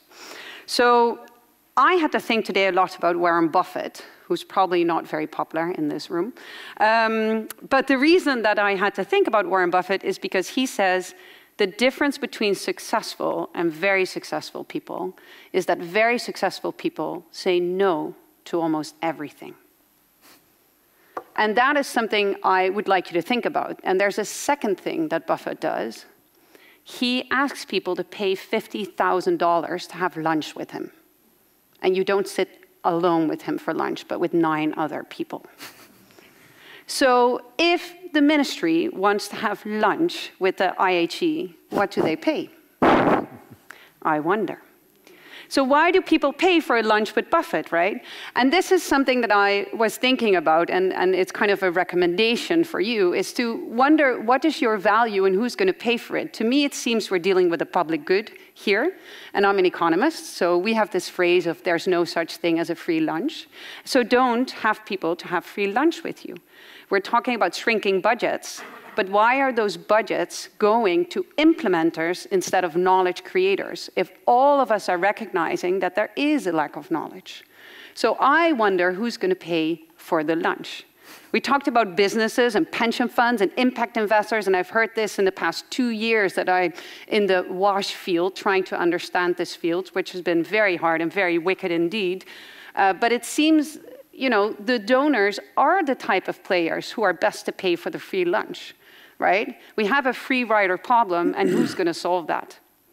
And the impact investor can pay for the programs, the implementers, something where there are business models and we can gain from it.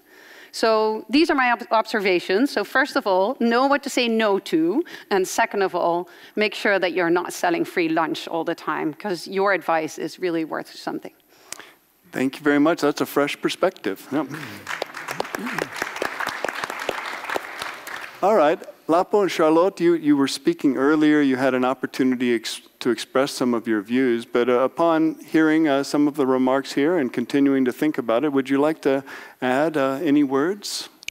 Um, yeah, well, not much, but um, uh, at Waternet, we are now moving into phase four. We are going to implement what we call phase four. We operate in phases where we stop, reflect, and recreate ourselves. So now we are calling it uh, co-creating knowledge and capacity for innovation in water development solutions. And uh, I think uh, we've decided to take um, a lazy view where we don't have the responsibility to do everything. And I think that's a safe place to be, where you say, I don't know everything, I can't do everything, I can't pay for everything. So, you know, I'm going to have players um, in this field. So that is where we are at. Um, my best line um, as you can imagine, in all that has been said here, is uh, none of us can do it alone. I think it was said first thing in the morning. That was my best line, because there's a best line that we have in the region that says, in the water sector, that says every river has its people. Mm. And when we say that every river has its people, we refer even to capacity development, because capacity development has to be implemented.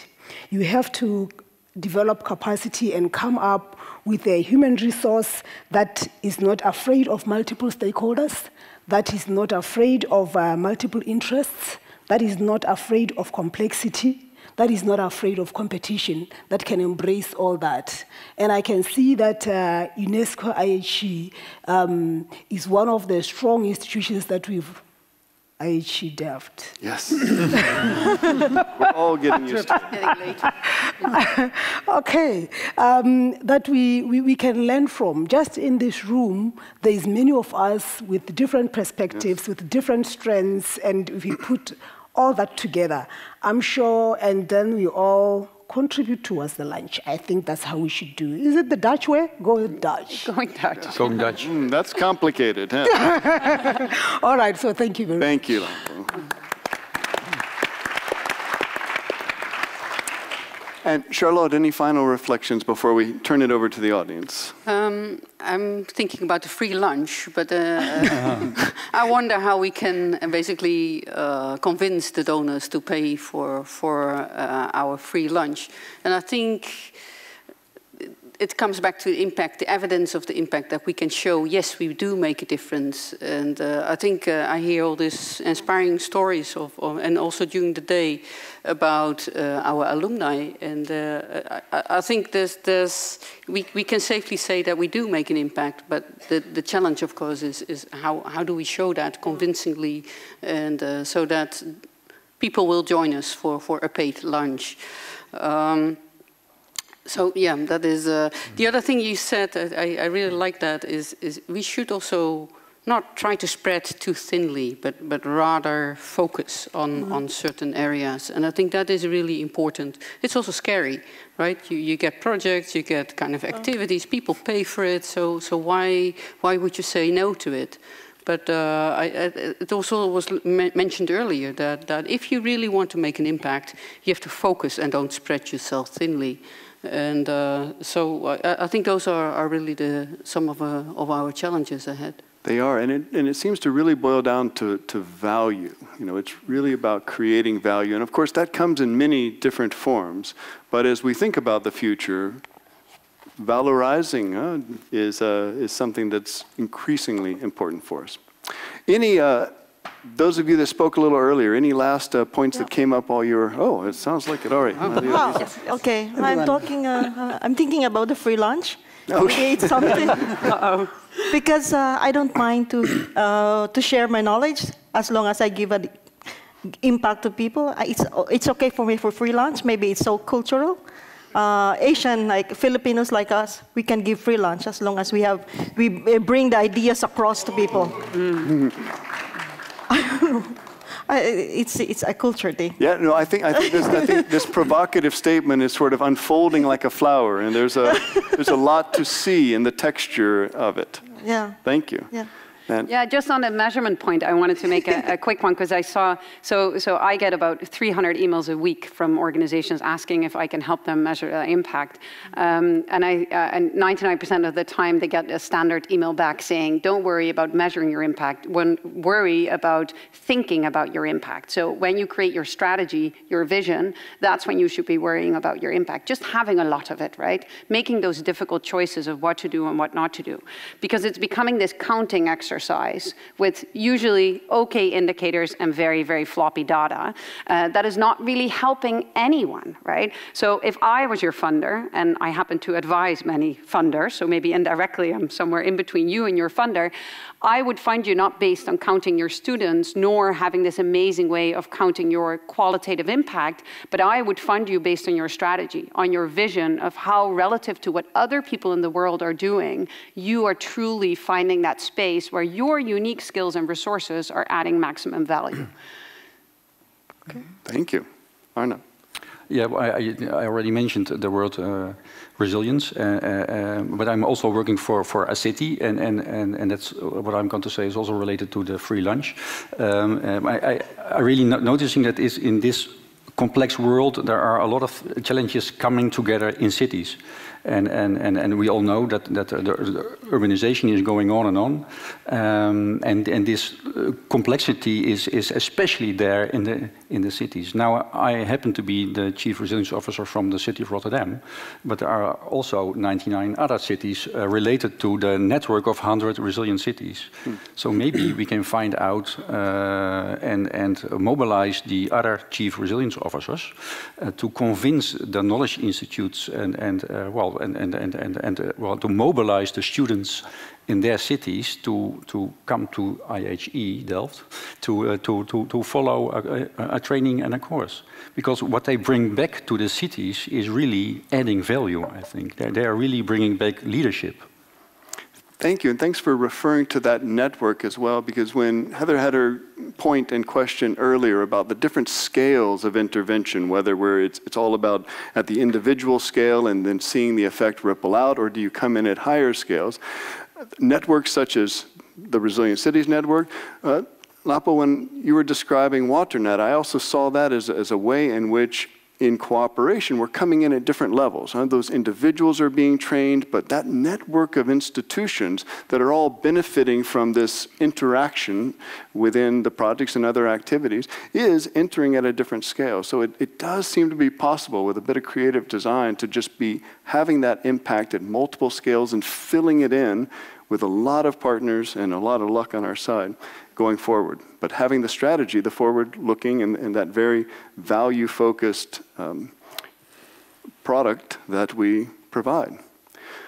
Thank you very much. I'm, you guys can't see the clock, but I can see the clock, and it suggests that we're ending this panel portion a little bit early, which I'm happy about because it opens up more time to hear from the audience, especially those of you who have been patient. So we have the microphone boxes again. So who would like to begin with sharing their perspective? And we asked if maybe the, the lights in the house can be brought up a little bit and maybe the lights on the, a little bit of equalizing the lights because we have a very it's difficult like time a... seeing the audience. yes, so... so we might hit somebody, the wrong person with our throws. I think it just works automatically. Give it a try. It's not working automatically yet, but.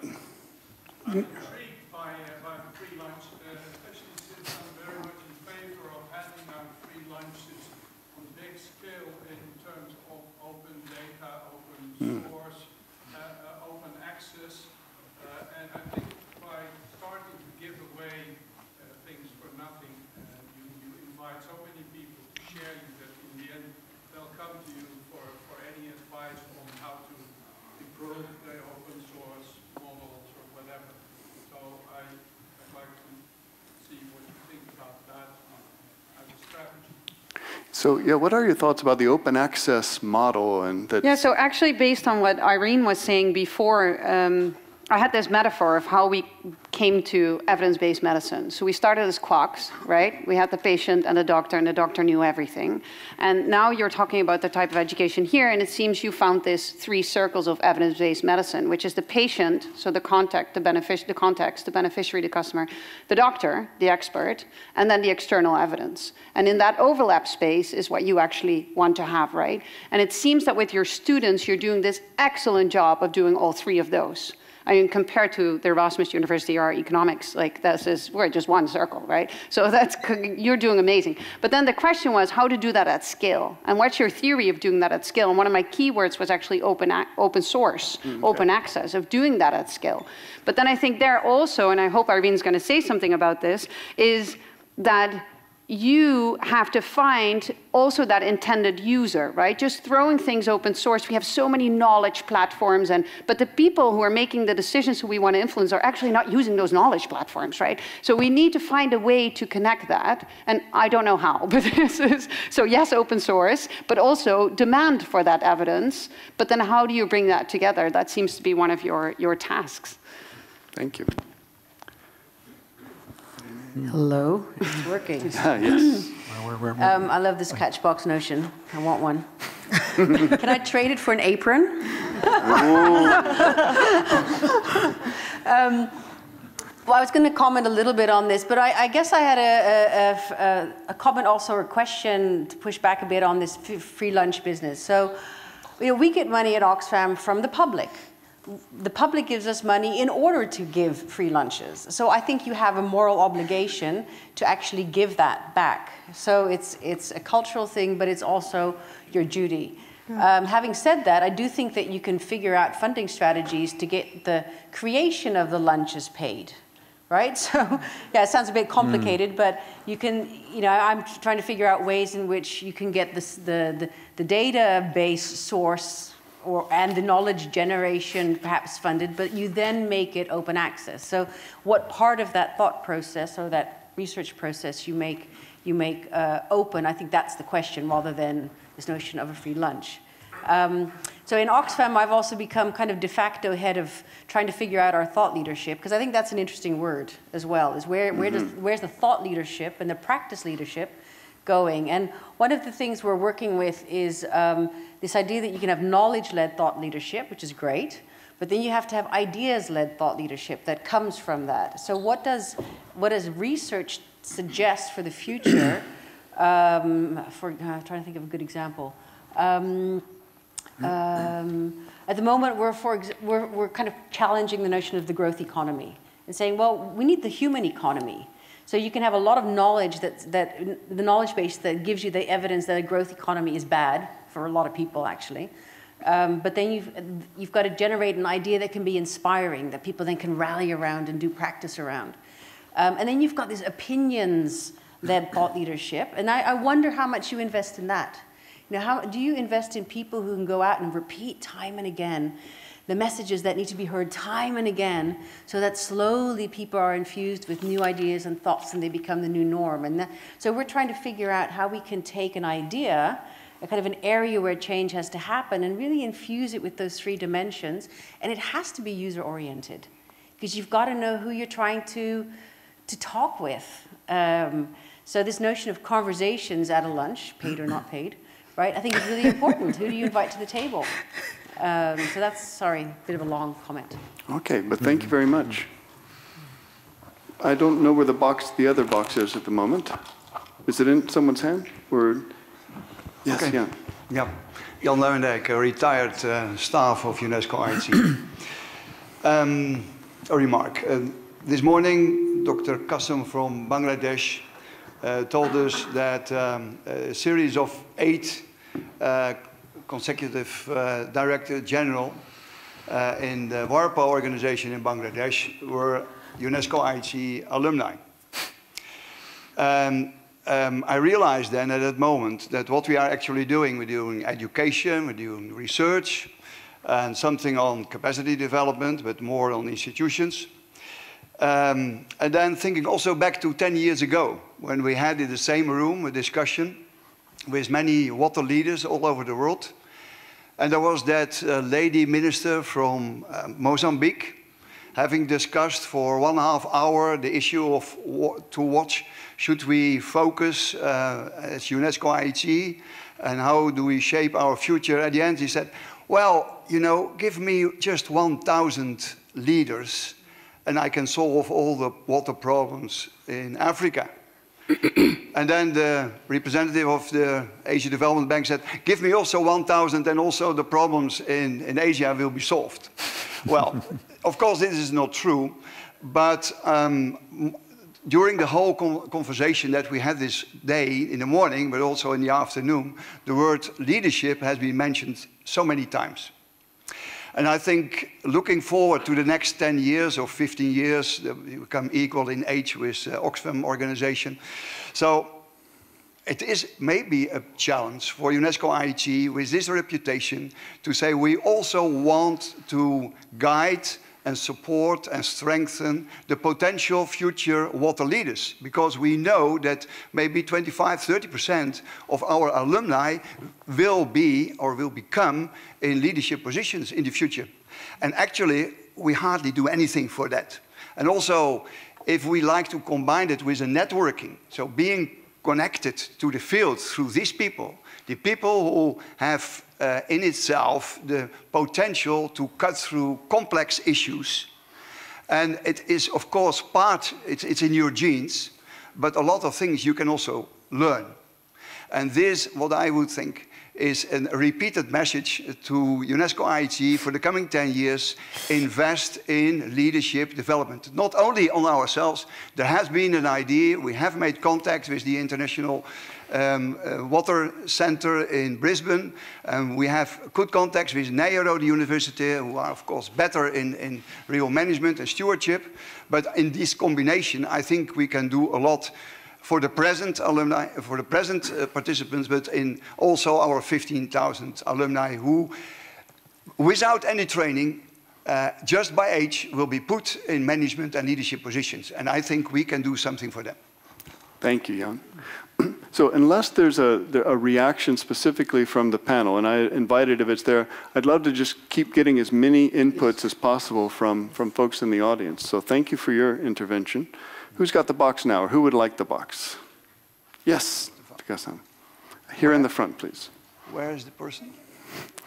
You know this person. You? Okay. Out. Thank you.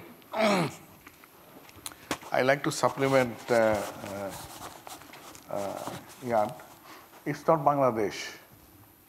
My batchmate was uh, uh, from Malaysia in my course, was the Director General of uh, Malaysian uh, uh, Irrigation uh, and Flood Control Department. So it's, it's not Bangladesh, it's throughout the world. The IHE alumni, they will lead the world, different countries in water sector. And that's why IHE, I think, is, uh, has to uh, concentrate on building the leadership and these people so that they become leaders and they take forward this sector. Now, IHE, this IHE must realize its, must acknowledge its uh, uh, strength. Would you repeat that, please? Ac must acknowledge. Acknowledge, yes, thank you Its a strength. And their strength is the center of, I mentioned in the morning, center of excellence of practicing professionals yeah. who create the world and uh, who create the water sector. And at IHE, the world knowledge on water sector under one roof. I don't know where there is this thing, available this thing. IHE has a great convening power. In 10th, uh, uh, in the 50th anniversary, there were so many, I mean, uh, departments, not only from Netherlands, also from outside. Today also there were uh, uh, representatives from different departments, embassies.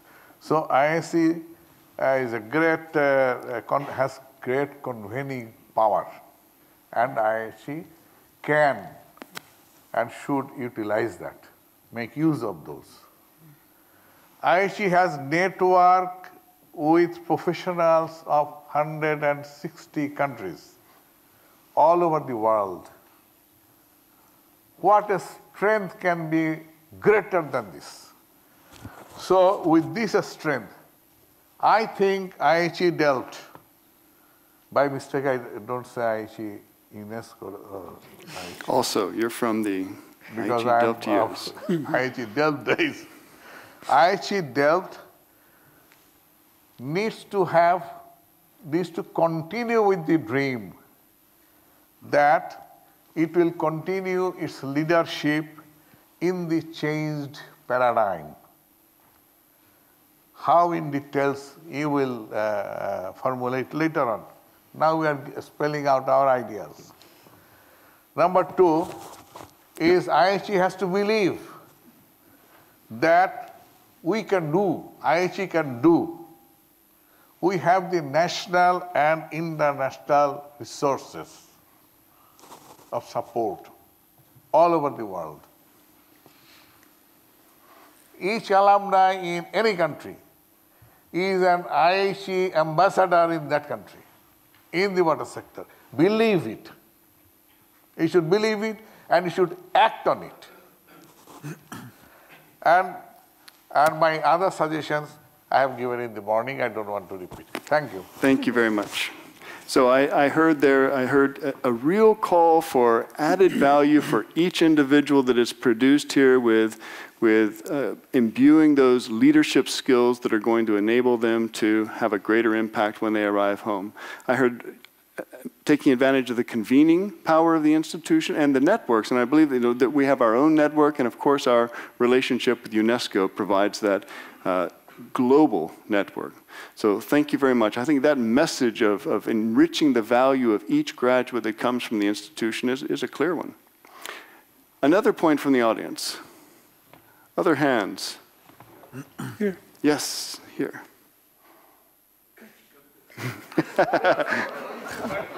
you didn't go far. Just about got a haircut there. Thank yeah. you.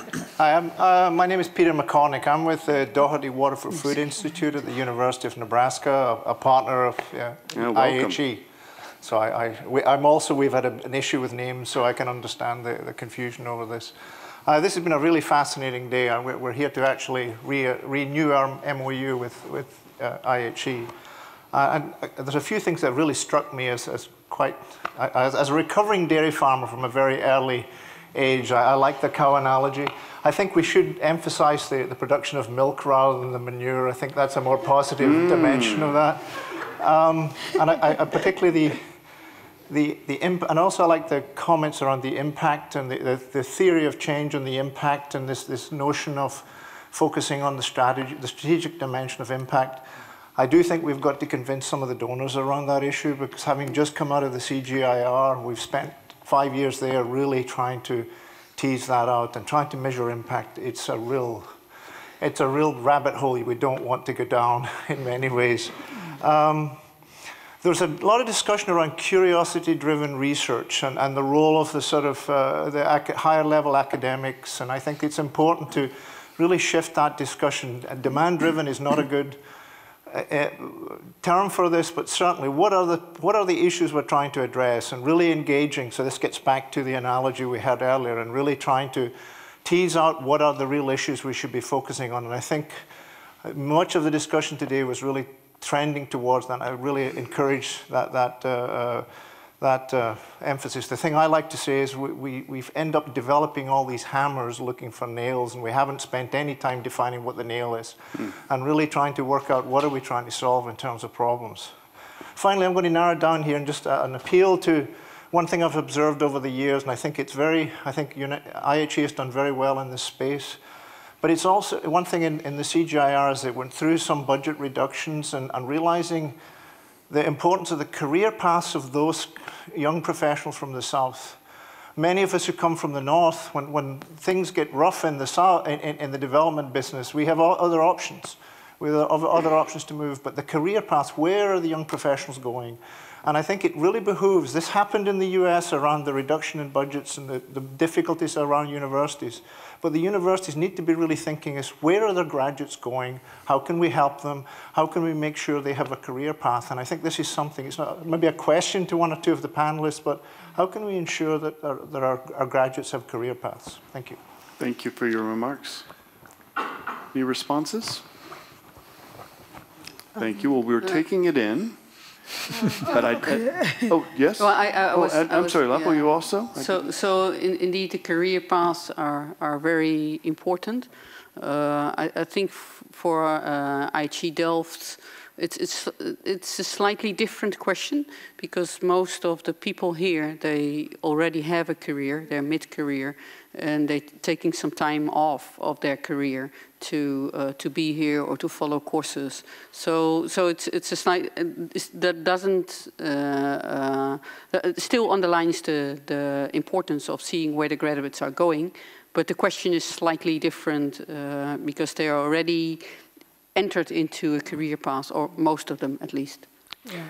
Um, and and uh, what we found with the WaterNet is that because it's an integrated program that runs from highly technical hydrology all the way down to society and water, you find that they have a broad spectrum of career paths that they can draw from throughout uh, that. But also the network itself, already by the time the students finish with the program, they have met so many colleagues and have networked and therefore are able to carve their own career career paths. And what I talked about, you know, what I've found with integrated programs is that they make the students bold and brave to step out of their own professions. We found that some of them have comfortably left the water sector and are now in the periphery of the water sector rather than direct on the periphery on, on, on the water sector. But if you are trained in a, um, a disciplinary, a, a disciplinary subject like hydrology, you kind of get stuck, or some water engineer, you kind of get stuck there. But we find that an integrated program makes for a broad spectrum of career choices, but also a bold uh, um, product that can step out into even other industries. Yeah, thank you. Excellent remarks. And uh, Maria, Maybe I can answer uh, I, because I'm a PhD student. So, yes. uh, in my when I had my my other MSc here, uh, I, I already have a career.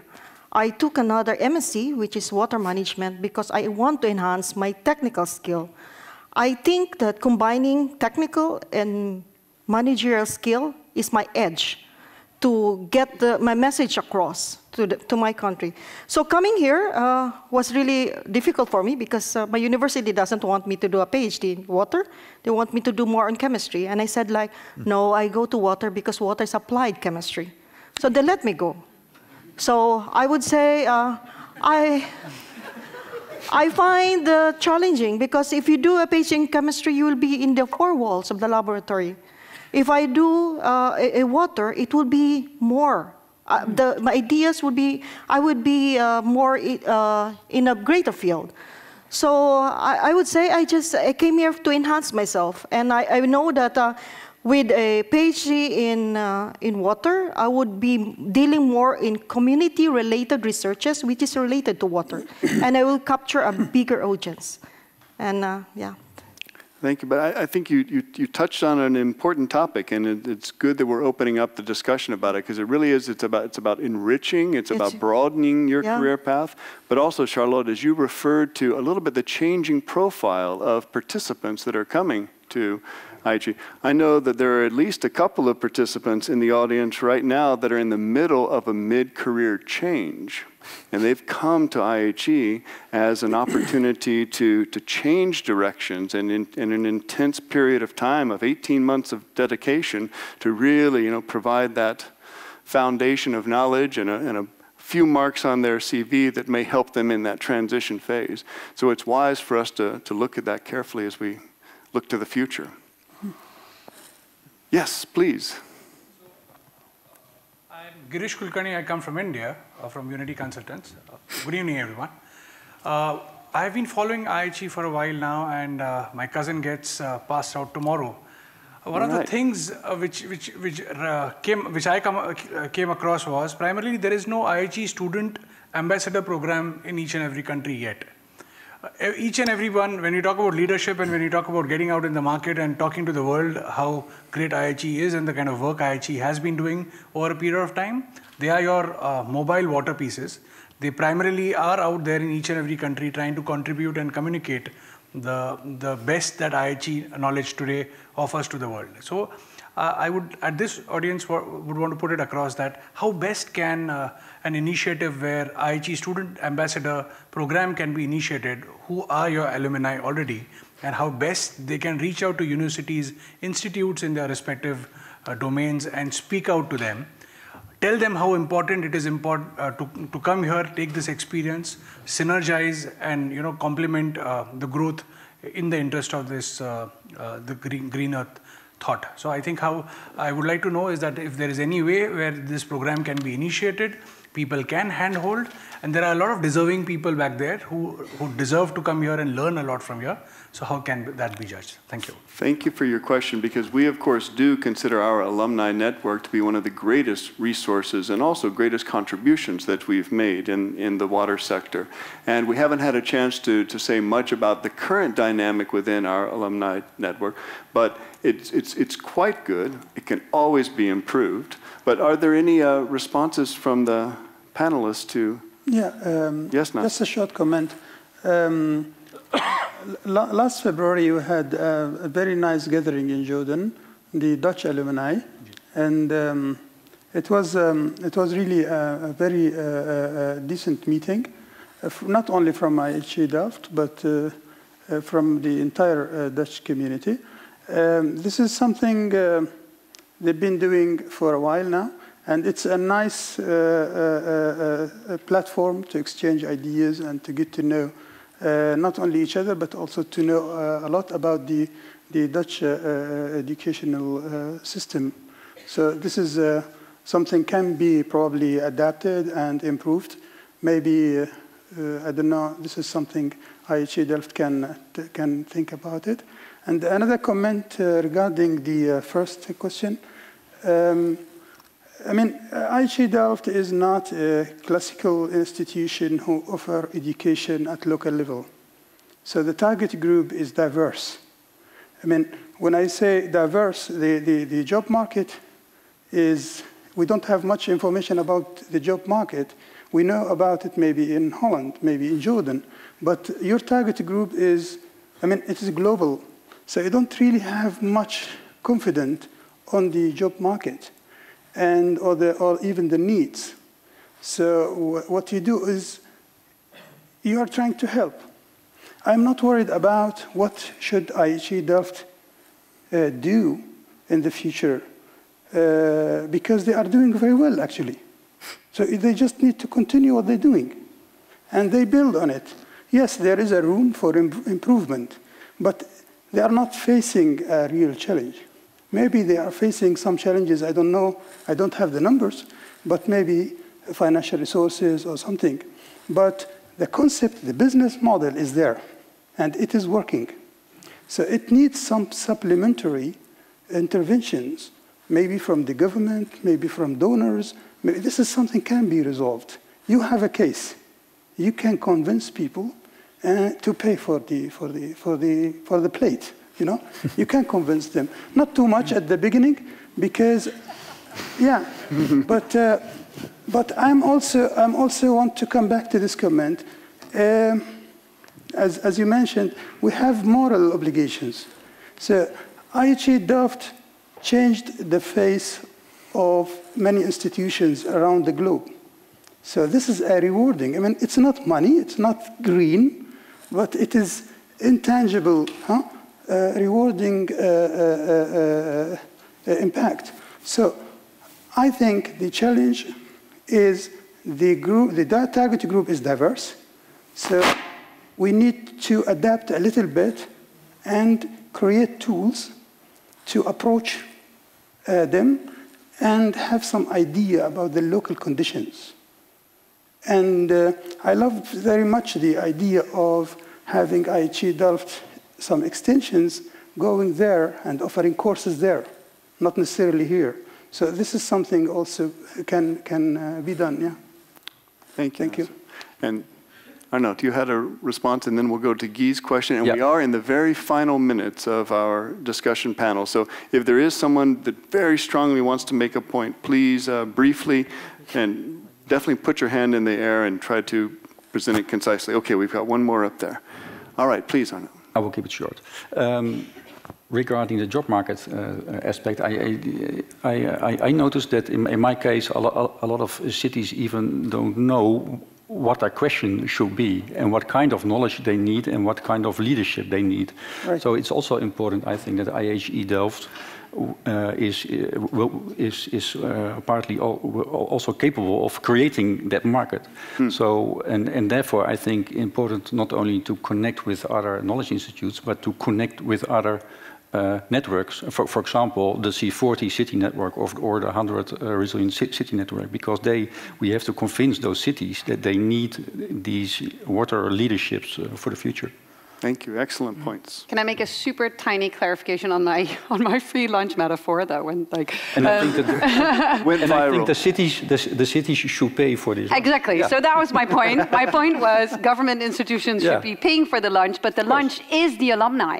So what you are paying for is this amazing alumni network that is going to be in the world. So my suggestion was not that you should make di- you know, it wasn't such a um, one-on-one analog, right? So it's not that you have to get IHE research to be very expensive, or to be IHE alumni to be very expensive, or the education itself. No, it's about public institutions taking responsibility for a piece of public infrastructure, which is all these amazing resources that are influencing institutions around the world and furthering their own agenda, right? So our agenda on the SDGs as the Dutch government is further through your alumni. So who's paying for that? That was my free lunch metaphor.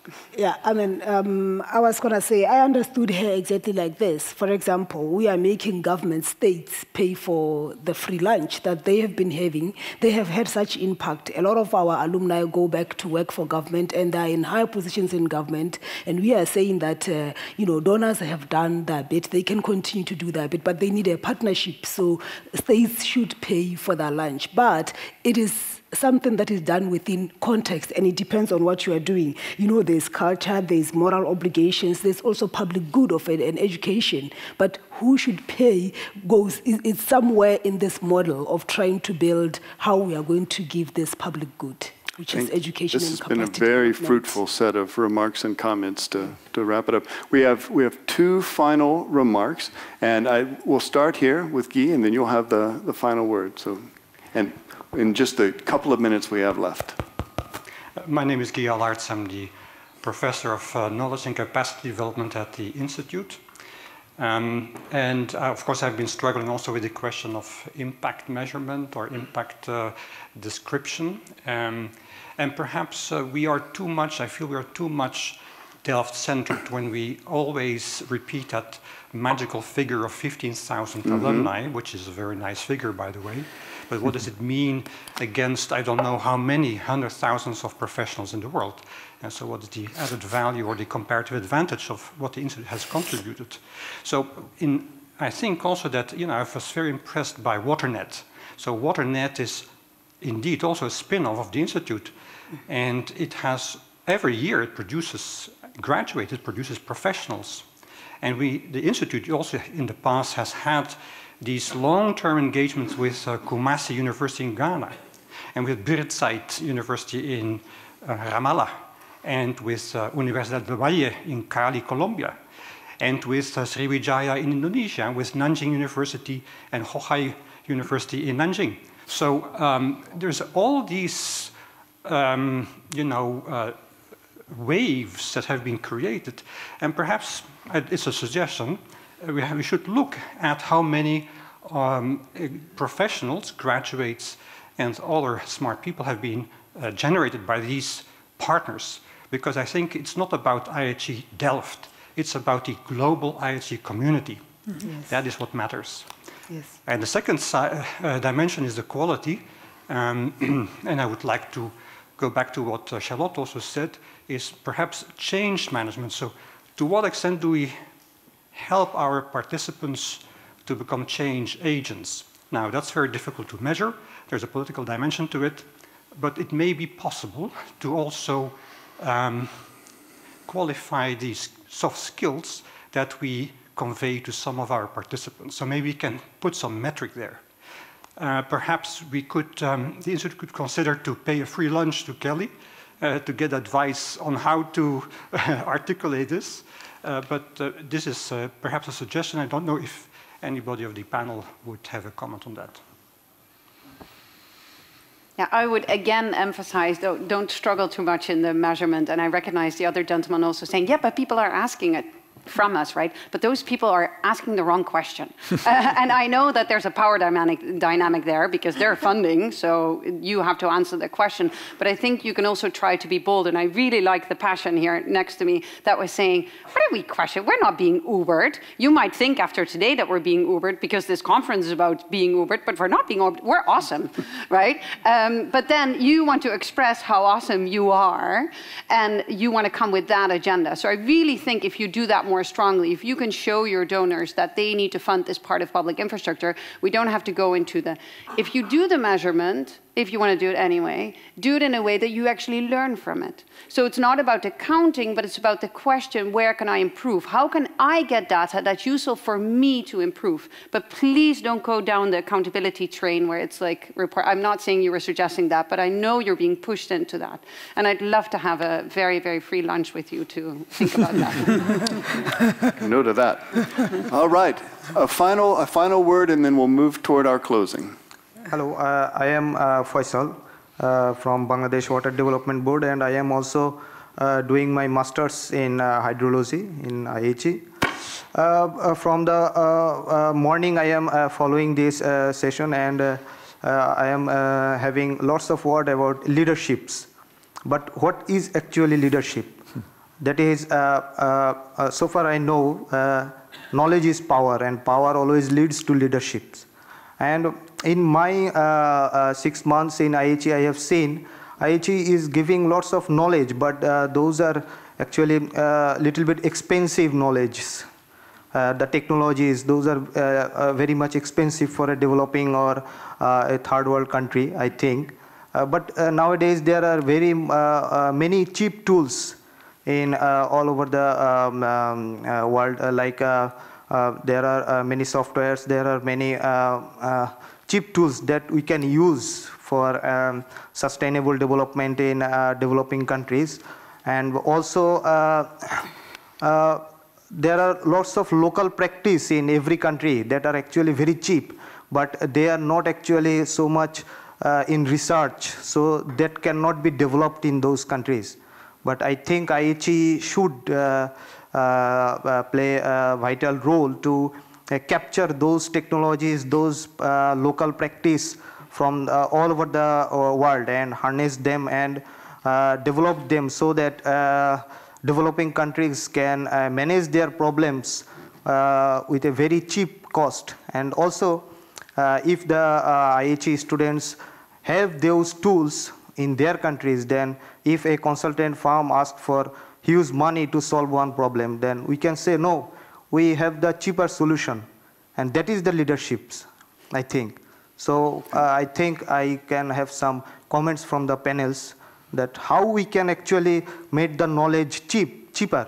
Also the technologies uh, to the uh, to the developing countries so that they can adapt and uh, uh, um, apply them uh, for sustainable development. Not the, uh, the, the donor agency, why we are always going to donor agency, because they always try to uh, purchase uh, from them some uh, expensive tools. But I think uh, it is now time to change our mind and also the education practice. Thank you. Thank you, Faisal.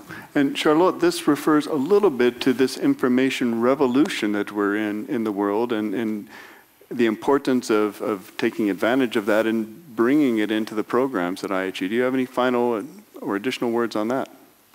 Um, I, I, there's there's one element, I, uh, and of course there's there's a lot of opportunity to to indeed uh, make it more open, more accessible, more cheap. Uh, there's I, I, would give one remark though that that there is of course uh, a lot of value, and we heard a lot of examples of that actually today uh, of bringing people together and from different backgrounds, from different countries, and uh, so and unfortunately that that is of course a, a costly uh, a, a, costly say modality of teaching. But I, I think it's still a very important element that, that people come together in, in person and that they can discuss and exchange and learn from each other. And we, we were talking about collective learning or, or mutual learning. And uh, so, and that, unfortunately, that is not the cheapest way, but I think uh, in the end that will also be paying off. So I, I think there is a lot of opportunities to blend and to make it more cheaper, indeed, using those online uh, tools and, and uh, online learning. But I think completely 100% online, there are some, uh, some drawbacks on that as well. So, thank you. Yeah, um, thank you for this comment. Uh, from my experience, I think IHE Delft provided a different uh, approach in some occasions. For example, they are running a capacity development program in the, in the Middle East now, in, uh, uh, in, specifically in Jordan. And I loved very much the approach. It is not uh, a classroom type of capacity development. Uh, the target group are professionals from the Ministry of Water and Irrigation, basically, water sector. So IHE uh, Delft staff designed the capacity development program to be three training courses for the same group. Um, the first one, they explain to them the basics, and um, the second one, they follow up on the training, and the third one is to make sure they know everything about this particular topic. Between the first and the second, which is the first time I'm doing now, there is a six to eight months. So after the first training, every participant pick on a research problem that is related directly to his work. And we fund his research, actually IHE Delft did, the DCP uh, com uh, committee, and then they work eight months on this research problem in their work space.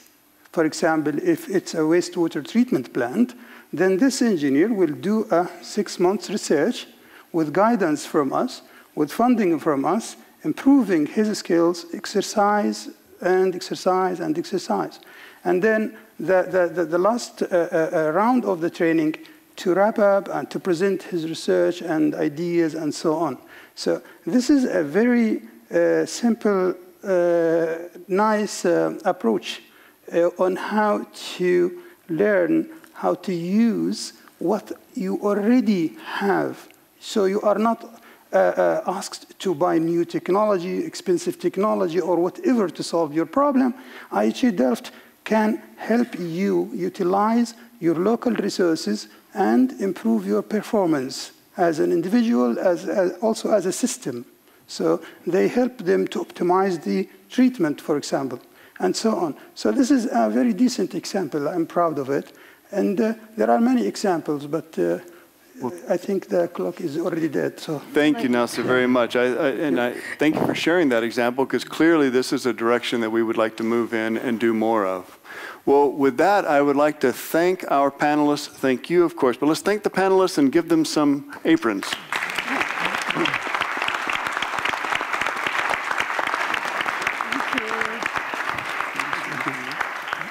Thank you. Thank you. Well, I would like to just express an enormous amount of gratitude for, for spending the day, for running late with us. We, we have uh, taken additional time, but this is something that we do only once in a decade. I mean, this is, this is a day where we don't want to, to miss any opportunity to hear from you. And uh, as I said, that's been recorded and it will be uh, internally become part of our process as we look uh, toward the future. Thank you all, panel members. You can return to the audience.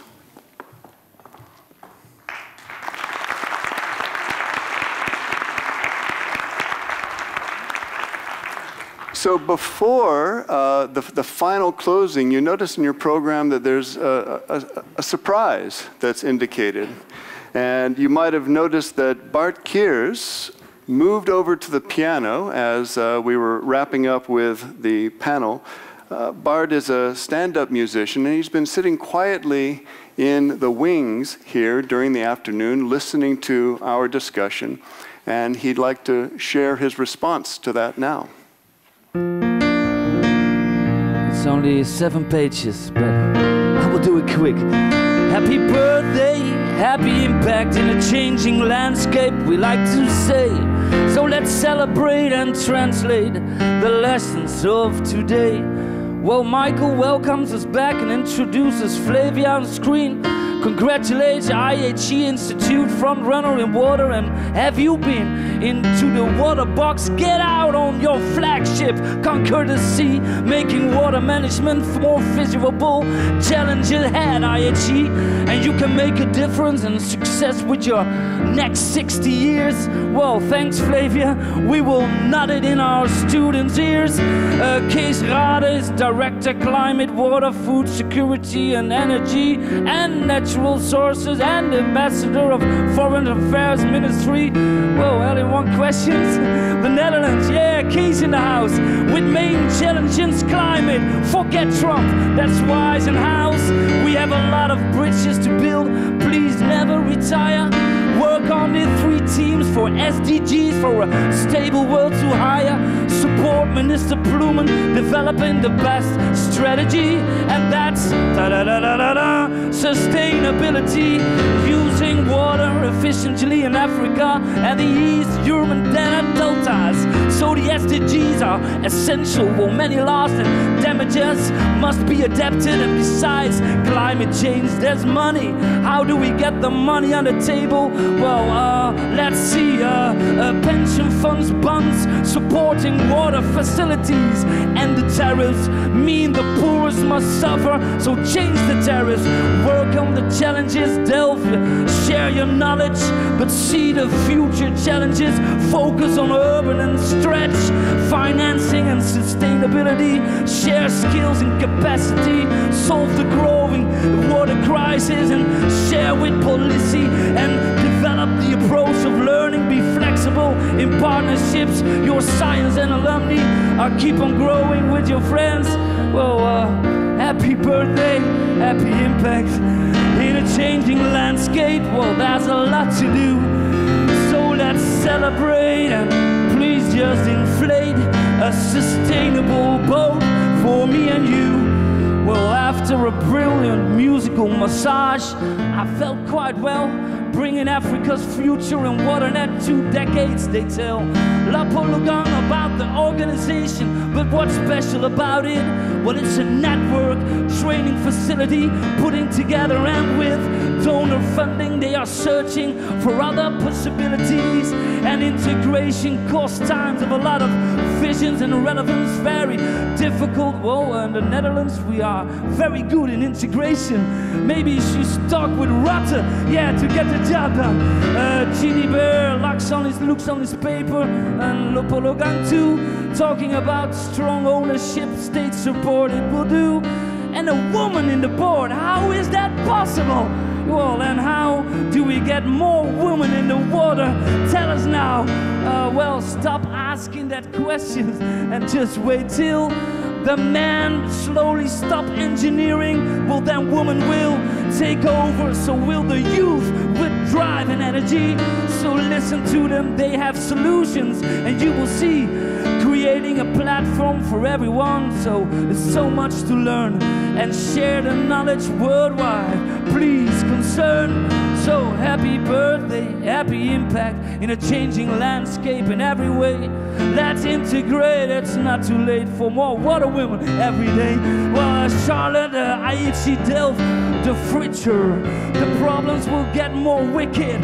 So you will need for sure not only engineering, you need women integrating field, better equipped, equipping people worldwide. So heal UNESCO, no, IHE Delft, sustainable development. Uh, yeah, SDGs. I finally know what it means at the end. Sustainable development goals, and one of them is we are IHE Delft without UNESCO. Okay, remind this. Uh, applied research, education, institutional strengthening. We need more integration, and that's difficult and hard working. How do we measure impact? Well, depends how much you claim. IHE Delft has a lot of impact. Well, solve what's in the name. Changes in people with technology. Much more is online.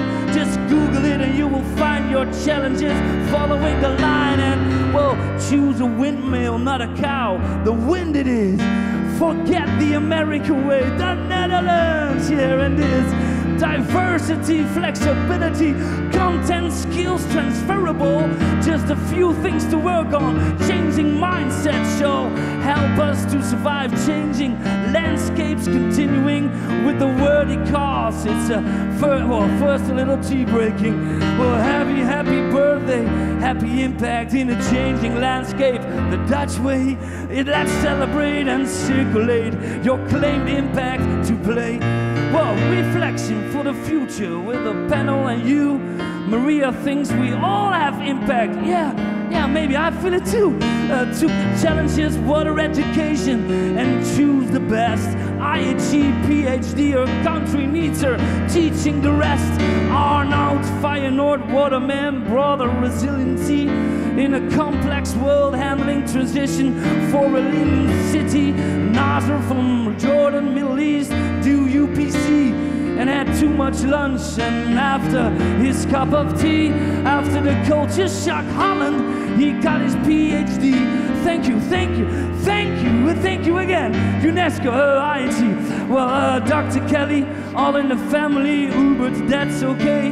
Who do you wanna be in this space? Warren Buffett? Nay. Let's pay 50,000 for the lunch. Well, nothing's for free. Make sure you're not selling free lunches like me. La Polo Gang is co-creating knowledge, and it's a lazy few. No one of us can do it alone. Well, well, that's not new. Going Dutch with Charlotte. No more lunch for free.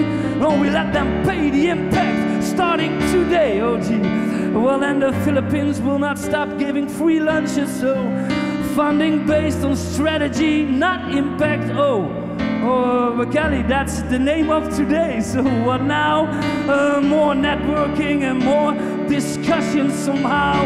Well, let's hit somebody with the microphone which is turned off. Open access model, open source, but it's always tough to find the right user of a free lunch to have paid. And who do you uh, invite to the table, or is it already too late? Just give a, a, a, thousand leaders in each country because we need more leaders in waters. IHE, bring them to us. Practicing professionals, combine power worldwide. IHE can do, must believe, leading the ships, alright. And wind, what are the real issues? Find your nail, you've got enough hammers. Leave that carrying and snail, following the best career path and riding to participate as an HIG ambassador worldwide initiate. You have a case really to let them pay for the play creating market, market for well-paid lunch from the state. It's about the global community. Get the right questions in and stop counting. Start lunching. There's a water world to win. So happy birthday, happy impact in a changing landscape with lunch for free. Just celebrate and get them paid because water will bring you chemistry. Happy birthday, happy impact in a changing landscape. We like to say, let's celebrate and translate the lessons we learned today.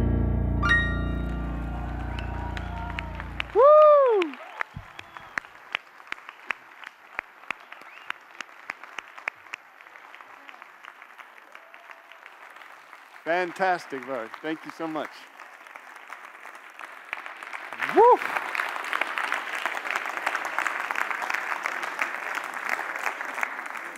Somebody was listening, huh? well, fantastic. So now I'd like to uh, invite Johan van Dijk, our business director, on stage to provide a final few words, and then we can all move out into the reception and even more amazing things to see.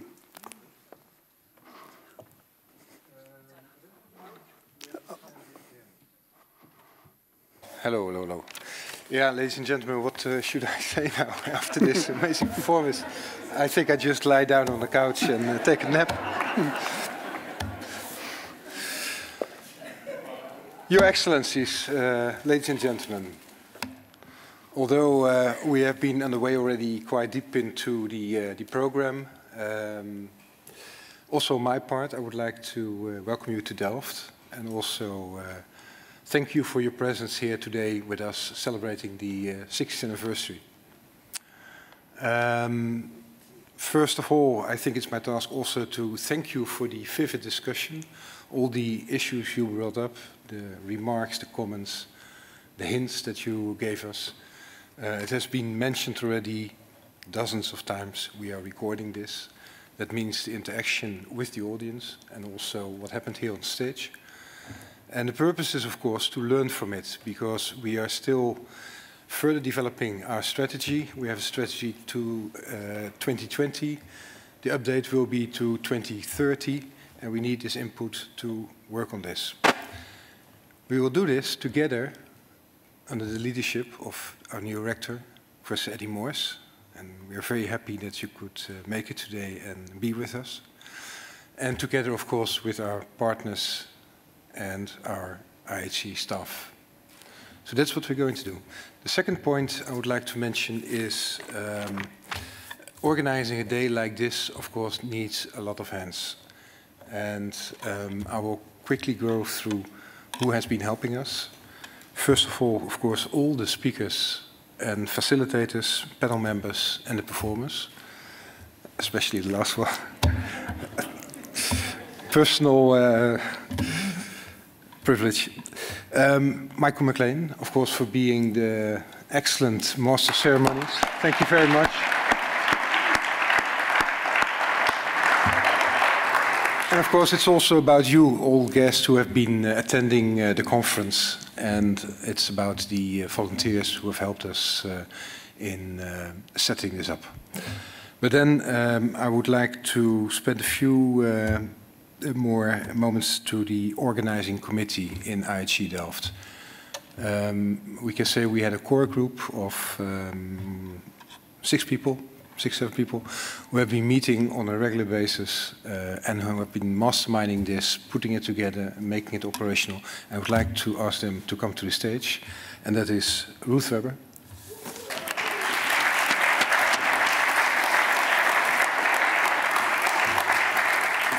Vanessa Temming. Vanessa, where are you? I'm here. All right, okay. Laura. Cecilia Pessonetti, you are. I thought she was sitting there. Ah, yes, there you are. Okay. Peter Stro.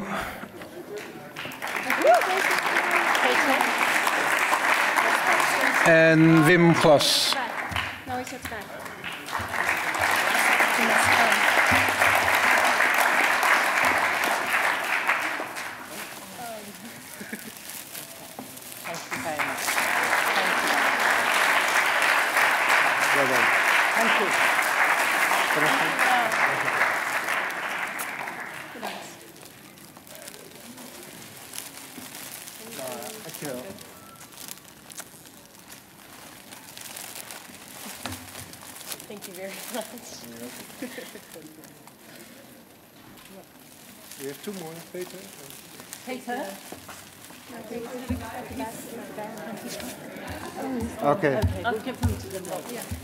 Okay, Michael, you were the master of ceremonies. I had a good part of it. Huh? I may kiss all the ladies, so that's what you missed.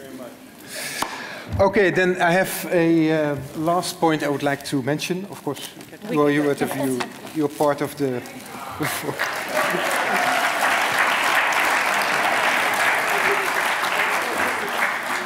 oh, sorry. Peter. Come on, come on, come on, come on. This is Peter. Peter did a lot of the uh, graphics, uh, the design of all the, th uh, the things that you see with uh, the new name and logo. It's from Peter's uh, mastermind. Okay. Thank you. Um, the last point that we uh, want to do is to invite you back to the foyer um, where we will the cafe. Okay, so that's a little bit further back. Um, where we will open the uh, picture exhibition that is called Alumni in Action. And for this purpose, we have commissioned our cultural ambassador, Gil Garcetti, if I pronounce name well, who made an excellent uh, uh, footage of uh, the work our alumni are doing on the three different continents. It's a beautiful exhibition, and you're almost, uh, well, in, in one or two minutes away from it, uh, because the next things I'm going to say is we invite you for a drink and a snack and the opportunity to mix with all the uh, guests in the audience. And um, I wish you uh, a very pleasant evening, and I hope to see you at a next occasion. Thank you very much.